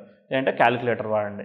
సో అదంతా వేసుకున్న తర్వాత డివైడెడ్ బై తొమ్మిది వేయాలి. ఇది క్యాలిక్యులేటర్తో చేయమాకండి. ఎందుకంటే మీకు శాషం అంటే పాయింట్ వైజ్గా వస్తుంది కాబట్టి క్యాలిక్యులేటర్తో చేయకండి. మాన్యువల్గా చేయండి. తొమ్మిదితో భాగించడం చాలా సింపుల్. సో అట్లా క్యాలిక్యులేట్ చేస్తే ఆ శాషం అనేది మూడు ఐదు ఏడు లేదంటే సున్నా ఇలా రావాలి. లేదనంటే మాత్రం అది ప్రాబ్లం అయ్యే అవకాశం ఉంది. అలా ఐదు రకాలుగా ఐదు పంచకం అంటే ఐదు కదా? సో ఐదు రకాలుగా ప్రాబ్లమ్స్ వస్తాయి అన్నమాట. అది ఒకటి. మొదటిది శేషం కనుక ఒకటి వస్తే అది మృత్యు పంచకం అనమాట మృత్యు అంటే ఏంది? డెత్. ఇక ఆ ముహూర్తం రోజు కనుక నువ్వు ముహూర్తం మృత్యు పంచకం వచ్చిందని అంటే అక్కడ ఎవరో ఒకళ్ళు చనిపోతారు అనేది కాన్సెప్ట్. ఓకే? సరే పరిహారాలు అవి ఏమి ఉండవు అనమాట మృత్యు పంచకం చాలా సీరియస్ అనమాట ఇక. ఇంకా డెత్ మించి ఇంకేముంటుంది? సో అందుకోసం మృత్యు పంచకం ఎట్టి పరిస్థితుల్లో కూడా వాడకూడదు. అవాయిడ్ చేయాలి. అన్ని వేళలా అవాయిడ్ చేయాలి. తర్వాత నెక్స్ట్ రెండోది అగ్ని పంచకం. ఇప్పుడు నువ్వేదో వివాహమో ఏదైనా పెట్టావు. సో అగ్ని అంటే ఏంటిది? అగ్నికి దగ్ధమైపోవడం. ఒకసారి కొంతమంది ఇల్లు కట్టి కాలిపోయి మళ్ళీ కడతా ఉంటారు. సో ఇలా అగ్ని పంచకం అయ్యిందనుకో శేషం కనుక రెండు వచ్చిందనుకో సో ఆ ముహూర్త దోషం వల్ల అది దగ్ధం అయ్యే అవకాశం ఉంటుంది. అదే వివాహం అనుకోండి వివాహంలో గొడవలు ఇష్యూస్ ఇంకా ఏదైనా అవ్వచ్చు. సో అది నెగిటివ్ ఇక. రెండు. తర్వాత శేషం గనక నాలుగు గనక వస్తే రాజపంచకం. రాజ అంటే ఏంటిది? రాజుకు దెబ్బల కొరవ అన్నట్టు రాజదండన అనమాట ఓకే? ఒక్కోసారి ఇల్లు కట్టావు. నువ్వు రోడ్డు వైండింగ్ చూసుకోకుండా ఇల్లు కడితే రోడ్డు కట్ అయిపోద్ది. రాజదండన అది. ఓకే? సో అలా నీకు రాజపంచకం అంటే కోర్టులు కేసులు లీగల్ ఇష్యూస్ ఇలాంటివన్నీ కూడా ఏర్పడతాయి. ఆ సిచ్యువేషన్ని బట్టి దాన్ని అడాప్ట్ చేసుకోవాలి. తర్వాత చోర పంచకం. ఓ ఓకే ప్రయాణం చేస్తున్నావు. నువ్వు చోర పంచకం పెట్టావనుకో మన సామాన్లు ఎవడోడు కొట్టేస్తాడనమాట. సో అలా చోర పంచకం. చోర పంచకం కాకుండా చూసుకోవాలి. తర్వాత రోగ పంచకం. వివాహం చేసుకుంటున్నావు. సో నువ్వు రోగ పంచకం మళ్ళీ సెలెక్ట్ చేసుకున్నావు అనుకో అది ఎవరో ఒకళ్ళ అనారోగ్యానికి కారి తీసి దారి తీసేదానికి కారణం అవుతుంటుంది అనమాట సో ఇలా ఇవేవి శేషం రాకుండా మూడు ఐదు ఏడు సున్నా శేషం వచ్చేటట్టు చూసుకోవాలి. ఒక ఎగ్జాంపుల్ తీసుకోమంటారా? తీసుకుందాం. ఓకే ఊరికే ఎగ్జాంపుల్ తీసుకున్నాను. కృష్ణపక్ష ద్వితీయ ముహూర్తం పెట్టారని అనుకుందాం. తర్వాత శనివారం పెట్టారనుకుందాం శనివారానికి నెంబర్ ఏడు ద్వితీయకి రెండు తర్వాత మూలా నక్షత్రం. రెండు నవకాలు అయిపోయి మూలా నక్షత్రం ధనసులో స్టార్ట్ అవుతుంది. రెండు తొమ్మిదిలో పద్దెనిమిది ఒకటి పంతొమ్మిదో నక్షత్రం కాబట్టి పంతొమ్మిది. ఓకే? తర్వాత లగ్నం ఏంటి? కుంభలగ్నం. కుంభలగ్నం సహజంగా పదకొండో లగ్నం. మేనం పన్నెండు మేషం ఒకటి. సో కాబట్టి పదకొండు వేసుకున్నారు. మొత్తం కూడండి. ఏడు తర్వాత రెండు తొమ్మిది. తర్వాత తొమ్మిది నుండి పంతొమ్మిది. అంటే పంతొమ్మిది ఒకటి యాడ్ చేయండి. ఇరవై ప్లస్ ఈ యొక్క ఎనిమిది అవుద్ది ఇరవై ఎనిమిది అవుద్ది. ఇరవై ఇరవై ఎనిమిదిను తర్వాత పదకొండు. పది యాడ్ చేస్తే ముప్పై ఎనిమిది ఒకటి ముప్పై తొమ్మిది. ముప్పై తొమ్మిది డివైడెడ్ బై తొమ్మిది అనమాట దాన్ని భాగాహారం చేయండి. చేస్తే ఏమొస్తుంది? నాలుగు తొమ్మిదిల ముప్పై ఆరు. ముప్పై ఆరు పోతే ఇంకా మూడు మిగిలింది. ఆ మూడు అనేది మనకి శేషం. సో మూడు అనేది రావచ్చు కదా? సో ఇప్పుడు ఈ ముహూర్తం ఒకవేళ అంటే మిగిలినది పక్క పెట్టండి ప- ఫస్ట్ పంచిక రహితం అయిపోయింది. అంటే ఫస్ట్ మీరు ముహూర్తం అప్రూవ్ చేసుకోవాలి. ఇది ముహూర్తం అని మీరు మాట్లాడుతున్నారంటే అది పంచకరహితం అయిందా లేదా? అంటే ఇప్పుడు ఏదో ఎగ్జామ్కి వెళ్తాం. ఓ మ్యాటో క్యాటో ఏదో పెడతారు. నువ్వు ఎలిజిబుల్ అని అని చెప్పడానికి మనం మ్యాటో క్యాటో ఎలా అయితే సబ్జెక్ట్ రాస్తున్నాం ఎగ్జామ్ రాస్తున్నామో ప్రీ క్వాలిఫికేషన్ ఎగ్జామ్ సేమ్ ముహూర్తానికి ప్రీ క్వాలిఫికేషన్ ఎగ్జామ్ లాంటిది అనమాట పంచకరాయితం సో ఇక్కడ మనం పంచకరాయితం చేసినామంటే ఎస్ మీరు పాస్ అయ్యారు. క్వాలిఫై అయ్యారు. You are qualified for the ముహూర్తం. సో ఇప్పుడు ఈ క్వాలిఫైడ్ ముహూర్తాన్ని మళ్ళీ మనం వెరిఫై చేయడానికి ఏకవింశతి దోషాలు చూడాలి. దానికన్నా ముందు మనం గ్రహస్థితి వరకు గ్రహస్థితి గురించి ఇప్పటిదాకా మాట్లాడలేదు. ఇక ఫైనల్గా గ్రహస్థితి గురించి మాట్లాడుకొని ఏకవింశతి దోషాలు మాట్లాడుకొని కొన్ని కొన్ని వివాహము గృహప్రవేశం ఇలాంటి వాటికి ఒకటి రెండు ఎగ్జాంపుల్స్ ఇస్తాను. మిగిలినవి మీరు బుక్లో చదివేసుకుందరు. సరిపోద్దు. చాలా వరకు బేసిక్స్ అన్ని కవర్ చేశానని అనుకుంటున్నాను. ఓకే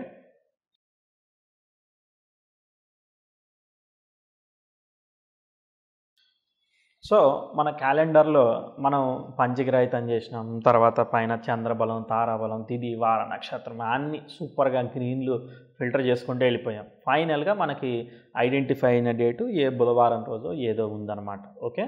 ఇక్కడ దీని గురించి చెప్పాలి కొన్ని. ఏంటంటే ఈ సోమవారాన్ని కొన్ని సందర్భాల్లో వాడతారు. అంటే శుక్లపక్షంలో అంటే బలంగా ఉందనుకోండి చంద్రుడు బలంగా ఉన్న సందర్భాల్లో పౌర్ణమి గడియల్లో అది మనం చెప్పాం కదా శుక్లపక్ష అష్టమి నుంచి కృష్ణపక్ష అష్టమి వరకు కూడా చంద్రుడు బలవంతుడై ఉంటాడని. సో ఆ సందర్భంలో మాత్రమే ఆ సోమవారాన్ని ముహూర్తం కోసం కన్సిడర్ చేస్తారు. లేదనంటే అవాయిడ్ చేస్తూ ఉంటారు. ఎందుకంటే క్షీణచంద్రుడు పాపి పూర్ణచంద్రుడు శుభుడు అనమాట అందుకోసం వాటిని అవాయిడ్ చేస్తూ ఉంటారు. ఓకే మీరు ఏదో ఒక పర్టికులర్ డేట్ మీరు సెలెక్ట్ చేశారు. ఓకే సెలెక్ట్ చేసిన తర్వాత నేను చెప్పాను గ్రహస్థితికి యాభై మార్కులు ఉన్నాయి ఓకే? సో వాటన్నిటిని చూడాలి. గ్రహస్థితికి వెళ్ళేటప్పుడు మనం వెళ్ళిపోదాం. అంటే ఈ దీని గురించి మాట్లాడుకుందాం. ఇప్పుడు లగ్నం ఈ వీటి గురించి మాట్లాడదాం.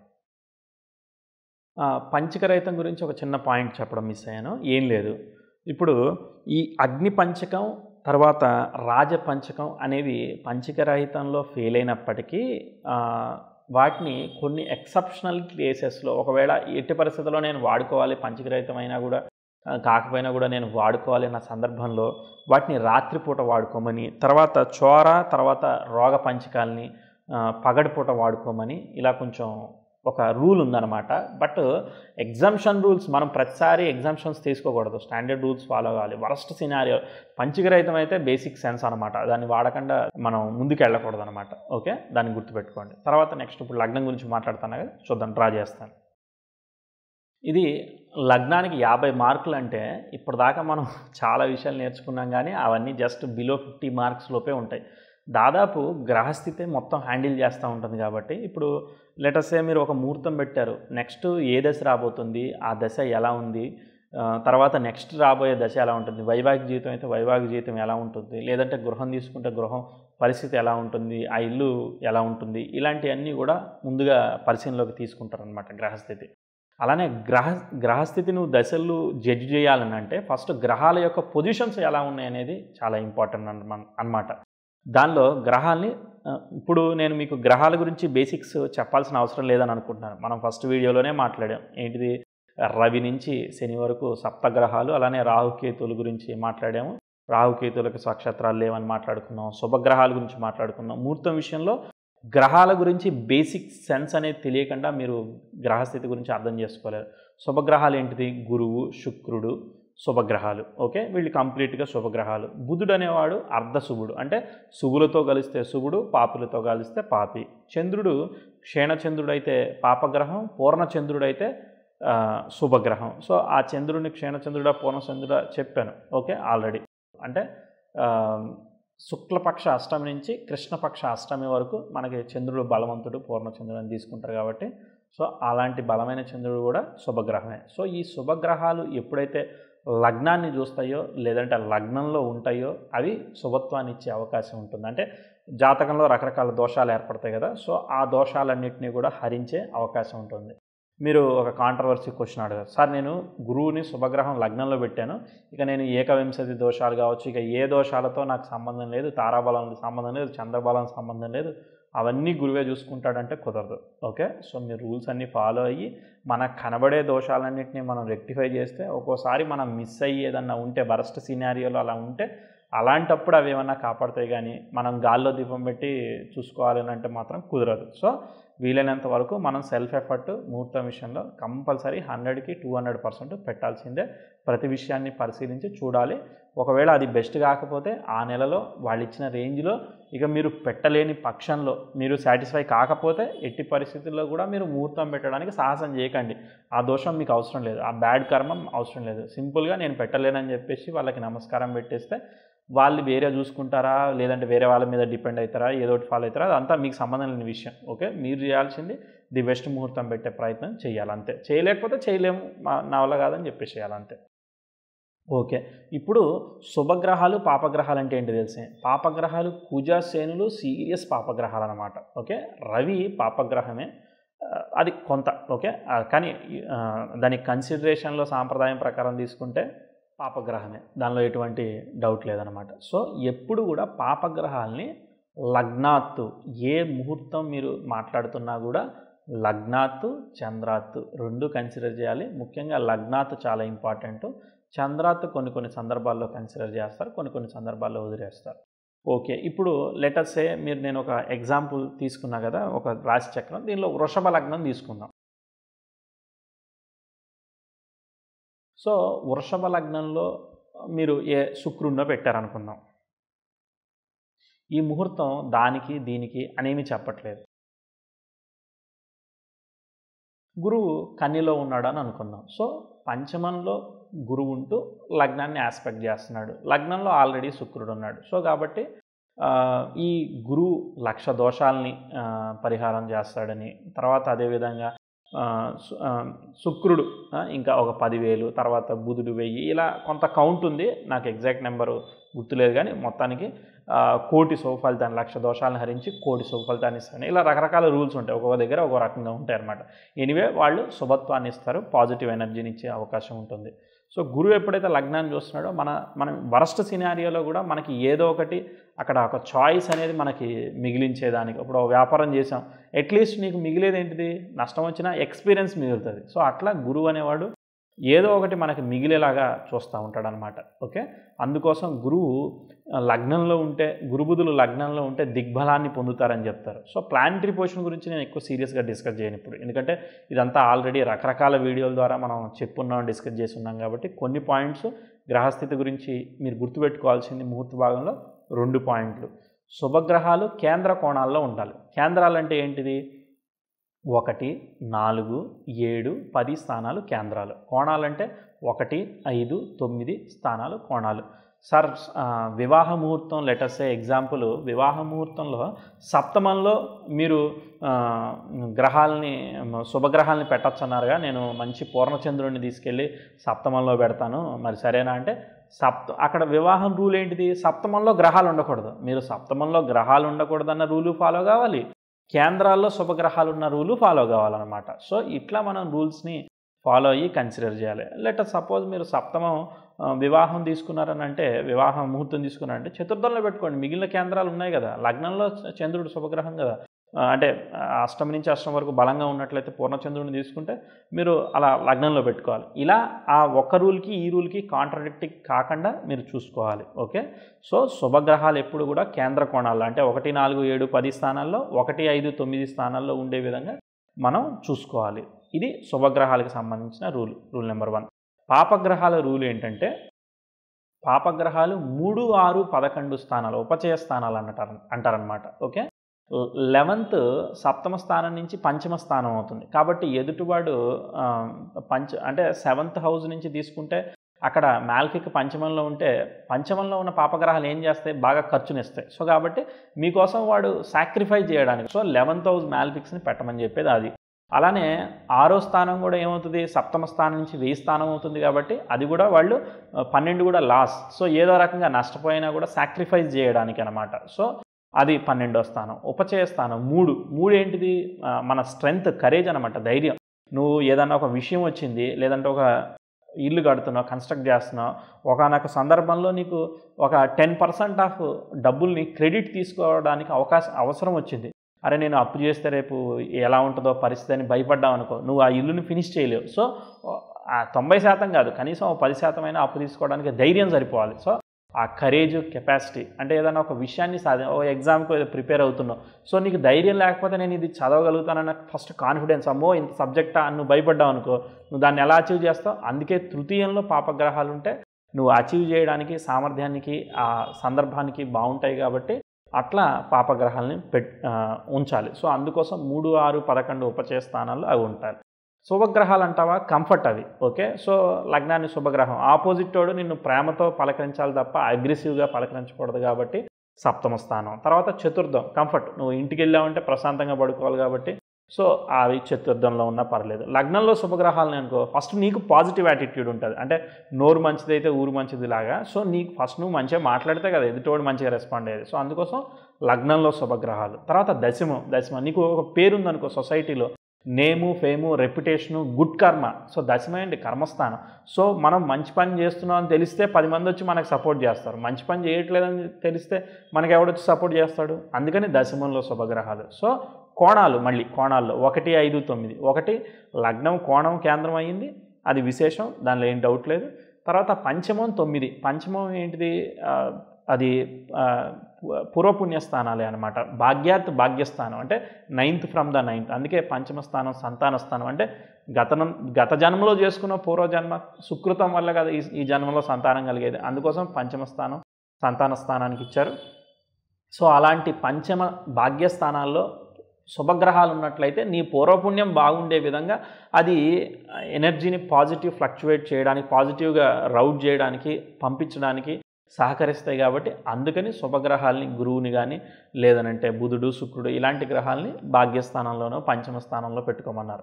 శుభగ్రహాలని పంచమాల్లో క్యా- కోణాల్లో పెట్టుకుంటే ఏమవుతుందంటే నీ ఆలోచన స్థానాలు అవి. సో నువ్వు మంచిగా ఫస్ట్ ఆఫ్ ఆల్ నువ్వు ఎదుటివాడితో మంచిగా బిహేవ్ చేయాలి కదా. అంటే నీ థాట్స్ వైలెంట్గా కాకుండా కొంచెం పాజిటివ్గా ఉంటే డెఫినెట్లీ ఆపోజిట్ వాడు కూడా మనతో పాజిటివ్గా బిహేవ్ చేయడానికి వివాహం అయితే రిలేషన్షిప్ బాగుండడానికి గృహం కట్టేటప్పుడు ఇరుగు పొరుగు బాగుండడానికి సహకరించడానికి చిన్న చిన్న విషయాలకు కూడా పక్కవాళ్ళు గొడవ పెట్టుకుంటూ ఉంటారు. అలాంటి సందర్భాల్లో నువ్వు ఇలాంటి బిహేవియర్ వల్ల మంచి పాజిటివ్నెస్ వల్ల మనం ఆ పనిని సక్సెస్ఫుల్గా చేసుకుని దానివల్ల మంచి రిజల్ట్స్ వస్తాయనే ఉద్దేశంతో. సో రెండే పాయింట్లు చెప్పాను ఇక్కడ. శుభగ్రహాలు కేంద్ర కోణాల్లో పాపగ్రహాలు మూడు ఆరు పదకొండు ఉపచయ స్థానాల్లో ఉండాలి. ఇది ఒకటి. రూల్ నెంబర్ వన్ అనుకోండి. గ్రహస్థితికి సంబంధించిన రూల్. రెండోది లగ్న శుద్ధి అని అంటారనమాట అంటే ఇక్కడ శుద్ధిలో రెండు రకాలు ఒకటేంటంటే ఇప్పుడు ఉదాహరణకి వివాహ ముహూర్తం తీసుకున్నాం అనుకో లెటర్ సపోజ్ వివాహ ముహూర్తం గురించి మళ్ళీ చెప్తాను. వృషభ లగ్నమే తీసుకున్నాం అనుకో ఆ వృషభ లగ్నానికి సప్తమ స్థానం వృచ్చికం అవుతుంది కదా. వృచ్చికంలో పాపగ్రహాలు ఉండకూడదు. వృచ్చికాన్ని ఎటువంటి పాపగ్రహాలు చూడకూడదు. ఇది బేసిక్ రూల్ ఫర్ వివాహం. ఎందుకంటే సప్తమ శుద్ధి అంటాడు అనమాట అంటే నువ్వు లైఫ్లో ఏ ఈవెంట్ అయినా కావచ్చు అది ఏ భావానికి సంబంధించిందో మనం అర్థం చేసుకుంటే ఆ భావంలో గ్రహాలు లేకుండా చూడాలి. దీనికి ఒక చిన్న బెస్ట్ ఎగ్జాంపుల్ చెప్తాను. ఓకే? స్పీడ్ ఏమైనా అవుతుందా? స్లోగానే వెళ్తున్నామా ఇప్పుడు చూడండి.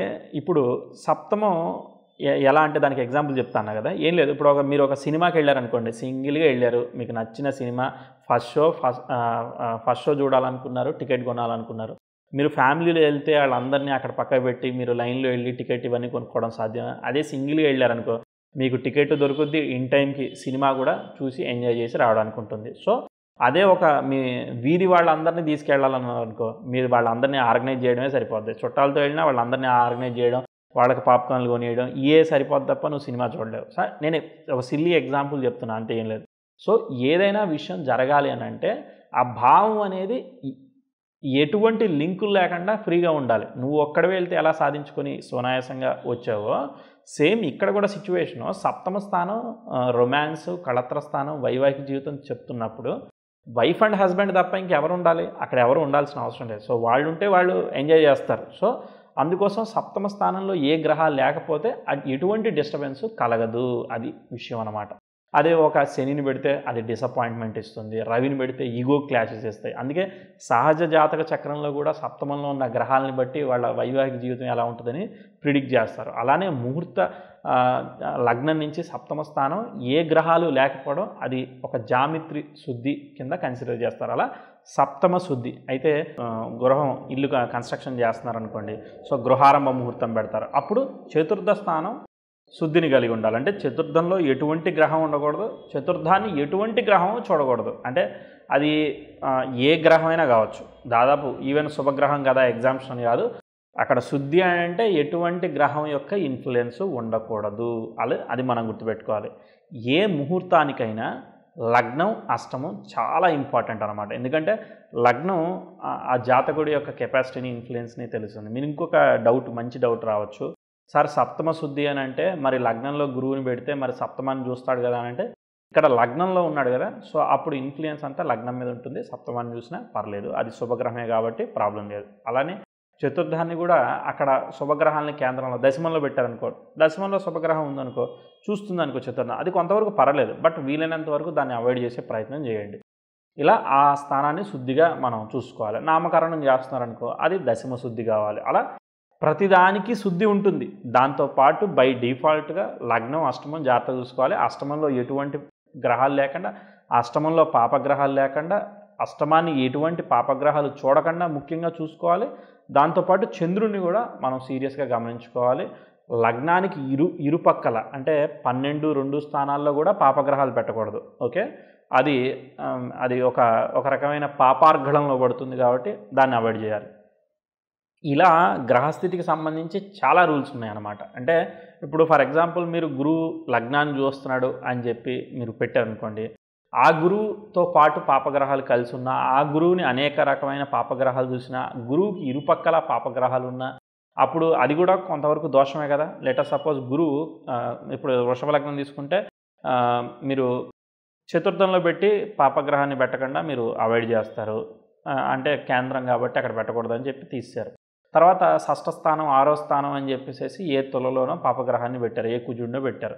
ఈ ప్రోగ్రెసివ్ కుజుడు గురువు యొక్క ఇన్ఫ్లుయెన్స్ కుజుడి మీద పడదుగా. సో ఒకవేళ కుజుడు రిట్రాగ్రేట్ అయితే తర్వాత కొన్ని రోజుల తర్వాత దాని ఇన్ఫ్లుయెన్స్ కుజుడి మీద పడదుగా. సో వాళ్ళిద్దరికీ సంబంధం ఏర్పడుతూ ఉంటుంది కాబట్టి సో జాగ్రత్తగా వీలైనంత వరకు అట్లాంటి సిచ్యువేషన్స్ కూడా రాకుండా అవాయిడ్ చేయాలి. కొన్ని కొన్ని సందర్భాల్లో అవాయిడ్ చేయలేకపోతూ ఉంటాం. బట్ మోస్ట్లీ అవాయిడ్ చేయడానికి ప్రయత్నం చేయాలి. రెండోది కుజుడు లగ్నాన్ని చూడకూడదు అన్నారు కదా సో ముహూర్త వివాహ ముహూర్తంలో కుజుడిని ఆరింట పెట్టి పెడతారు కదా అని అంటే అష్టమ దృష్టితో కుజుడు చూడొచ్చు అంటే లగ్నాన్ని చూడొచ్చు. సో అష్టమ దృష్టితో సప్తమాన్ని చూసేటట్టు నేను చేస్తాను అని అంటే అది చేయకుండా అదే చేయ చేయకుండా చూడాలన్నమాట. సప్తమాన్ని సప్తమ శుద్ధి అని అంటే అదే మరి. సప్తమాన్ని ప్రాపర్గా ఉంచుకోవాలి జాగ్రత్తగా చూసుకోవాలి. అప్పుడే అది కంఫర్టబుల్గా వెళ్తుంది. లేదు నేను ప్రయోగం చేస్తా అంటే ప్రయోగం చేయడానికి ఇదేమి చిన్న చేత్తో చేసుకునేది కాదు. వాళ్ళ లైఫ్స్ మీద ప్రయోగం కాబట్టి అట్లాంటి ప్రయోగాలు చేయకుండా అది ఎలా పనిచేస్తుందో అట్లాంటివి చేయకండి. సో వీలైనంత వరకు మీరు ఏం చేయండి అంటే మీ దగ్గరకు వచ్చిన జాతకలో నేను చెప్పాను కదా reference a a wedding card printing వాళ్ళ దగ్గర తీసుకుని లేదంటే మనకు వచ్చిన జాతకాల్లో ఐదు వందలు ఆరు వందలు మ్యారేజ్ ముహూర్తాలు తీసుకుని వాళ్ళ ఇన్ఫ్లుయెన్స్ ఎలా జరిగింది? ఒకవేళ అక్కడ ఏదన్నా వాళ్ళు గత్యంతరం లేకుండా అలాంటి ముహూర్తాలు పెట్టుంటే మీరు అనుకున్న పాయింట్కి ఫిల్టర్ చేసుకుని ఈ కుజుడు సప్తమాన్ని చూస్తున్నాడు గొడవలు ఉన్నాయా లేదా? అలా మీరు బ్యాక్కి వెళ్ళి అనలైజ్ చేసుకోండి తప్ప మీరు ఫ్రంట్కి వెళ్ళి మీరు ముహూర్తాలు పెట్టి ప్రాక్టీసులు చేయకండి. అంటే మనుషుల మీద ప్రాక్టీసులు చేయొద్దు. అందుకే నేను ఇది అవేర్నెస్ అని చెప్పాను తప్ప కంప్లీట్ సబ్జెక్ట్ అని చెప్పలేదు. మీరు డెఫినెట్లీ ముహూర్త దర్పణం నిర్ణయ సింధు ధర్మసింధు లేదంటే నారద సంహిత ఇలాంటి చాలా ఉన్నాయన్నమాట. సో అట్లాంటి సంబంధించిన అన్నీ కూడా ఒకసారి వెరిఫై చేస్తే బేసిక్ రూల్స్ ఉంటాయి బట్ కొన్ని కొన్ని కొన్ని సందర్భాల్లో కొంతమంది కొంతమంది ఋషులు అవాయిడ్ చేస్తారు కొంతమందిని యాక్సెప్ట్ చేస్తూ ఉంటారు. అట్లాంటి కాంట్రడక్టివిటీ ఉన్నాయి కూడా మీరు పాయింట్స్ని రాసి పెట్టుకోండి. సో కాంట్రడిక్ట్ అవుతున్నప్పుడు వీలైనంత వరకు దాన్ని అవాయిడ్ చేయడానికి చూసుకోవాలి. ఒక కాంట్రవర్సీ టాపిక్ వచ్చింది ఓ పర్టికులర్ విషయంలో. సో వీలైనంత వరకు ఎలిమినేట్ చేయడానికి చూసుకోవాలి. కాంప్లికేషన్ లేకుండా మనం ముహూర్తం పెట్టుకోవాలి కాబట్టి. ఓకే గ్రహస్థితి గురించి బేసిక్ రూల్స్ అర్థమైంది. తర్వాత ఆ శుద్ధి గురించి చెప్పుకున్నాం. అంటే సప్తమ వివాహం అయితే సప్తమం. తర్వాత అది గృహారంభం అయితే చతుర్థం తర్వాత గృహప్రవేశం అయితే అది లగ్నము తర్వాత వ్యయము వ్యయశుద్ధి అష్టమ శుద్ధి. అష్ట వ్యయశుద్ధి ఏంటిది? గృహప్రవేశ గృహ ప్రవేశానికనంటే అసలు మనం ఒక ఇంటికి వెళ్ళేది ఎందుకు? మనం వర్క్ అంతా అయిపోయిన తర్వాత ప్రశాంతంగా పాడుకోవడానికి శయ్యా సుఖస్థానం. సో కాబట్టి కంఫర్ట్ ఉండడానికి ఆ ఇంట్లో ఆ వైఫ్ అండ్ హస్బెండ్ ఇద్దరు కూడా ప్రశాంతంగా ఉండాలి అని అంటే ఆ పన్నెండో స్థానం బాగుండాలి అష్టమ స్థానం అంటే ఆయుర్దాయం అనమాట ఆ ఇంటికి. సో అదంతా కూడా కంఫర్ట్గా ఉండాలంటే అష్టమం వేయ స్థానం సరిపోతుంది. సో చతుర్థం గృహారంభం అప్పుడే అయిపోయింది అనమాట సో అందుకోసం అది. తర్వాత గృహారంభాలకి మళ్ళీ కొన్ని అడిషనల్ ఉంటాయి. వృషభ చక్రశుద్ధి కలిస చక్రశుద్ధి ఇలాంటి కొన్ని టాపిక్స్ ఉన్నాయి. అవి చదవండి. సో అవి నక్షత్రాలని రవి నుంచి చంద్రుడికి చంద్రుడి నుంచి రవికి ఇలా కొన్ని లెక్క పెడతా ఉంటారు. ఆ క్యాలిక్యులేషన్స్ కూడా చూడండి. ఇంకా గ్రహస్థితి గురించి ఇంకా మనం ఏ ఏం చెప్పుకోవాలి? సరిపోద్ది. నాకు తెలిసి ఇంతకు మించి అవసరం లేదు. తర్వాత లగ్నంలో శుభగ్రహాలు. బుధ గురు శుక్రుల్ని పెట్టుకున్న రెండు మూడు గ్రహాలను పెట్టుకున్నా పర్లేదు ఎన్ని వీలైతే అన్ని శుభగ్రహాలని లగ్నాల్లో పెడుతూ కేంద్రాల్లో శుభగ్రహాలని లేదంటే కోణాల్లో శుభగ్రహాన్ని పెడితే అది దొరుకుతుంది. కొన్ని కొన్ని సందర్భాల్లో మనం రియల్ టైం సిచ్యువేషన్లో చూస్తే ఏ లగ్నము మీరు పెట్టలేరు. ఎందుకంటే ఒక దగ్గర ఇప్పుడు మనం ఇంత ఈజీగా శుభగ్రహాలను ఆడబెట్టండి ఇక్కడ పెట్టండి అని ఇట్లా చెప్తూ ఉంటాం. కానీ అక్కడ గ్రహస్థితిని మీరు ఏమీ జరపలేరు. సో లెటర్ సపోజ్ ఇప్పుడున్న కరెంట్ ట్రాన్సిట్ తీసుకుంటే మీరు ఎక్కడ ముహూర్తం పెట్టగలుగుతారో కూడా కొంచెం కన్ఫ్యూజ్ అవుతూ ఉంటుంది. ఇప్పుడు కన్నిలో కుజుడు ఉన్నాడు తర్వాత ధనస్సులో శని సంచారం జరుగుతుంది. ఇలా తీసుకుంటే మీరు మీన లగ్నం పెట్టలేకపోతూ ఉంటారు. ఎందుకంటే మీన లగ్నానికి సప్తమంలో కుజుడు ఉంటాడు కాబట్టి. తర్వాత మ్యాష్ లగ్నం మ్యాచ్ లగ్నం పెట్టారనుకోండి సో అక్కడ మళ్ళీ కోణంలో తొమ్మిదిలో పాపగ్రహం ఉంది. సో అట్లాంటప్పుడు మరి పెట్టచ్చా పెట్టకూడదా? ఇలాంటి మనకి డౌట్స్ బాగా ఏర్పడుతూ ఉంటాయి. సో మీరు అలా ఆ రెండింటిని తీసుకుంటే మ్యాచ్ లగ్నానికి తులలో రవి ఉన్నాడు అనుకో సప్తమ స్థానం గ్రహవర్జిత అన్నంగా సో మళ్ళీ అది పెట్టలేము మళ్ళీ ఓకే? తర్వాత వృషభం తీసుకున్నారనుకో సో అష్టమాధిపతి అయిన గురువు అక్కడ సప్తమంలో ఉన్నాడు వృచ్చిక రాశిలో. సో ఆ గురువుని పెట్టి సప్తమంలో పెట్టలేరు. శుభగ్రహం కదా అని అంటే కొన్ని గ్రంథాల్లో గురువుని వదిలేయచ్చు పర్లేదని చెప్పారు. అయినా కూడా మీరు అట్లాంటి ఛాన్స్ తీసుకోకుండా సప్తమం గ్రహవర్జితగానే పెట్టాలి. సో ఆ గురువుని తీసేసేయాలి. అక్కడ కుదరదు. తర్వాత మిథును పెడదానని అనుకుంటే చతుర్థంలో ఉన్న కుజుడు సప్తమాన్ని చూస్తాడు సప్తమంలో శని ఉంటాడు. అక్కడ పెట్టలేరు. తర్వాత కర్కాటకం పెట్టచ్చు అని చెప్పి మీరు అనుకోవచ్చు. అప్పుడు కేంద్రంలో రవి వచ్చాడు అని అనుకుందాం. ఓకే? కర్కాటకానికి తొల్లో కేంద్రంలో రవి ఉన్నాడు. తర్వాత కుజుడు ఎక్కడుంటాడు? కర్కాటకానికి తృతీయంలో ఉంటాడు. సంతోషం ఏంటంటే సప్తమ స్థానాన్ని చూడట్లేదు.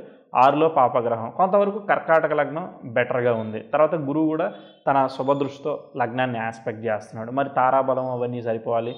మిగిలిన గ్రహస్థితి ఎక్కడున్నా చూడాలి. తర్వాత కేంద్రంలో చతుర్థంలో శుభగ్రహాన్ని పెట్టాలి. సో శుక్రుడు బుధుడు ఉన్నాడు అనుకుంటే రవి అక్కడ మళ్ళా ఉన్నాడు. అది కొంత కాన్ఫ్లిక్ట్ అవుతూ ఉంటుంది. సో ఉన్నదానిలో గ్రహస్థితిలో కర్కాటకం బెటర్ అవుతూ ఉంటుంది. ఇంకా కొన్ని చాలా ఎగ్జామ్షనల్ రూల్స్ కొన్ని రూల్స్ ఉంటా ఉంటాయి. ఎలా అంటే ఇప్పుడు శ్రీరామనవమి వచ్చిందనుకో ఆ శ్రీరామనవమి పండగ దాటిన తర్వాత వివాహాలు చేసుకుంటారు. అవి కొంచెం ఆచారాలుగా కొంచెం క్యారీ ఫార్వర్డ్ అవుతూ ఉంటాయి అన్నమాట. సో పండగ ముందు దసరా వచ్చింది. ఆ అమ్మవారి ఉత్సవాలు జరిగిన తర్వాత అప్పుడు ముహూర్తాలు ఎత్తుక్కుంటారు. ఇలాంటివి ఉంటాయి.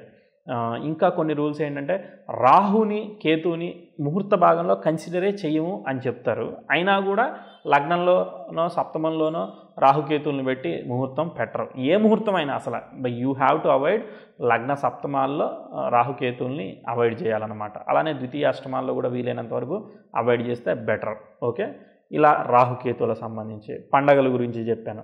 ఇంకా ఫర్ ఎగ్జాంపుల్ మీరు ఒక ముహూర్తం పెడుతున్నారు. అలాంటి సందర్భంలో ఒక ముహూర్తం ఫిక్స్ చేస్తారు అన్నీ సూపర్గా ఉన్నాయి. దుర్ముహూర్తం అని వర్జ్యం అని తర్వాత రాహుకాలం యమగండం ఇలా కొన్ని ఉంటా ఉంటాయి అన్నమాట. సో ఆ పర్టికులర్ డే రోజు రాహుకాలం యమగండం ఇవన్నీ ఏ టైంకి ఉంటాయో మనకి పంచాంగంలో దొరుకుతాయి. ఆన్లైన్ పంచాంగం చూసినా కూడా అక్కడ మనకు కనిపిస్తాయి. ఆ డేట్కి మన ముహూర్తం సమయంలో ఏమన్నా కా కాంట్రడక్ట్ అవుతుందా? అవి చూసుకోవాలి. ఇవి కాకుండా లగ్న స్థితి గురించి ఇంకా కొన్ని ఇంపార్టెంట్ విషయాలు ఉన్నాయన్నమాట. ఏంటి అని అంటే పుష్కరాంశ అనే ఒక కాన్సెప్ట్ యూజ్ చేస్తారు. తర్వాత అభిజిత్ ముహూర్తం అనే ఒకటి ఉంటుంది గోధూళిక ముహూర్తం అనే ఒకటి ఉంటుంది ఇలా కొన్ని కొన్ని ఉన్నాయన్నమాట. అవి కూడా ఒక్కొక్కటి చెప్తా. ఓవరాల్గా చెప్పేస్తాను మీరు చదువుకుంటే మీకు అర్థమవుతాయి. ఇప్పుడు గో గోధూళిక ముహూర్తం తీసుకుంటే ఉదయం ఆరు గంటలకు అట్లా ఇంచుమించుగా గోవులు వెళ్తూ ఉంటాయి మేయడానికి. అలానే సాయంత్రం ఐదున్నర ఆరింటికి మళ్ళీ తిరిగి వస్తూ ఉంటాయి. సో అలాంటి సమయాల్లో కూడా మంచి కార్యక్రమాలు చేసుకోవడానికి పాజిటివ్ అనేది ఒక రూలు. ఇంకోటి కామన్ సెన్స్ అబౌట్ ముహూర్తాస్ అది ఏంటిదంటే కామన్ సెన్స్ ఏంటంటే వివాహం ఉందనుకో మధ్యాహ్నం పన్నెండులోపు చేసేసేయాలన్నమాట. ఎప్పుడు? తెల్లవారుజామున నాలుగున్నర నుంచి. అంటే బ్రహ్మ ముహూర్త కాలం చెప్తారు. బ్రహ్మ ముహూర్త కాలం అంటే ఎప్పుడు? సూర్యోదయ సమయం నుంచి దాదాపు గంటన్నర నాలుగు గడియలు ఇంచుమించుగా వేస్తారనుకుంటా. సో ఆ వన్ అండ్ హాఫ్ అవర్ ఇంచుమించుగా ఆ నాలుగు ఇరవై నాలుగు ముప్పై దగ్గర నుంచి స్టార్ట్ అయ్యి కంటిన్యూ అవుతుంది ఆరు వరకు సూర్యోదయం వరకు. సో అక్కడ ఆ ముహూర్తం కూడా మంచి ముహూర్తంగా కన్సిడర్ చేస్తారు. పన్నెండులోపు అయిపోవాలి. లేదనంటే మళ్ళీ సాయంత్రం సూర్యాస్తమయం దాటిన తర్వాత ఆ, దాటిన తర్వాత మళ్ళీ అర్ధరాత్రిలోపు చేసుకుంటారనమాట పన్నెండు లోపు వివాహాలు ఈవెన్ ఒకటికి కూడా చేసుకున్న ముహూర్తాలు ఇవన్నీ కూడా ఉంటూ ఉంటాయి అన్నమాట పర్లేదు అవి. ఇలా ముహూర్తాన్ని కానీ మధ్యాహ్నం పన్నెండు నుంచి సాయంత్రం ఆరు వరకు మాత్రం దాదాపు కార్యక్రమాలు ఈవెన్ ఈవెన్ గృహారంభం అయిన ముహూర్తాలు కూడా శంకుస్థాపన ఇలాంటివి కూడా తెల్లవారుజాన ముహూర్తం కూడా చాలా పవర్ఫుల్గా ఉంటుంటాయి ఇంకొక పాయింట్ చెప్తాను. ఈ గ్రహస్థితి గురించి మాట్లాడుకున్నాం కదా అర్ధరాత్రి సమయంలో అంటే సూర్యోదయం దాటిన తర్వాత అంటే ఆరు తర్వాత నుంచి ముహూర్తం పెడుతున్నారు మీరు తెల్లవారి మళ్ళీ ఆరులోపు ముహూర్తం పెట్టుకుంటున్నారంటే ఏకాదశంలో చంద్రుడు ఉంటే ఆ ముహూర్తంలో ఉన్న దోషాలని హరించేదానికి అవకాశం ఉంటుంది. అదొక పాయింట్. ఇంకోటి పగటిపూట ముహూర్తం పెడుతున్నారు అని అంటే ఈవెన్ మనం బాలారిష్ట దోషాల్లో కూడా చెప్తారు. ఏకాదశంలో రవి ఉంటే చిన్నపిల్లలకి బాలారిష్ట దోషాలని హరింపబడతాయి. అలానే ఏకాదశంలో ఈ రవిని పెట్టి ముహూర్తం పెడితే చెప్పుకున్నాం పాపగ్రహాలని పదకొండులో పెట్టుకోవాలని. సో అట్లా పెట్టుకున్నా కూడా కొంత దోషాలని. అంటే లగ్నంలో గురువుని పెట్టారు తర్వాత ఏకాదశంలో రవిని పెట్టారు. సో అవన్నీ కూడా డెఫినెట్లీ మంచిది. తర్వాత పుష్కర నవాంశ అని ఇంకొకటి ఉన్నదనమాట అంటే గ్రహాలు ప్రతిసారి గురువు కర్కాటకంలో రావాలి అని అంటే ఉచ్చస్థితిలోకి ప్రతిసారి రాడనమాట సో ఆ- కర్క ఎక్కడెక్కడ ఏ ఏ డిగ్రీల్లో ఉంటే ఆ పుష్కర నవాంశ ఫామ్ అవుతుంది. అది కూడా ఉచ్చస్థితి పొందిన గ్రహస్థితికి ఎంత రిజల్ట్ ఉంటుందో అంత రిజల్ట్ వస్తుంది అనేది ఒక కాన్సెప్ట్ ఉంది. అది చెప్తాను. తర్వాత పుష్కర నవాంశాన్ని ఏ ఎన్ని డిగ్రీల్లోకి మనం లగ్నం పడితే అది పడుతుందో చూడాలి. ఇంకా ఇవే కాకుండా ఇంకా కొన్ని చూస్తారు. ఇప్పుడు పాపగ్రహాలకి ఆ లగ్నానికి దుస్థానాధిపతులకి ఈ అష్టక వర్గులో ఎన్నెన్ని స్కోర్ వచ్చాయి? లేదంటే లగ్నంలో శుభగ్రహాన్ని పెట్టారు లేదంటే ఒక చంద్రుడిని పెట్టారు. ఆ నక్షత్రం పెట్టుకుంటే మీరు అది బాగుందని పెట్టుకున్నారు. మరి దానికి అష్టక వర్గంలో మంచి స్కోర్ ఉందా లేదా అవి చూస్తారనమాట ఇలా కూడా చూస్తారు. ఎందుకంటే ఈ గ్రహస్థితికి సంబంధించినవే కదా. రేపు కాన్సిక్వెన్స్ దశలు సరిగా పడుతున్నాయా లేదా చూస్తారు. ఇంకా కేపీ గురించి అడిషనల్గా వస్తే మీరు ముహూర్తం పది ఐదు నుంచి పది పది లోపు ఇలా ఫిక్స్ చేసుకున్నారు. జీలకర్ర బెల్లం పెట్టే ముహూర్తం వివాహం అనుకుంటే ఫిక్స్ చేసుకున్నారు. దానిలోనూ మీకు సబ్లాడ్ సెవెంత్ హౌస్ సబ్లాడ్ రెండు ఐదు ఏడు పదకొండు కనుక సిగ్నిఫై చేశాడు. లగ్న కస్పల్ సబ్లాడ్ కూడా రెండు ఐదు ఏడు పదకొండుని సిగ్నిఫై చేశాడు అనుకోండి. ఆ వైవాహిక జీవితం మంచిగా బాగు బాగుంటుంది. అలా కాకుండా వన్ సిక్స్ టెన్ సిగ్నిఫై చేశాడు అనుకోండి ఈవెన్ ఒకవేళ కంపాటబిలిటీయో ఏదో ఒకటి దోషం వల్ల వాళ్ళకి డైవర్స్ కూడా లీడ్ చేసే అవకాశం ఏర్పడతా ఉంటుంది. ఒక్కోసారి ఒకసారి హెల్త్ ప్రాబ్లమ్స్ వాళ్ళకి మ్యారిటల్ లైఫ్లో వచ్చి కాన్ఫ్లిక్ట్ అవుతూ ఉంటుంది. ఇలా ఏదో ఒకటి ప్రాబ్లం వస్తుంది కాబట్టి సో ఈవెన్ మనం ఒక ముహూర్తం పెట్టే వరకు ముహూర్తం రూల్స్ పెట్టిన తర్వాత జాతక చక్రం రూల్స్ అనమాట సో జాతక చక్రాన్ని ఎలా పరిశీలిస్తారో ముహూర్తాన్ని కూడా దశలు ఎలా ఉంటున్నాయి ప్రోగ్రెషన్స్ ఎలా ఉంటున్నాయి ఇలా కూడా పరిశీలిస్తారనమాట సో అంటే ఈ దీన్ని బేస్ చేసుకుంటే వాళ్ళ ఫ్యూచర్ ఎలా ఉంటుంది. లేదంటే ఒక ఒకళ్ళు ఒక ప్రమాణ స్వీకారం ఏదో చేశారు. సో దాన్ని దాన్ని బేస్ చేసుకుని కూడా ప్రిడిక్ట్ చేసేస్తూ ఉంటారు అనమాట సో ముహూర్తాన్ని కూడా జాతక చక్రం లాగా చాలా జాగ్రత్తగా రేపు కాన్సిక్వెన్స్ ఏమవుతుంది? నీకు ముహూర్తం రూల్స్ సాటిస్ఫై అయ్యాయి అయ్యాయి. బట్ కాకపోతే దాని కాన్సిక్వెన్స్ పీరియడ్ అంటే దశ ప్రోగ్రెషన్స్ ఏదో ఒక దాన్ని బేస్ చేసుకుని నువ్వు చెక్ చేసుకోవాలి. చెక్ చేసుకుంటే అది నిజంగా బలంగా ఉందా? అది ఫ్రూట్ఫుల్గా ఉంటుందా లేదా అనేది నువ్వు కొంత డిసైడ్ చేయగలుగుతావు అనమాట ఓకే. ఇంకా ఈ పుష్కరాంశ వాటి గురించి ఒక రెండు మూడు పాయింట్స్ చెప్తాను. అవి ఏ ఏ డిగ్రీలో పడుతున్నాయో ఏ ఏ చెప్తే మనకు అర్థమవుతుంది. సో లగ్నం అర్థమైంది లగ్న శుద్ధి అర్థమైంది. తర్వాత ఈ ఈ పర్టికులర్ నక్షత్రాల్లో ఏమవుతుందనంటే అది నవాంసులో వెళ్ళి ఉచ్చస్థితిలో ఉండడం లేదా మంచి పొజిషన్స్లో ఉండడం ఇలాంటి ఫామ్ అవుతాయి. ఇలాంటి వాటిని చాలా సీరియస్గా కన్సిడర్ చేస్తారు ముహూర్త భాగంలో. ఓకే? మనం రెగ్యులర్గా మాట్లాడుకునే దానికి కొంచెం డిఫరెన్స్ కనబడుతుంది. కంప్లీట్ ట్రెడిషనల్ అనమాట నువ్వు ఎక్కడ కూడా ట్రెడిషనల్ రూల్స్ని ఒక్క అడుగు ఏ నేను డిఫరెంట్గా ఆలోచిస్తానని చెప్పి ఆలోచించేదానికి అసలు ఆస్కారమే లేని సిచ్యువేషన్ ముహూర్తమే. అంటే వెరీ కంజెస్టెడ్ సిచ్యువేషన్ అనమాట నువ్వు అసలు ఆ, రూల్స్లోనే వెళ్ళాలి. రూల్స్ని దాటి వెళ్తాను. నేను డిఫరెంట్ క్యాండిడేట్ని అనుకుంటే కుదరదు అనమాట డెఫినెట్లీ రూల్స్ని క్రాస్ చేయకుండా మనం ఒక్కొక్కటి చెక్ చేయాలి. ఇన్ని విషయాలు ఉంటాయి కాబట్టే సింపుల్గా ముహూర్తం అంటే పంచాంగం చూసి చెప్పేసే విషయం కాదనమాట పంచాంగంలో పెట్టిన ముహూర్తాల్లో కూడా అనేక రకమైన దోషాలు ఉంటూ ఉంటాయి. కానీ మళ్ళీ అది ఎందుకు తీసుకున్నారనేది నువ్వు జడ్జి చేయగలగాలి. సో అది మంచి ముహూర్తం కాదని ఈ బెటర్ ముహూర్తం కాపీ కొట్టాలన్నా కూడా కనీసం రూల్స్ తెలిసి ఉండాలి కాబట్టి ఇవన్నీ మనం వేసుకుని చూడాలి. మనం ఏం చేయాలంటే ఒక పేపర్ మీద అన్ని పెట్టుకుని మనం ఫిల్టర్స్ పెట్టుకున్నట్టు టిక్కులు కొట్టుకోవాలి. ఆ దుర్ముహూర్తం రూల్ పాస్డ్ తర్వాత రాహుకాలం రూల్ పాస్డ్ తర్వాత లగ్నంలో శుభగ్రహాలు ఉన్నాయి రూల్ పాస్డ్ పాపగ్రహాలు దుస్థానంలో లేవు రూల్ పాస్డ్ ఇలా ఒక్కొక్కటి టిక్ మార్క్ కొట్టుకుంటా వెళ్ళిపోవాలి ఒక్కొక్క ముహూర్తం తీసుకుంటే. సో రివర్స్ ఇంజనీరింగ్లో అట్లీస్ట్ ముహూర్తాన్ని నువ్వు వ్యాలిడేట్ చేయాలంటే ఇలా టిక్కులు కొడితే తప్ప మనకి అది ఎంత స్టాండర్డ్ ముహూర్తం అనేది అర్థం కాదు. సో ఏ ఏ పాయింట్స్లో ఆ ముహూర్తం ఫెయిల్ అయిపోయింది తర్వాత మిగిలిన ముహూర్తాలలో ఇచ్చిన నాలుగైదు ముహూర్తాలలో నువ్వు ఫిల్టర్ చేయలేని పక్షంలో ఆ నాలుగైదు ముహూర్తాల్లో ఏది బెస్ట్ ముహూర్తం అనేది కూడా నువ్వు జడ్జి చేయొచ్చు. అంటే తారాబలం తీస్తే నీకు ఆ నాలుగు ముహూర్తాల్లో రెండు ముహూర్తాలు ఎగిరిపోయినా ఇంకో రెండు ముహూర్తాలు ఉంటాయి కదా ఆ రెండు ముహూర్తాల్లో ఇక నేను ఎతకలేను అన్న సిచ్యువేషన్లో నువ్వు అలాంటివి చేయొచ్చు. కానీ అలాంటి సిచ్యువేషన్ నీకు రాకూడదని నేను కోరుకుంటున్నాను. ఎందుకంటే డెఫినెట్లీ మనం ఎతుక్కోవాలి. ఎతుక్కున్న తర్వాత మేబీ వాళ్ళకన్నా బెస్ట్ ముహూర్తం పెడతామా పెట్టడమా అనేది తర్వాత సంగతి. ఓకే? ఫస్ట్ మనం వెతికి లేవు అని మనం కన్ఫర్మేషన్ తీసుకున్న తర్వాత వీళ్ళు బెస్ట్ అని నువ్వు కన్ఫర్మేషన్ తీసుకున్న తర్వాత ఫాలో అవ్వడం మంచిది. ఇంకో సింపుల్ టెక్నిక్ చెప్తాను. ఒక నాలుగైదు రకాల పంచాంగాలన్నీ తెచ్చేసుకుని దానిలో ఉన్న ముహూర్తాలన్నీ కూడా ఫిల్టర్ చేయొచ్చు అనమాట ఓకే? కొంతమంది కొన్ని ముహూర్తాలు వదిలేస్తారు కొంతమంది కొంత అంటే మన కోసం పది మంది పనిచేశారు కదా ఆల్రెడీ సో అట్లా కూడా చేయొచ్చు. అంటే అంటే అదొక టెక్నిక్ బట్ కాకపోతే అదేమి స్టాండర్డ్ టెక్నిక్ కాదు ఓకే? షార్ట్ కట్ టెక్నిక్ అది. సో షార్ట్ కట్స్ కన్నా కూడా ముహూర్తం విషయంలో మనం కన్స్ట్రక్టివ్గా బాటమ్ లెవెల్ నుంచి మనకు మనగా పైకి రావాలి. డెఫినెట్గా స్టెప్ బై స్టెప్ మెట్టెక్కి వస్తే తప్ప మనము ప్రాపర్ ముహూర్తం ఎతకలేము. ప్రాపర్ ముహూర్తం ఎతికి నువ్వు పెట్టలేకపోతే నేను ముహూర్తం పెట్టలేనని అగ్రి అవ్వడం బెటర్ లేదంటే దాన్ని టచ్ చేయకపోవడం బెటర్ ఎందుకంటే ముహూర్తం వల్ల వచ్చేది డబ్బులు కాదు లాట్ ఆఫ్ కర్మ సో పాజిటివ్గా ఉన్నంతకాలం ఎవడు పలానా అయినా ముహూర్తం పెట్టాడని ఏం అనుకోడు. నెగిటివ్ అయినప్పుడే అనుకుంటాడు. పలానా ఆయన పలానా ముహూర్తం పెట్టడం వల్లనే వివాహాలు పొంతనలు చూసి చేసాము తర్వాత ముహూర్తం పెట్టి చూసి చూసాము అయినా కూడా ఫెయిల్యూర్ అయిపోయింది.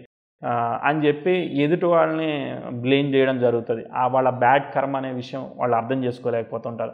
అన్ఫార్చునేట్లీ ఆ ముహూర్తాలు కూడా అది డైవర్స్ కావడం కోసమే వాళ్ళ కర్మను బట్టి డిజైన్ చేయబడతాయి. దాన్ని ఎవరు ఏం చేయలేరు. బయటికి చూడడానికి ఒకసారి కొన్ని హోరోస్కోపులు కానీ కొన్ని ముహూర్తాలు బాగానే కనిపిస్తాయి. దాని సిగ్నిఫికెన్స్ ఎక్కడో డెఫినెట్లీ దోషం లేకుండా అది ఫెయిల్యూర్ కాదనమాట. ఓకే మనకి ఎప్పుడు కూడా ఆస్ట్రాలజర్స్ కానీ బయట కనబడే అన్నీ కూడా నెగిటివే ఎక్కువ కనబడుతుంది. ఎందుకంటే ప్రాబ్లం వచ్చినప్పుడే వాటికి పబ్లిసిటీ ఎక్కువ ఉంటుంది. ప్రాబ్లం లేనప్పుడు బాగున్నాయి ఈ బాగున్నాయి అవి బాగున్నాయి అని ఎవరైనా పబ్లిసిటీ చేస్తారా? అవి వెళ్ళిపోతూ ఉంటాయి అనమాట సో నైంటీ పర్సెంట్ పాజిటివ్ కనబడదు కానీ టెన్ పర్సెంట్ పాజిటివే ఎక్కువ మనకు అడ్వర్టైజ్ అవుతూ ఉంటుంది. అంటే ఈవెన్ ఆస్ట్రాలజర్ దగ్గరికి వచ్చి ఒకసారి ప్రాబ్లమేటిక్గా ఉన్నప్పుడే కదా మోస్ట్లీ ఆస్ట్రాలజీ మీద డిపెండ్ అయ్యేది కానీ.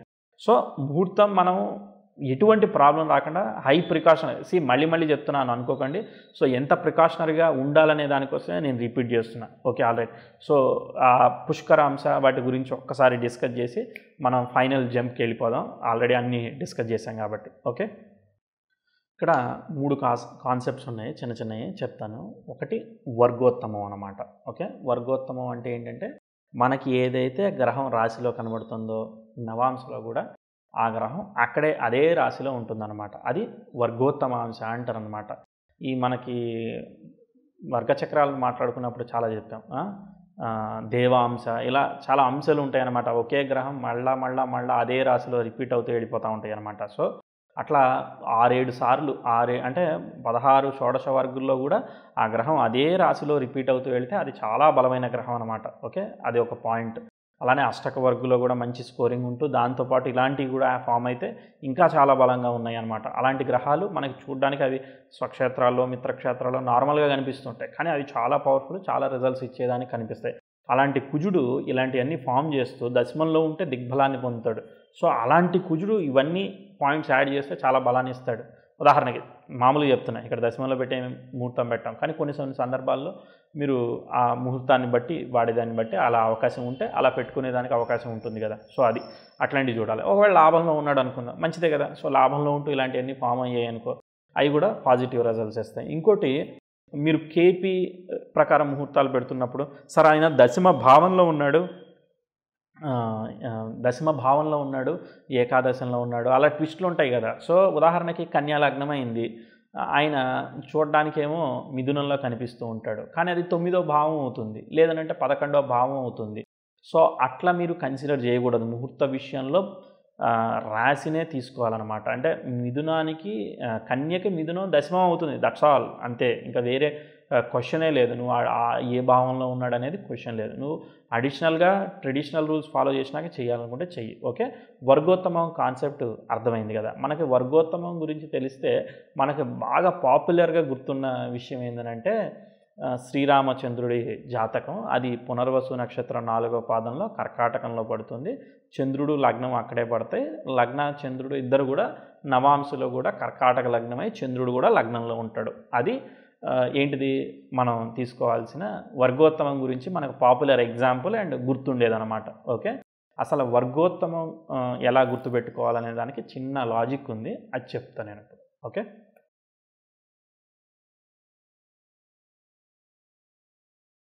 చూడండి. మేషం చరరాశి వృషభం స్థిర రాశి మిథునం ద్విస్వభావ రాశి. ఓకే? వర్గోత్తమం గుర్తుపెట్టుకోవడం ఎంత సింపుల్ అంటే ఇప్పుడు మేషం అగ్నితత్వ రాశి కదా ఈ ఈ చరరాశిలో గనక మొదటి పాదంలో ఏ గ్రహమైనా ఉండనివ్వండి ఓకే? అది నవాంశలోకి వెళ్ళి మళ్ళీ అక్కడే మేషంలో ఉంటుందన్నమాట. అంటే ఇక్కడ చరరాశుల్లో మొదటి పాదం వర్గోత్తమం చెందుతుంది స్థిర రాశుల్లో ఐదో పాదం వర్గోత్తమం చెందుతుంది ద్విస్వభావ రాశుల్లో తొమ్మిదో పాదం వర్గోత్తమం చెందుతుంది. సో బాగుంది కదా? టెక్నిక్ చాలా ఈజీగా ఉంది ఓకే? నేను మొన్న ఒక చిన్న ఆర్టికల్ లాంటిది చూశాను. భలే అనిపించింది. అది కూడా ఇక్కడ షేర్ చేసుకుంటున్నా ఏం లేదు. మిథున లగ్నానికి భద్ర మహాపురుష శశ హంస మహాపురుష యోగం గురించి ఒక చిన్న ఆర్టికల్. మిథున లగ్నం లగ్నం ఇప్పుడు అదేమైంది? దిస్వభావ లగ్నం. దిస్వభావ లగ్నం తొమ్మిదో పాదంలో పడితే అది వర్గోత్తమం చెందుతుంది. డెఫినెట్లీ మిథున లగ్నం ఆ, దిస్వభావ లగ్నం. ఇప్పుడు ధనుసు మనకు కనిపించింది కదా. సో తొమ్మిదో పాదంలో పడితే నవాంశలో కూడా మిథున లగ్నం అవుతుంది. వెరీ గుడ్ తర్వాత రెండో పాయింట్ ఇక్కడ సప్తమంలో గురుచంద్రుల కలయిక హంస మహాపురుష యోగంగా చెప్తారు. ఓకే? అది వన్ ఆఫ్ ది మంచి యోగం. సో అక్కడ గురుచంద్రులు గనక అక్కడ ఉండి ఉంటే ఏమవుతుంది? అక్కడ ఉత్తర ఉత్తరాషాఢ నక్షత్రం ఉంటుంది కదా అక్కడ ఫామ్ అవుతారు. సో గురుచంద్రులు నవాంశలో కూడా అక్కడే యోగాన్ని ఫామ్ అవుతారు. సో ఆ యోగం చాలా బలమైంది. సో స్టార్ లార్డ్ అయిన రవి డెఫినెట్లీ మంచి స్థానాల్లో ఉంటే అంటే ఉదాహరణకి ఏ మేషంలో అశ్వినిలోనో లేదంటే లెటర్ సపోజ్ ఉత్తర కృతికా కృత్తికా ఉన్నాడు అనుకోండి రవి తృతీయాధిపతి స్వ- స్వనక్షత్ర స్థితి లాభంలో ఉంటూ ఈ రవిచంద్రులకి మంచి అది ఏ ఏకాదశో ఇలాంటి ఫామ్ అవుతాయి. సో డెఫినెట్లీ అక్కడ రవిచంద్రుల కోణస్థితి తర్వాత రవి పొజిషనల్ స్టేటస్ లాభంలో ఉండడం ఉచ్చ ఉచ్చరాశిలో ఉండడం ఇవన్నీ కూడా బాగున్నాయి. అక్కడ మళ్ళీ వర్గోత్తమం చెందడం అసలు అల్టిమేట్గా ఉంది కదా. సో ఈవెన్ అరవి మేషంలో అశ్వినిలో ఉన్న వర్గోత్తమం చెందుతాడు. ఎందుకంటే అది చర్రాశి కాబట్టి. సో ఇలాంటివన్నీ కూడా డెఫినెట్గా అల్టిమేట్ యోగాన్ని డబల్ అంటే డబల్ కన్ఫర్మేషన్ నవాంశ కూడా. సో పూర్వపుణ్యం అలాంటివి చెప్తాయి కాబట్టి ఇలా మనం ఆ గ్రహస్థితిని వాటన్నిటిని కూడా ఇంకా అంత డీప్గా ఉంటే అవి రిజల్ట్స్ ఇస్తున్నాయి అనేది అర్థం చేసుకోవాలి. సో వర్గోత్తమం అర్థమైపోయింది కదా. సో నేను మేషం సింహం ధనస్సు తీసుకున్నాను. ఏముంది? మళ్ళీ వృషభం ఏమవుతుంది? స్థిర రాశి. స్థిర రాశిలో ఐదో పాదం. అంటే అక్కడ కృతిక మూడో పాదాలు ఉంటాయి తర్వాత రోహిణి ఒకటి రెండో పాదం. రెండో పాదం మళ్ళీ వర్గోత్తమం అవుతుంది. అంటే ఐదో పాదం కదా సో ఆ రాశిలో. సో స్థిర రాశి అంటే రాశి యొక్క తత్వాన్ని బట్టి ఆ పాదాలని ఇక్కడ మనం చేసాం. సో ఒకటి వన్ ఫైవ్ నైన్ అనమాట సింపుల్గా. సో ఈ వన్ ఫైవ్ నైన్ కాన్సెప్ట్ని గుర్తుపెట్టుకుంటే సేమ్ వన్ ఫైవ్ నైన్ వేసుకుంటే వెళ్ళిపోవడమే అనమాట ఓకే?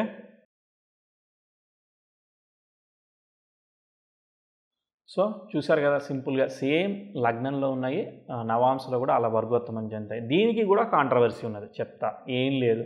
ఉదాహరణకి మిథున లగ్నానికి లెటస్సే గురువు పాపి అనుకుంటే గురువు గనక వర్గోత్తమం చెందాడు లేదంటే దుస్థానాధిపతి కుజుడు ఉన్నాడు కుజుడు వర్గోత్తమం చెందాడు గురువు యోగంలో ఉన్నాడు కాబట్టి చంద్రుడితో ఉన్నాడు అది అనుకుందాం యోగం అనుకుందాం ఓకే పక్క పెట్టేయండి సో లెటర్ సపోజ్ కుజుడు కనుక వర్గోత్తమం చెందాడు అనుకో ఆ లగ్నానికి మంచిదా? పాపి కాబట్టి పాపి వర్గోత్తమం చెందితే ఇంకా శత్రువులతో ఇబ్బందులు ఇలాంటివన్నీ లేదంటే క్రెడిట్స్ ఏదో ఒకటి ఇబ్బందులు అయ్యేదానికి అవకాశం ఉంటుంది అనేది ఒక మళ్ళీ కాంట్రవర్సీ అంతే అది. ఓకే? జనరల్ రూల్ కాదు అది. Only controversy okay? దాన్ని ఎవరో ఏం చేయలేరు. టెస్ట్ చేసుకుని అర్థం చేసుకోవాలి. నెంబర్ ఆఫ్ చార్ట్స్ మీద చూడాలి. అలాంటి సందర్భాలకి మనకి కేస్ స్టడీస్ ఎక్కడ దొరకాలి? సో అవన్నీ చూడాలి. చూసి కానీ మనం ఫైనలైజ్ చేసుకోలేం. ఓకే? ఇన్ని ఫిల్టర్స్ చేసినా కూడా మళ్ళీ ఇలాంటి కాంట్రవర్సీస్ని పట్టుకుంటే అసలు మనం ఏంటంటే ఏమీ తెలియనప్పుడే ముహూర్తం పెడతామేమో పంచాంగం చూసి ఈజీగా అనే ఫీలింగ్ వచ్చేస్తూ ఉంటుంది. ఓకే? సో అన్నీ తెలిసినాక ఏమీ చేయలేక పరిస్థితి. అంటే ప్రతిదానికి ఏదో ఒకటి మనకు కనిపిస్తుంది కదా. బట్ డెఫినెట్లీ అట్లా కనిపించాలి. అప్పుడే మనం సరైన ముహూర్తం పెట్టగలుగుతాం. వన్ పర్సెంట్ కూడా మనం చాయిస్ తీసుకోవడానికి వీల్లేదు. అంటే ఖచ్చితంగా ఉండాలంటే ఖచ్చితంగా ఉండాలి.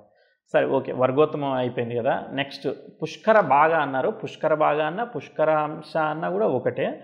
పుష్కర నవాంశ అంటే వేరు. ఆ రెండు చెప్తా.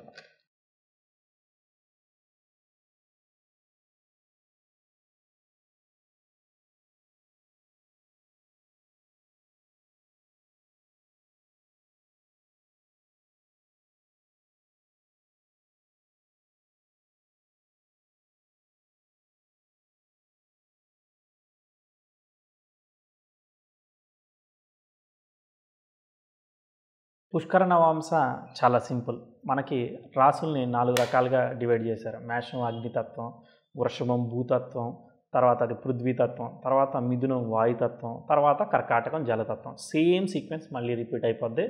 మళ్ళీ సింహం అగ్నితత్వం భూతత్వం తర్వాత తుల వాయుతత్వం వృచ్చికం జలం. మళ్ళీ ధనసు అగ్ని తర్వాత పృథ్వీ తర్వాత మళ్ళీ వాయు మళ్ళీ జలం. సో ఇదే సీక్వెన్స్ అనమాట సో ఈ సీక్వెన్సుల్లో నేను మీకు ట్రయాంగిల్ మేషం నుంచి సింహం సింహం నుంచి ధనస్సుకి ట్రయాంగిల్ ఒకటి ఇచ్చాను. ఎందుకంటే సేమ్ తత్వాలు వన్ ఫైవ్ నైన్లో ఉన్నాయి కదా ఇది ఎప్పుడో కూడా చెప్పుకున్నా మళ్ళీ చెప్పాను. తర్వాత ఇక్కడ ఇక్కడ అర్థం చేసుకోవాల్సింది ఏంటంటే పుష్కర నవాంశ ఎక్కడెక్కడ ఫామ్ అవుతుంది? ఒక గ్రహం గనక పర్టికులర్ గ్రహం ఇప్పుడు లెటర్సే అగ్నితత్వ రాశిలో ఏడు తొమ్మిది పాదాల్లో గనక ఉన్నట్లయితే అక్కడ నవాంశలో అది పుష్కర నవాంశలో ఉన్నట్టు అనమాట ఓకే? దాన్ని మీరు గుర్తుపెట్టుకోండి. ఒకటి. తర్వాత పృథ్వీ తత్వం అయితే మూడు ఐదు పాదాల్లో అంటే రోహిణి మూడో పాదం ఐదో పాదంలో కనుక రోహిణి మూడో పాదం ఐదో పాదం అంటే అది మళ్ళీ వేరే దానికి వెళ్ళిపోద్ది కదా. ఏమవుతుంది? మూడో మూడో పాదం అని అంటే ఇక్కడ కృత్తిక నాలుగో పాదం ఇక్కడ మూడో మూడవ పాదం ఆ రాశిలో మూడో పాదం. ఓకే? తర్వాత ఐదో పాదం అని అంటే అది రోహిణి రెండో పాదం అవుతుంది. అంతేగాని అది రోహిణి రెండో పాదం కాదు. కన్ఫ్యూజ్ అవ్వకండి. ఆ రాశిలో అది మూడో పాదం అంతే. ఆ రాశిలో మూడో పాదం ఎక్కడ ఫామ్ అవుతుంది? కృత్తిక నాలుగో పాదం దా రాశిలో మూడో పాదం. అది. ఇప్పుడు అగ్నితత్వ రాశిలో మనం ఏడో పాదం తీసుకున్నాం. ఏడో పాదం అంటే ఏమవుతుంది? నాలుగు పాదాలు అశ్వినికి పోయాయి. తర్వాత భరణి మూడో పాదం అగ్నితత్వంలో. అది అక్కడ ఉన్న గ్రహం పుష్కర నవాంశలో పడినట్టు. అది మనం గుర్తు చేసుకోవాలి. తర్వాత వాయుతత్వం ఆ రాశి అయితే అది ఆరు తొమ్మిది పాదాలు తీసుకోవాలి. తర్వాత జలతత్వం అయితే ఒకటి మూడు పాదాల్లో కనుక ఉంటే అది మనకి పుష్కర నవాంశ పొందినట్టు అనమాట ఇక్కడ ఇదే సీక్వెన్స్ని మళ్ళీ రిపీట్ చేసుకోండి. నేను అన్ని డ్రా చేయలేదు. తర్వాత కింద రాశాను. రవికి మొదటి పాదాలన్నీ కూడా పుష్కరణ వాంసలో పడతాయి. రవికి మొదటి పాదాలు అని అంటే ఏంటిది?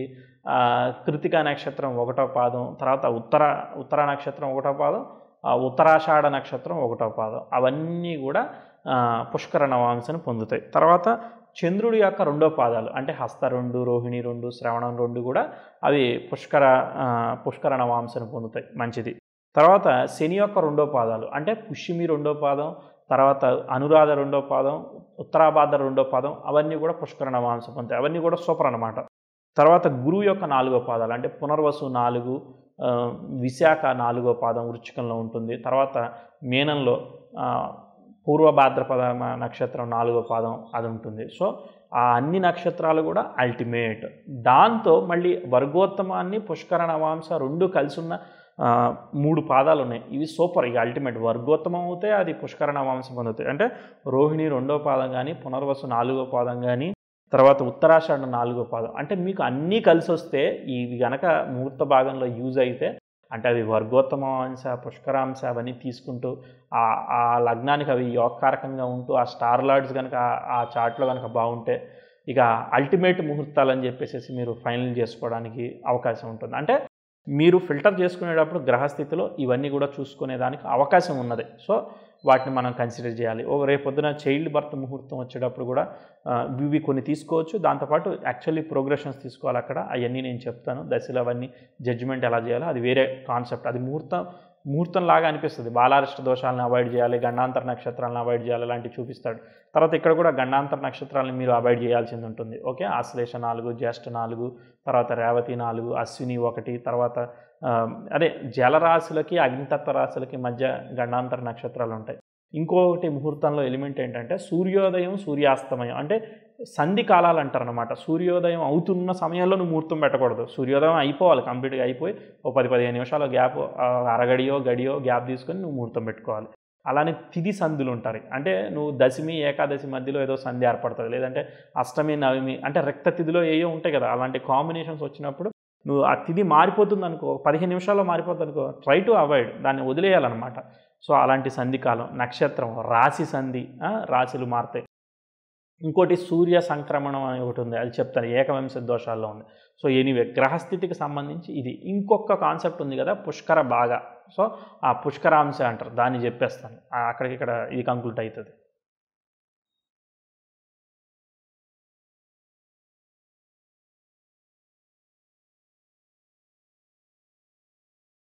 సూపర్. మనకి పుష్కర భాగం కూడా ఫినిష్ అయింది. దీన్ని పుష్కరాంశ అంటారు అనుకుంటా మీరు వెరిఫై చేయండి. తప్పు ఉంటే మళ్ళీ తప్పు ఉందని కామెంట్లు ఏం చేయకండి ఓకే?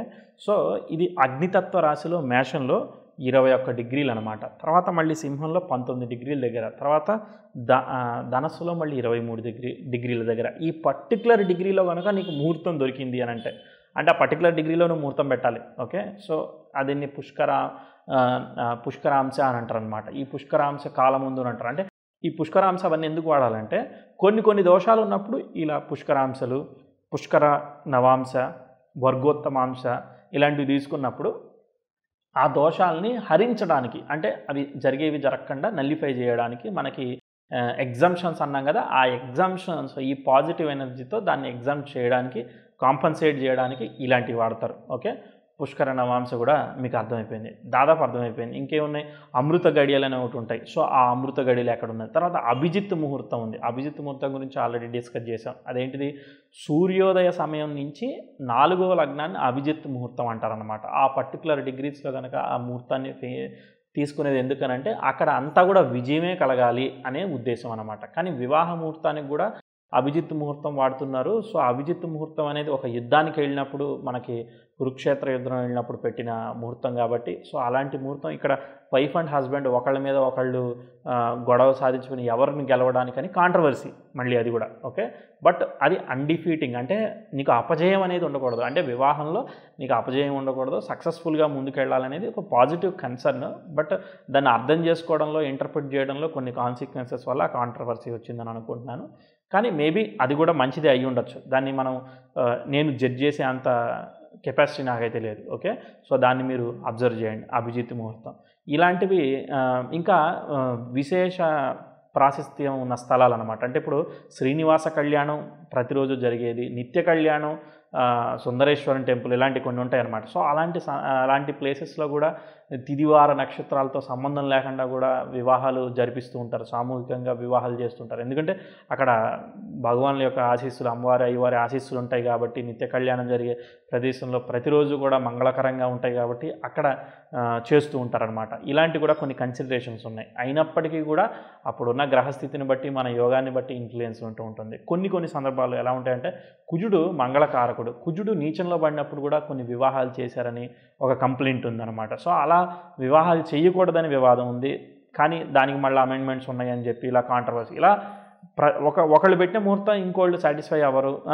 కాంట్రవర్సీస్ ఉంటూ ఉంటాయి అన్నమాట. సో మనం వీలైనంత వరకు ఫస్ట్ ఆఫ్ ఆల్ మనకి సాటిస్ఫైయింగ్గా మనం చేయాలి అని అన్నా కూడా మనకు ఫస్ట్ రూల్స్ మీద గ్రిప్ అనేది ఉంటే తప్ప మనం పూర్తి స్థాయిలో దాన్ని అటెంప్ట్ చేయలేకపోతూ ఉంటాం. ఓకే సో ఇవి కొన్ని కాన్సెప్ట్స్ తర్వాత మళ్ళీ మన మెయిన్ స్క్రీన్ మీదకి వెళ్ళిపోదాం. ఓకే లగ్నం గురించి గ్రహస్థితి గురించి ఇంకా మీరు చదవండి. చాలా రూల్స్ ఉంటాయి. అవన్నీ కూడా కొన్ని కొన్ని నేను మిస్ అవుతూ ఉండొచ్చు ప్రాబ్లీ ఓకే ఇంకా ఫైనల్ టాపిక్ ఏకవింశతి దోషాలు. ఇది నేను చిన్నగా చెప్పేస్తాను. మనం ఫినిష్ చేసుకొని ఒక ఏదైనా చిన్న ఎగ్జాంపుల్ తీసుకొని వెళ్ళిపోదాం ముందుకి. ఫినిష్ చేసుకుందాం ఇక.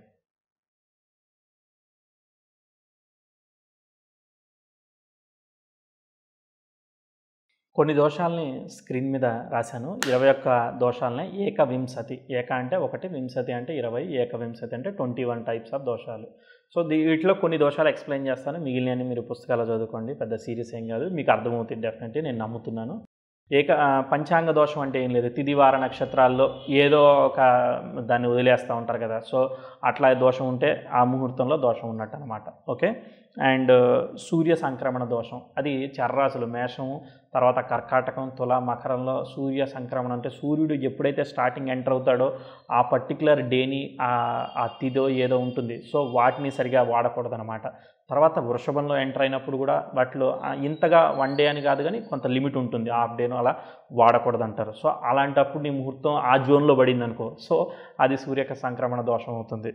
తర్వాత కర్తరి దోషం అంటే లగ్నానికి పాపార్గళం పడితే కత్తరి దోషం ఉంటుంది. కత్తెరలు అని ఇంకోటి ఉంటాయి. కత్తెరలు చూసుకోవాలన్నమాట. ఓకే?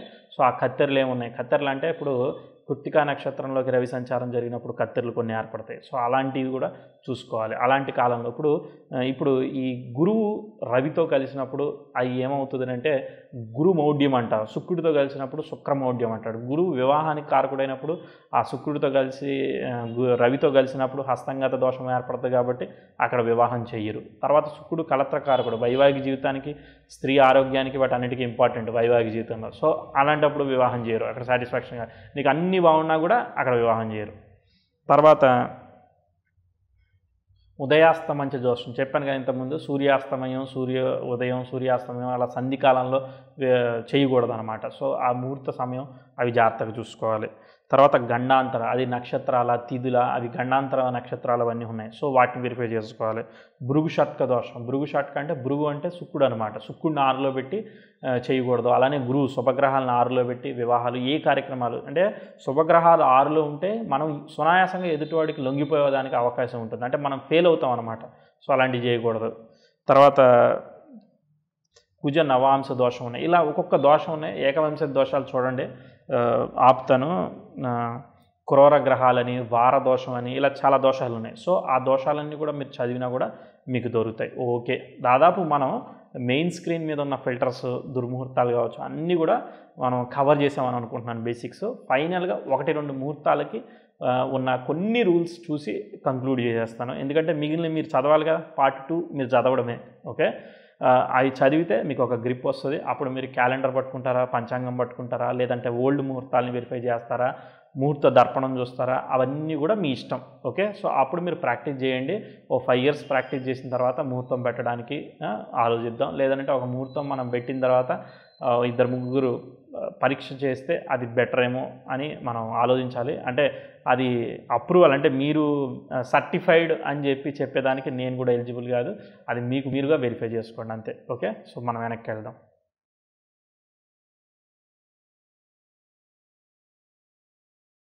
పర్ఫెక్ట్. సో బేసిక్స్ అన్నీ కంప్లీట్ అయిపోయినాయి. మనం ఫైనల్ సెగ్మెంట్కి వెళ్ళిపోతున్నాం. యాక్చువల్గా బేసిక్స్ ఎప్పుడు బేసిక్సే బేసిక్స్ ఎప్పుడు అవి ఫండమెంటల్స్ అవి ఏమి మారేదానికి అవకాశం ఉండదు.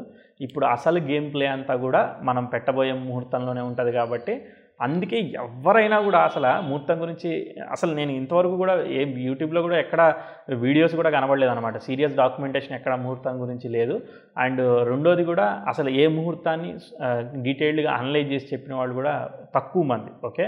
సో ఇన్ ఫ్యూచర్ నేను తెలియదు కానీ ఒక ఫైవ్ ఇయర్స్ తర్వాత అయినా కూడా నేను చెప్పే ప్రయత్నం చేస్తానేమో మేబీ ధైర్యం ఉంటే definitely I will try okay నేనేంది ఇలా మాట్లాడుతున్నాను అలా అనుకోకండి. ముహూర్తం అంత కార్మిక్ కాబట్టి నేను అలా మాట్లాడడానికి రీజన్ అంటే దాని విశిష్టత తెలుసు కాబట్టి. ఓకే సో ఇప్పుడు మనం ఫైనల్ దాన్ని టచ్ చేద్దాం. ఒకటే రెండు చూద్దాం. వివాహానికి కొన్ని రూల్స్ చూద్దాం. వివాహం కావచ్చు గృహప్రవేశం గృహారంభం. వాటన్నిటికీ మనకి పంచాంగంలో అన్నింటిలో కూడా స్టాండర్డ్గా ఏ తిథులు వాడాలి ఏ నక్షత్రం వాడాలి ఏ నగ్ లగ్నాలు వాడాలి ఏ వారాలు వాడాలి ఇవి ఫిక్స్డ్గా ఇచ్చేస్తారు. దానిలో ఏమి వరి పడాల్సిన అవసరం లేదు. వాటితో మన రూల్స్తో అప్లై చేస్తూ మనం ముహూర్తాన్ని పెట్టుకోవాలి. ఏం పెట్టాలి? పాపగ్రహాలని దుస్థానాల్లో మూడు ఆరు పదకొండు స్థానాల్లో పెట్టుకోవాలి. వాటిలో పెట్టుకోవాలి. ఒక్కటి చూద్దాం. ఊరికే ఒకటి చూద్దాం.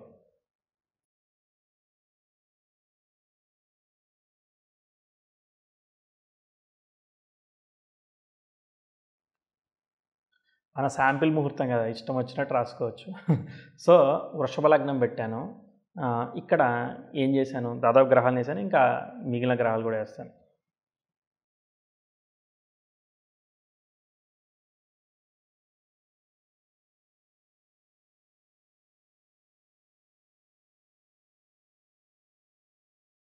ఎగ్జాంపుల్ రాయడంలో కూడా ఇన్ని కాంప్లికేషన్స్ ఉన్నాయి అంటే అన్ని కాంప్లికేషన్స్ ఉన్నాయి. ఎందుకంటే ముహూర్తంగా ఉన్న రూల్స్ ప్రస్తుతానికి రైటో తప్పు కానీ మొత్తానికి ఊరికే ఒక ఎగ్జాంపుల్ ఇచ్చాను. ఏం లేదు వృషభ లగ్నం పెట్టాను.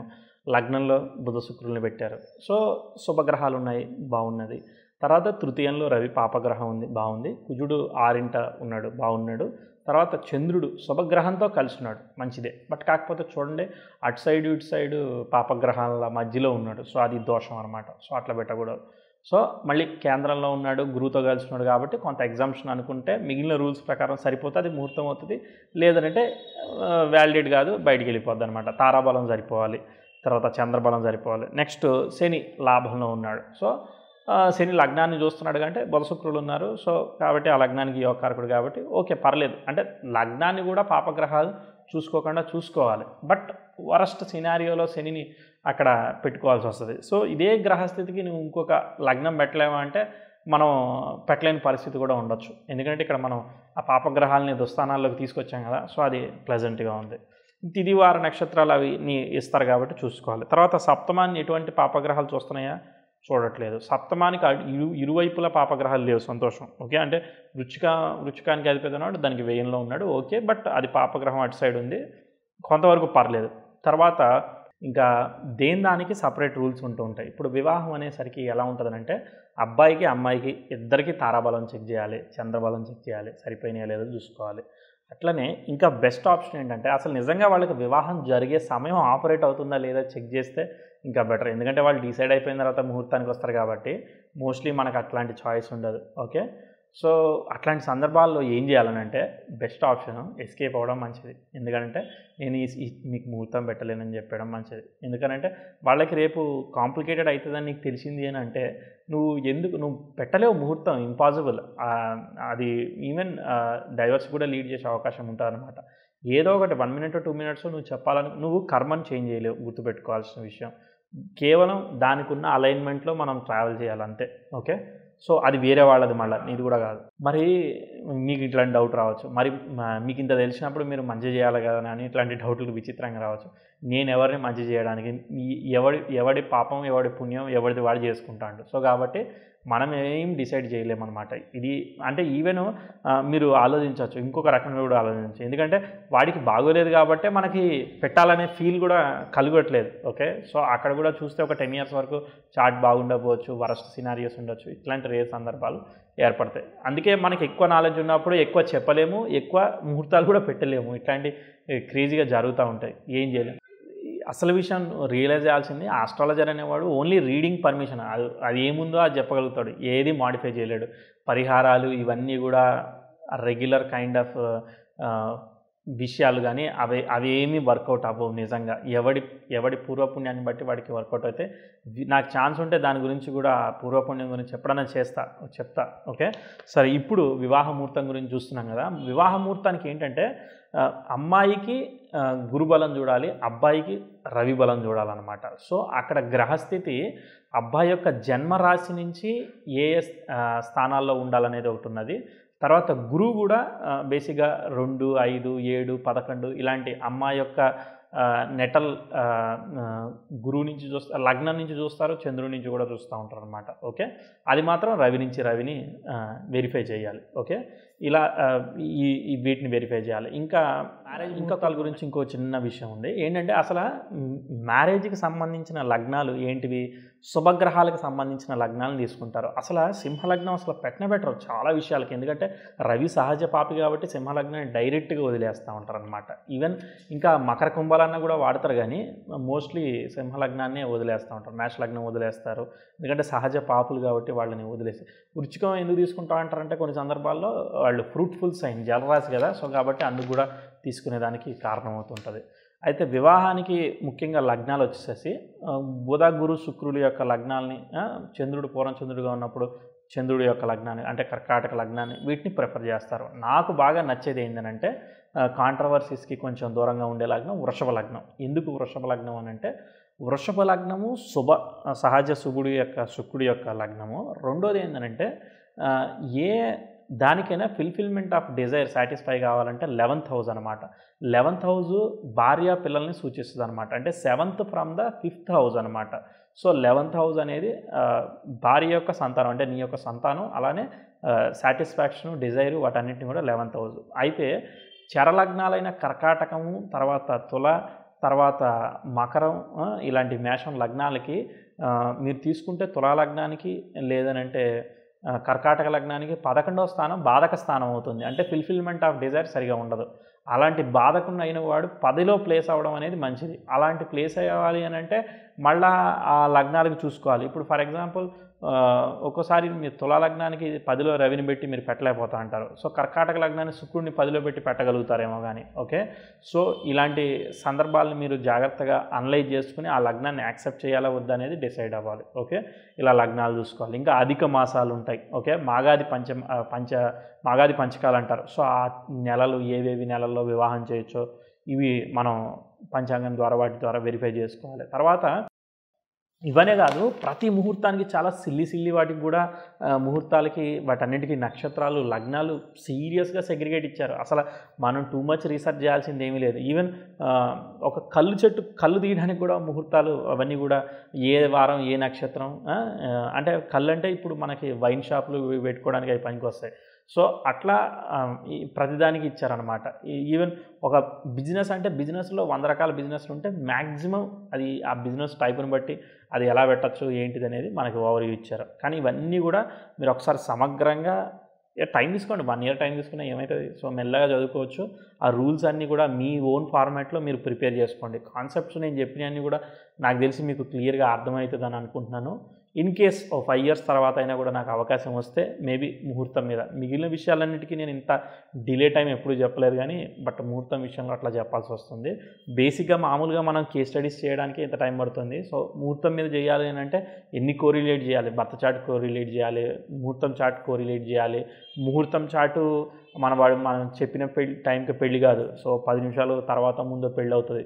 దాన్ని కరెక్ట్ చేయాలి. అంటే బర్త్ టైం రెక్టిఫికేషన్ కాకుండా ముహూర్తం టైం రెక్టిఫికేషన్ అనమాట సో అట్లాంటి కరెక్ట్ చేసి నువ్వు తెలుసుకున్న తర్వాత ఓకే ఇక్కడ అయి ఉండొచ్చు అని చెప్పిన ఒక గెస్ వచ్చిన తర్వాత అది రూలింగ్ ప్లానెట్స్ అలాంటివి తీసుకొని చెయ్యాలి. సరే అది ఇంకా చాలా అడ్వాన్స్కి వెళ్ళిపోతుంది.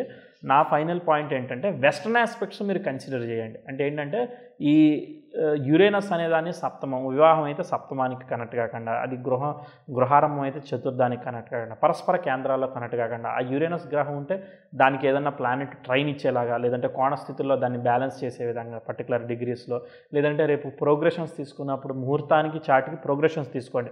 ఆ ప్రోగ్రెషన్స్ ఏ యురేనస్ పోటీ ఎంత స్క్వేర్ ఇవ్వకుండా ఇలాంటివి చూసుకోండి అనమాట అప్పుడు ఆ ముహూర్తం మీరు స్టాండర్డ్ రూల్స్ని క్రాస్ చేసి యాజ్ పర్ వెస్ట్రన్ ప్రకారం కూడా కొంత మీరు ఫిల్టర్ చేసినట్టు. అలానే కేపీ సిగ్నిఫికెన్స్ తీసుకొని ఆ రూలింగ్ ప్లానెట్స్ తీసుకుని ఆ రూలింగ్ ప్లానెట్స్ వచ్చిన ముహూర్తం. అంటే నువ్వు వంద ముహూర్తాలు ఉంటాయి నీ దగ్గర. కానీ నీ రూలింగ్ ప్లానెట్స్ ప్రకారం ఆ రూలింగ్ ప్లానెట్స్ ప్రకారమే వాడి ముహూర్తం డిసైడ్ అయిపోద్ది.